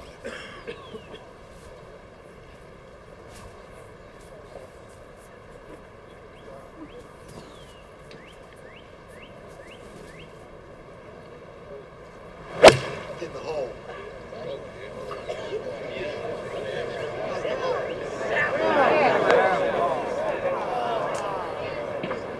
Yeah, he's got uh, a delicate little putt. Take another look at the flight, the path of his shot.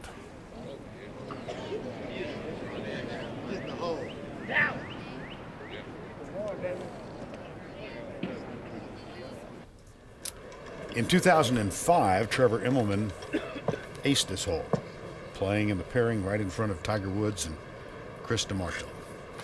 I'm sure Vernie's not looking at the flag stick though this time. Uh, Nick, I was going to ask you. Here's the shot in 2005.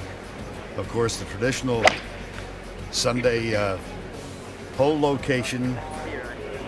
Use that ridge and then watch it funnel down.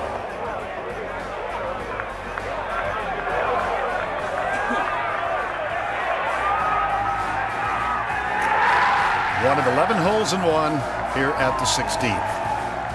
And Nick, I'm I'm betting. What do you think? 20 feet to the right of the flag. Well, here go on the same line because the idea is to hit it onto that ridge and you know let it come down, and that is the ideal shot. You can't play further right than that because it will hang up there. But obviously, he's got plenty of shots in in hand. But so really, just good yardage. Pick a full full club, full swing. But yes, somewhere on that ridge would do perfectly.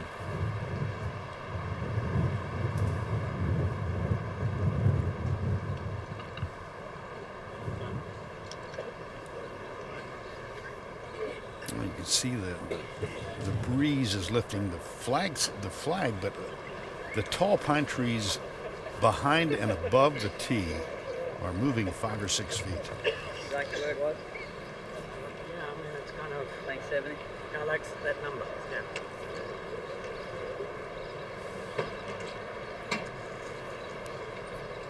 Yeah, they're looking at 170 yards, which is a full rip with the 7 iron.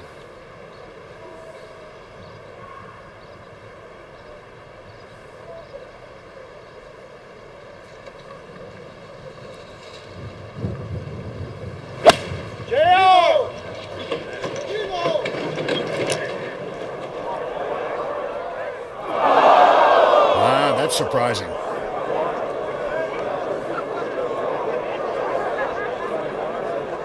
See what kind of lie he's going to have in that bunker. Never expected to see that ball to the left of the flag. And the wind, uh, did he go in the water? I thought he was in the bunker.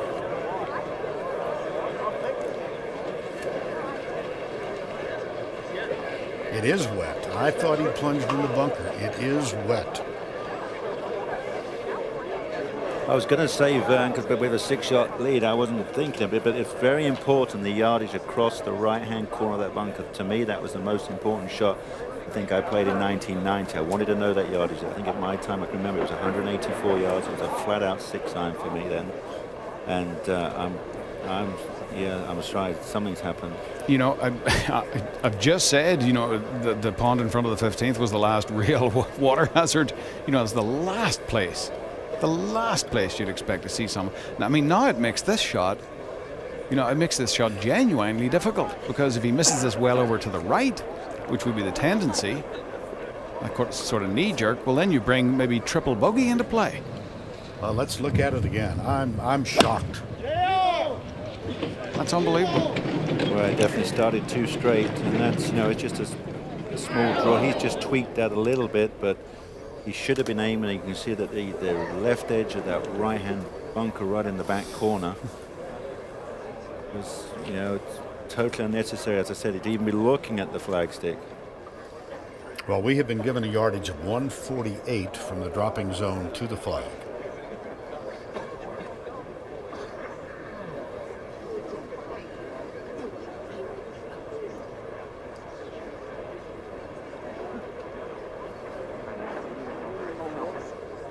Well, with a solid eight, Verne, that will definitely be landing it now. Picture right now in the bottom left-hand corner, I guarantee that.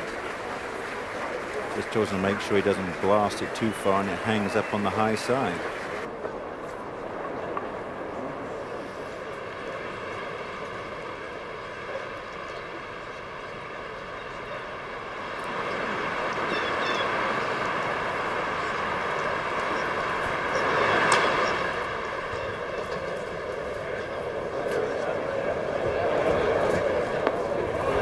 Well, that's what he had hoped for with his tee shot.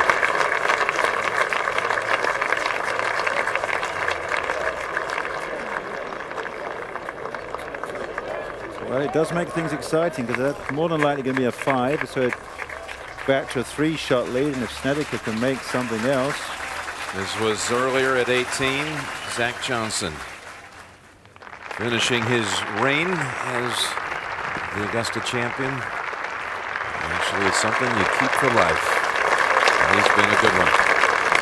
Let's go back to 16. I'm still in shock, Brian. Well, as he stood on the tee, I thought we might have a musical Handel and a coronation march up here with that five-shot lead, but instead, uh, the applause not quite as fervent, but it will gather now as Trevor Immelman approaches the 16th green.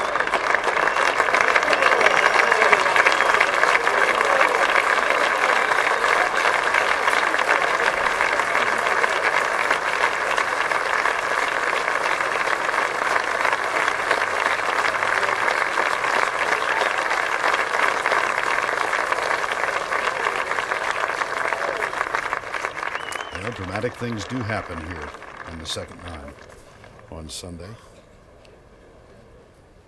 And let's go to 18. And this a moment ago, Tiger's second shot.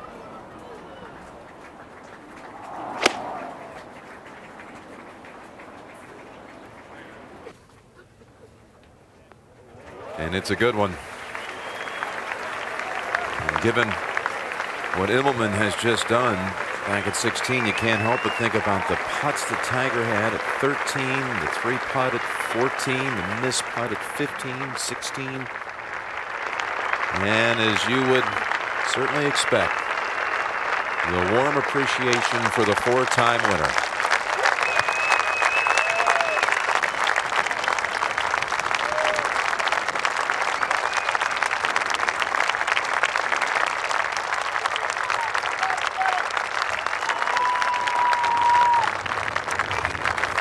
Here he is live with a putt to come in at minus five.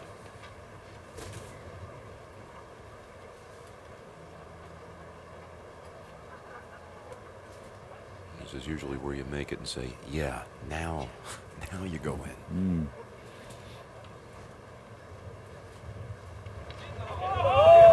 And that's the case.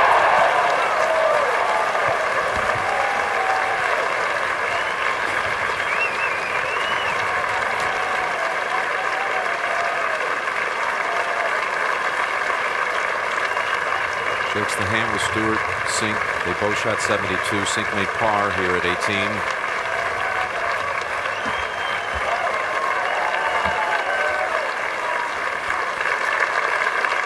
Just never found the magic. Just a fraction off. It seemed all week with his immense skill. When you're a fraction off, though, at Augusta, you're a mile away. This was Cink's run at birdie.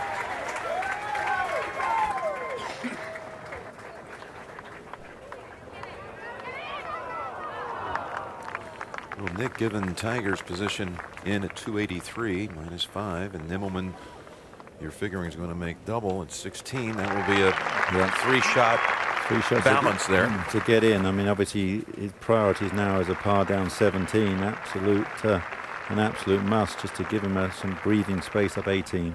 Let's go to 17. And Steve Flesch. This for a par. Oh, yes. Struggling and uh, very frustrated now. Four consecutive bogeys and the double bogey at number 12. Horrid back nine as we go to 16. And the leader, Trevor Immelman.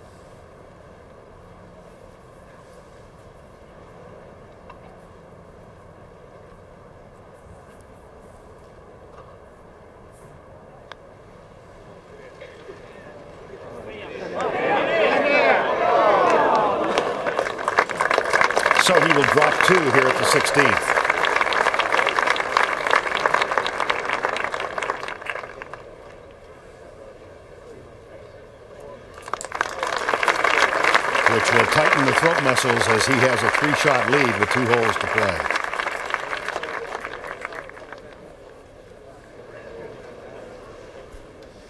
moment ago, Brandt Snedeker with this delicate little putt.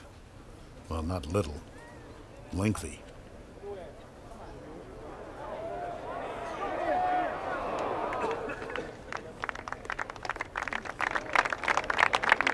And he's left himself 12 feet for his par. Keep pace with Tiger Woods, who's in the clubhouse for nod.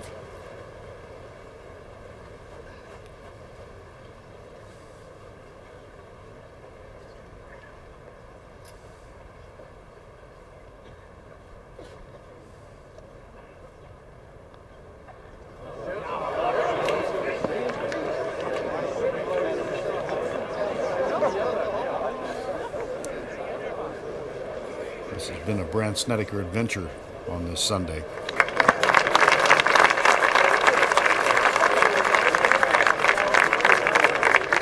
Had that eagle on the second hole, but on look at the back nine. We've got bogey birdie, bogey bogey birdie bogey. If you're into alliteration, it's been a heck of a memory. But the leader by three moves to the 17th seed. And there is no water in play at 17. There's no water in play at 18, but uh, you still have to hit some nice shots, avoid some trees. And let's have a look at dramatic animation of the seven, 17th. The Eisenhower tree looms on the left-hand side. Cannot ignore that. But what's uh, interesting is how much uphill this tee shot is. You go uphill, the further you can hit it off the tee, the better the view of the green. Today's uh, hole location will be guarded by this front right bunker. Runoffs to the right. We don't expect many players to be over the back today. The first round hole location made this hole the most difficult on the course, but uh, look at the contours around the green. The ball will run off the corners of the screen. It's a hole that's overlooked. Doesn't have the drama perhaps of some of the others on the second nine as we go back to the tee. And Snedeker, a good tee shot. And a very up and down second nine. And then all of a sudden, unbelievably, a three shot lead. But as I said, no out of bounds, no water hazards, but uh, perhaps plenty of nerves to deal with for Trevor Immelman. Looked very cool coming through that second nine. He's played the hole nicely under par. As I said, the most difficult hole on the course in round one.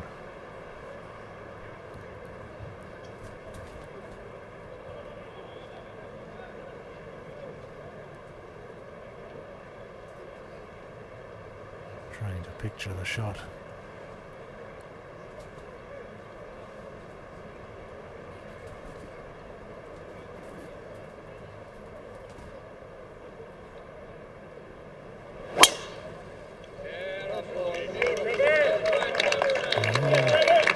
The page is like it. He's leading as if he thinks it's too far right. But, uh, he'll have a free swing. He's got plenty of green to work with.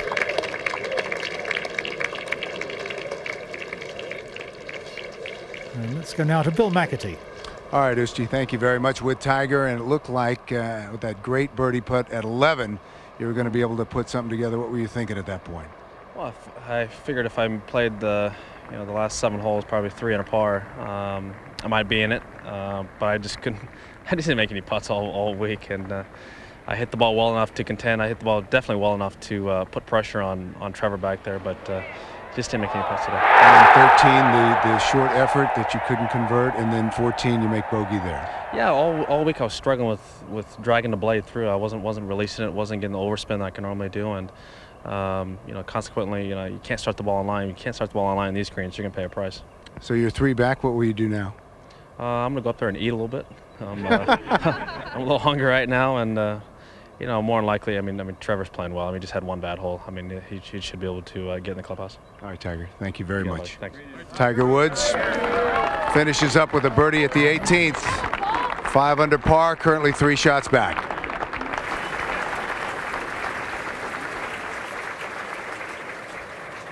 This was Tiger's reaction. And the birdie went in. Just when he said, now you go in. I've had enough of this place this week. Mm. Well, you can replay those putts, though, from 13 through 16. Maybe just pick one of them. What a difference it would look like right now, given Immelman's disaster over at 16.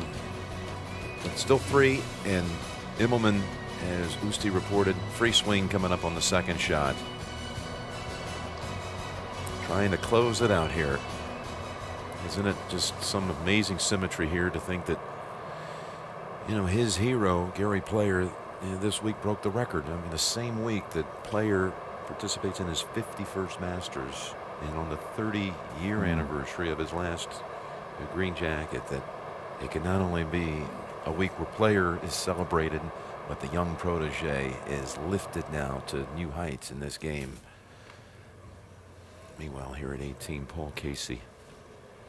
Yeah Paul unfortunately seven over for his round today and every single shot is just testing you and look where he's got to aim to feed this down to this final hole.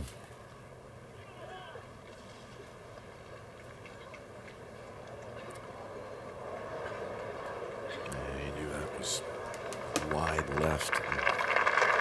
Began an immediate chase after it. He just got away from Paul. Remember, he called that penalty on himself over at six. And had, uh, of course, just prior to that, doubled the fourth, bogeyed the fifth, and just came undone for the gifted player born outside of London there in Surrey. I had a similar type Sunday start at Oakmont uh, last June. He had 43 that day the first nine Sunday when he was in contention. Today 41 going out. All right, Oosty, back to you.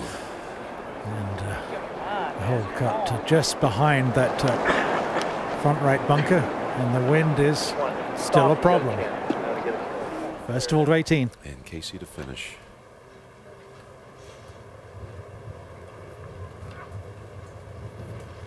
A 79. It's the same score he shot last year to open the Masters tournament, then fought back to a top 10 finish. This year he closes with that, that number. Let's go to 17. Snedeker. Just a wry smile. He knew this was going to be problems and uh, difficult to concentrate now. And uh, things have slipped away on the second nine. Lots of ragged shots. But amazing that uh, Gary Player's last win, last of his three, was before Trevor Immelman was born. And it's surprising that we haven't had a South African winner. Look at this. We've we've had some very good play by South Africans. Ernie runner-up twice. Retief runner-up twice. Tim Clark was a runner-up. Rory Sabbatini last year was a runner-up. But uh, none of them have managed to pull it off since Gary Player in 1978. Some extraordinarily good South African players. And uh, Immelman protecting a three-shot lead. Only has 126 yards to go. Yeah, I like that. Wind maybe not quite as strong as it was earlier, but certainly pushing the ball on. He's coming out of that second cut. Won't get the spin that he would prefer. And doesn't want to flirt with the front bunker. Yeah, he must take that out of play, Peter. If he lands uh, close flag high and it should stop within, you know, five or six paces after. Flag high, maybe a little left is, is safer than going straight at it. Sounded a little heavy. It sounded a little heavy. So now he's got uh, maybe 15 feet of sand to negotiate, get up the hill a little bit. And uh, don't hit it too short and a little right of the cup because it will roll right off the green. Anything long and left, he could have a putter in his hand. Take that bunker out of play. I think he thought it was just going to squeeze over. A lot of pressure oh. on that reaction shot there, Oosty. Yes, he's uh, a lot of stress. Already, I'm already thinking just how narrow is that tee shot at 18? Well, it, uh, it may have been uh, the factors in the first cut and the ball was just fractionally higher up the blade, you know, one or two grooves and with a little bit of uh, apprehension as well. It just didn't fly downwind as well. It could, could have got knocked there, but Yeah, he needed to calculate all that and just play even up in that far left-hand corner would have been absolutely fine.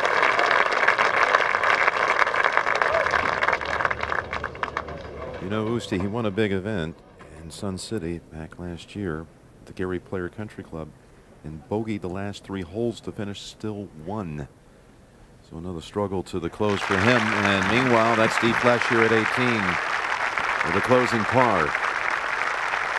What do you think he takes out of this week, Nick?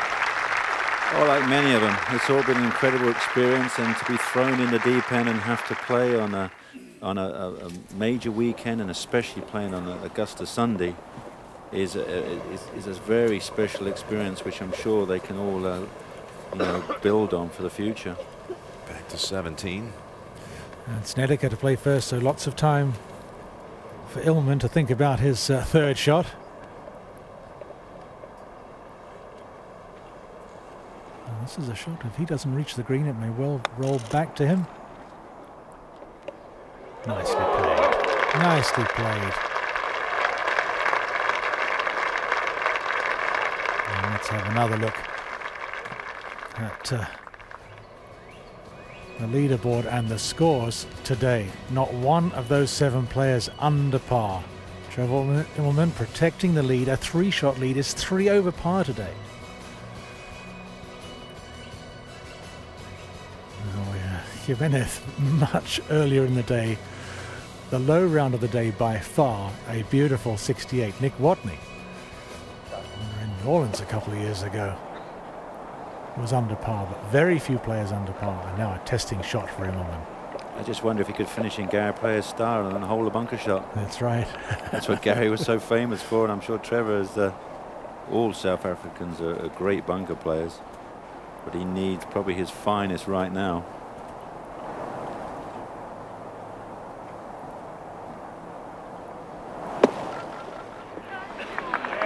he's managed to do it.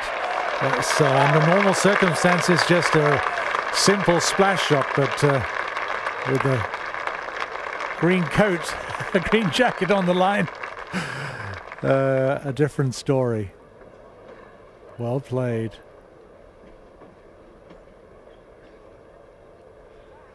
Well played, but that 18th is still. He, he is really thinking about everything. Open stance, open blade, let that flange of the club right through the sand. Uh, that was a real classic thump. He rehearsed it without a follow through because he wanted to just get the get the club head to go past his hands to make sure he released it. Now to stay in there, Snedeker, all his ups and downs. This is to stay tied for third with Stewart Cink already finished.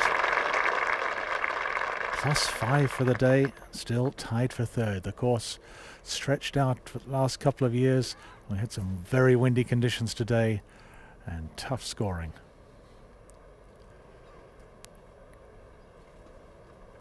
Now important. Maintain that three-shot lead.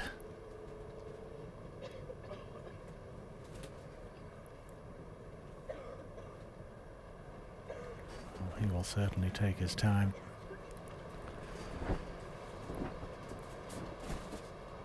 Stick with the routine that you've used numerous times to be successful in tournament play. It's difficult in this situation, but that's what uh, he needs to do.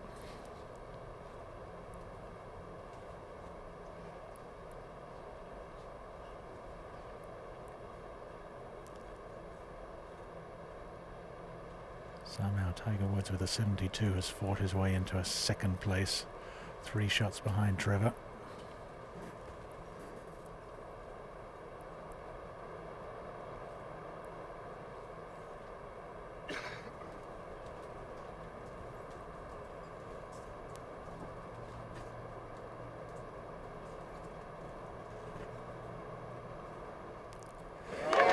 Sand save and a par, and he takes a three-shot lead to the 18th tee. Well hold. It's go to 18. It's interesting looking at him, Nick. You know, he's a composite, if you will, of so many of those fellow countrymen. We didn't mention Bobby Locke, who won four Open championships, but he, he has that, that, that coolness, if you will, of uh, Retief Goosen. He's got a beautiful swing to watch, like an Ernie Els. He's got all that, if you will, influence and grace of a Gary player. And all of them, I'm sure, cheering him on for one more hole.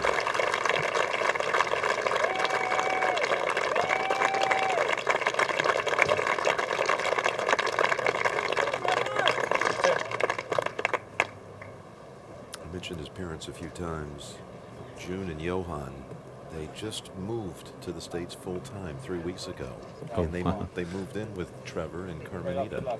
They decided our children are over in the States. We got two grandchildren now. Their son Mark has a young baby. We want to be there, you know, to have this as a family shared experience. It's been for the family. It's a really- lot of sacrificing to get this prodigy to this point. They knew he had special gifts since about the age of five.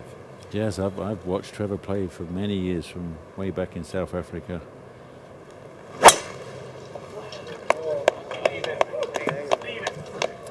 Looked like a, a look of uh, resignation as the shot was wayward. Spits it out a little bit.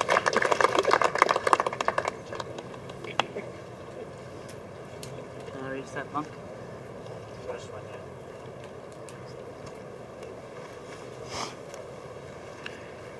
Trevor has his sister Michelle, all the family behind Trevor at this moment. Mentioned his wife Carminita, their little boy, was born at the Winnie Palmer Hospital in Orlando.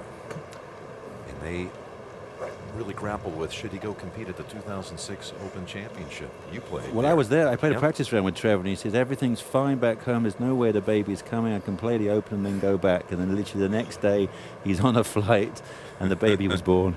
He was guaranteed it's at least about Yeah. three weeks away. And uh, was able at the last minute to hitch a ride back to the States with Commissioner Tim Finchem.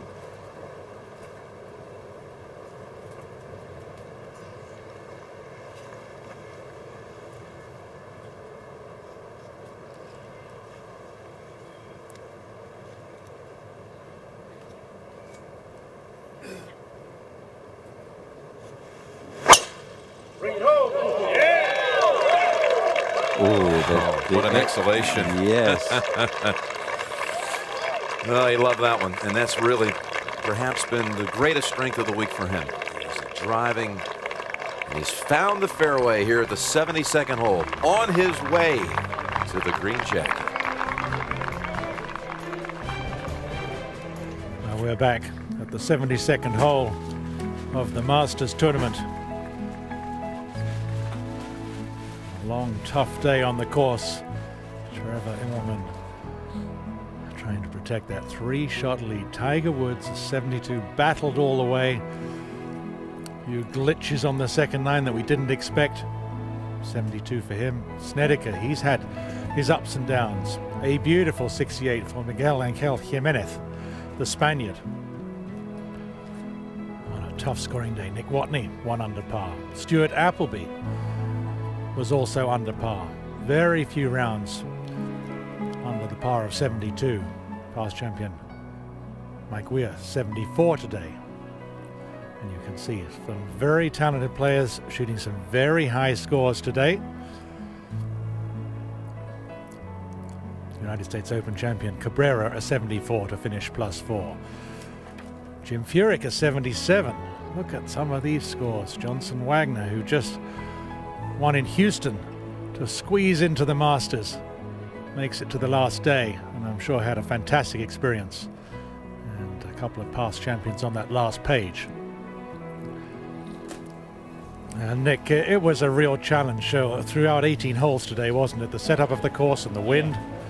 Oh, exactly, Peter. It's- been brutal. I mean, it's really been buffeting. And, you know, the temperature dropped to you know just just above 60 degrees, and the very low humidity, which obviously changes the surface of the grass. And uh, the guys have had to battle, and the, the famous Sunday hole locations, which have been so difficult. But Trevor Immelman has basically driven the ball better than anybody. It's his accumulative of driving distance and accuracy. He will beat everybody by miles, and that's been his absolute number one club this week. There's nothing wrong with being a little right of it either. Snedeker from Pardon? the right-hand side, first cut, probably be unable to go for this last flag stick on the front left corner, its traditional position. Snedeker needing somehow to make birdie to tie second. He's birdied it the last two days. This settle below the ridge? Here it comes. Pretty good action right there, Nick. Well, he did pull off a miracle shot. I think, I guess it was the, the Monte Carlo or bust. Uh, just go for it, and, and it and it and it did come off.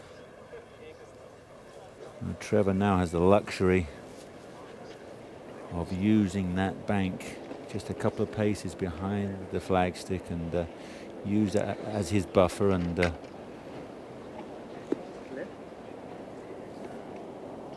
Oh my goodness. How about that?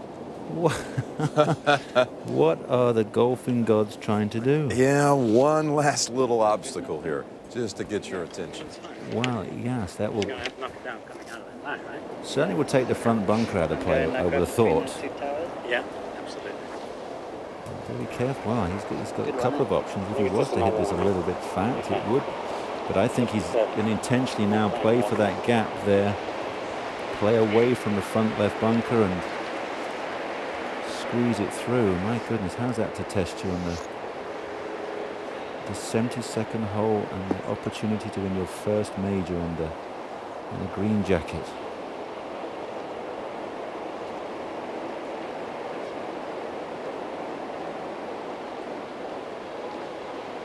Gary Player said, probably the finest striker he's ever seen since Ben Hogan, and he just needs one more perfect strike now.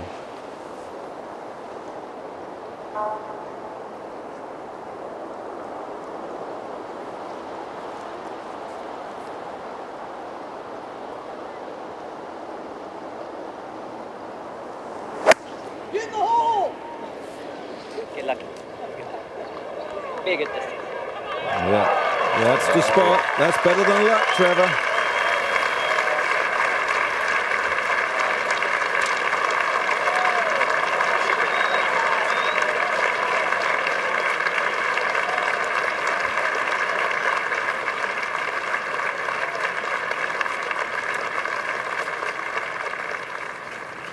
Well, here it is. How about to face that? But he knew exactly what to do.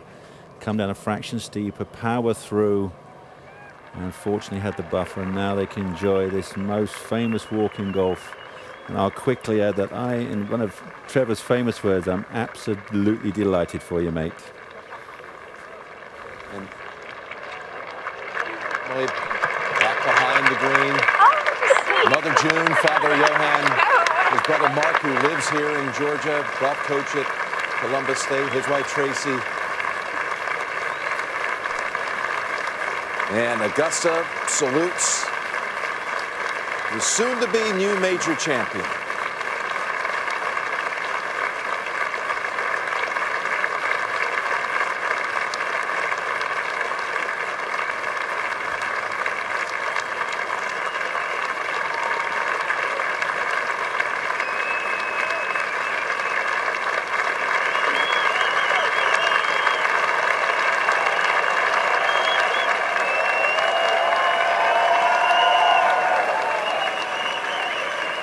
My family has gone all over the world to make sure that this youngest child of theirs is able to reach his full potential.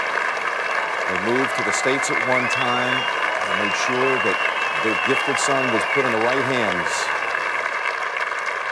And their son, in fact, when I look at him, Nick, I can't help but think about what he's been through in this past year. It was a year ago at this time, in fact, when he took ill right around Augusta Week, lost 22 pounds to a virus that really kind of wiped out his summer. And there you see the family Carminita and the little boy Jacob, almost two years old. But and after this virus uh, really took all of his strength away last summer, it was late in the fall they discovered that he had a cancer. He had a benign tumor in his rib cage area, but that cancer scare once again gave Trevor a chance to really sit back and understand just all the God-given talents that he had and really realize that he was born with this special gift and talent at golf. Made him focus a, a little bit more, run a little deeper in this goal to be truly what he said he was going to be before he was even 10. He said he wanted to be the best in the world.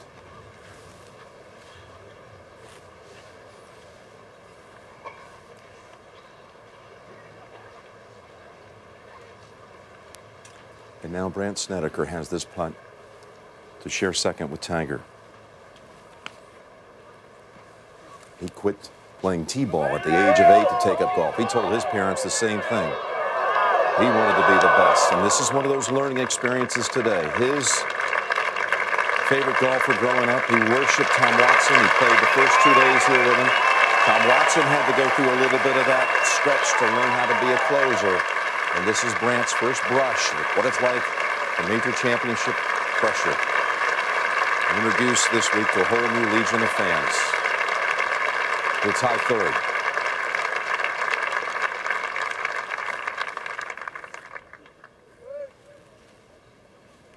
Tiger is going to have his fifth runner-up finish in a major, including two straight years here.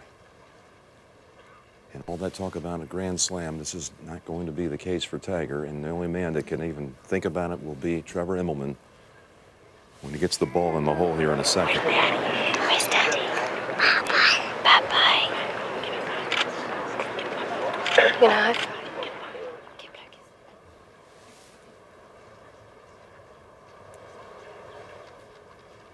Let's see if he can create one last memory.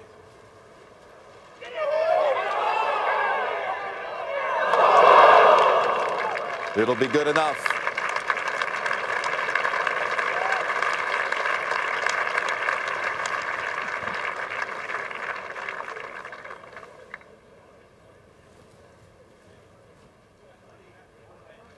Golf has a new major champion.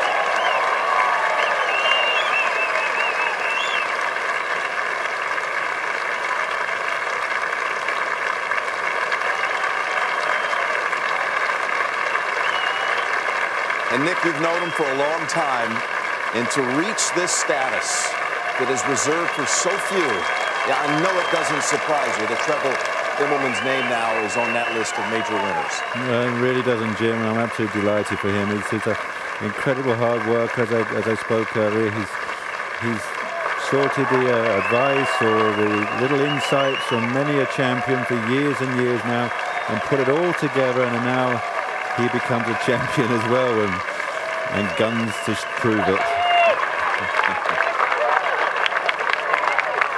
Here comes Jacob.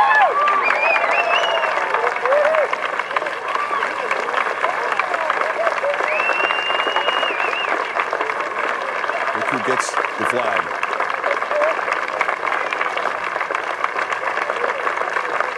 Boy, if you look at the lifespan, if you will, and his deep connection with Gary Player. Gary was born about 18 months after the first Masters was ever played in the fall of 1935. And Trevor was born about 18 months after Gary Player won his last green jacket. And now he takes on that South African spirit and excellence for golf on into the next generation.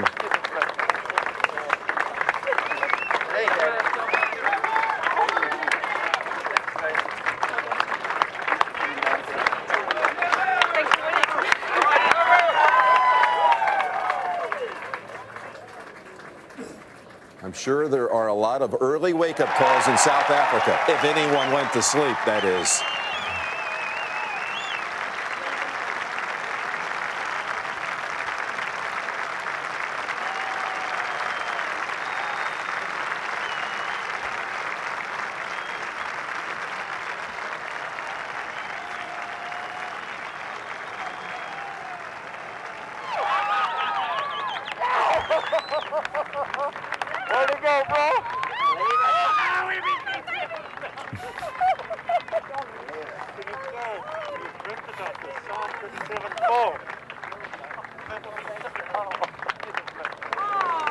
Help but look at them all and just know the sacrifices like every parent of every champion has ever gone through to get their son to this point. The extra job, the extra trip, the driving away to some key junior tournament or amateur tournament. In the Immelman family case, they even for a brief while moved to the States to make sure their son was able to maximize all that he had. All of that leading to this special day. And look who's wearing green. Yeah, exactly. Daddy's going to be wearing green here in a minute. Wij ska devil. Oh, my baby, we're waiting for Daddy. Ever the good sport. Can't help himself, Nick. Okay, we can stand He's going to play even a little bit here as he mixed it up with the gallery all day long. He's over there congratulating Trevor right now. You want me to take him? No, it's okay.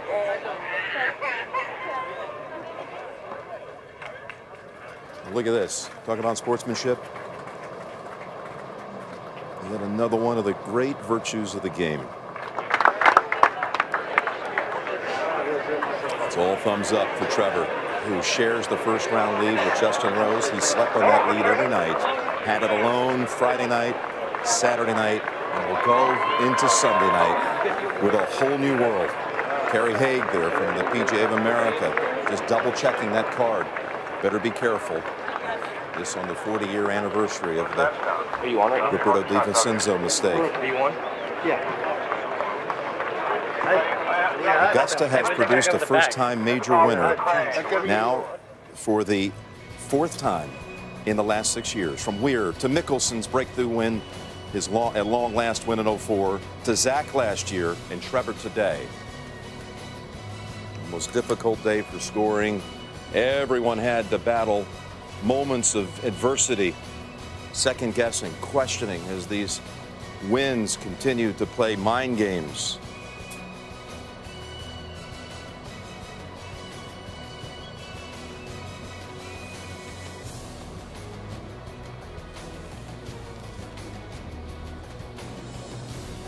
final check of the 45 who qualified here for the weekend. Well, he got that phone call last night from Gary Player. Take your time, keep your eyes on the ball, and extra second on the putts. There will be bad breaks, but I know you're going to win.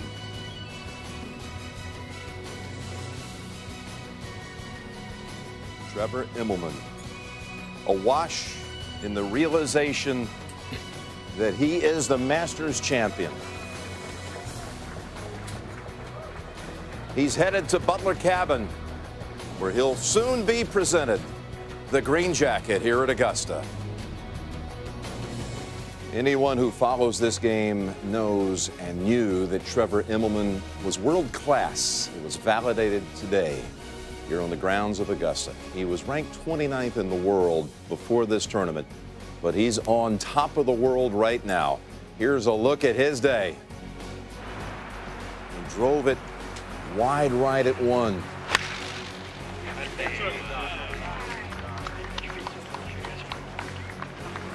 That would lead to a first hole bogey.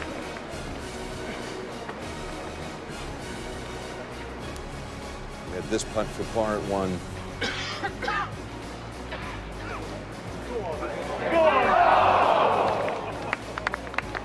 Managed to make that next one for a five.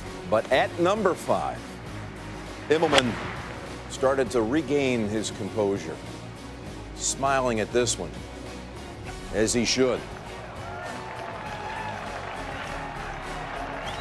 Best shot of the day at the fifth. Went on to make that for birdie. At nine now, he had missed putts at seven and eight. He needed this. Curled it in. You think that was big? How about the one at 11? Just as he's starting amen corner. This for par. Absolutely vital to his day. Then the third shot at 13. Now yesterday at 15, we know that he got away with one, but how many times did we see him play these wedge shots the rest of the way precisely spot on? Led to a birdie, and then, as so often has been said, Gary Player, perhaps the best bunker player the game has ever known. And he showed a little expertise of his own, leading to par at 17, a final hole par as well to close out the three-shot victory.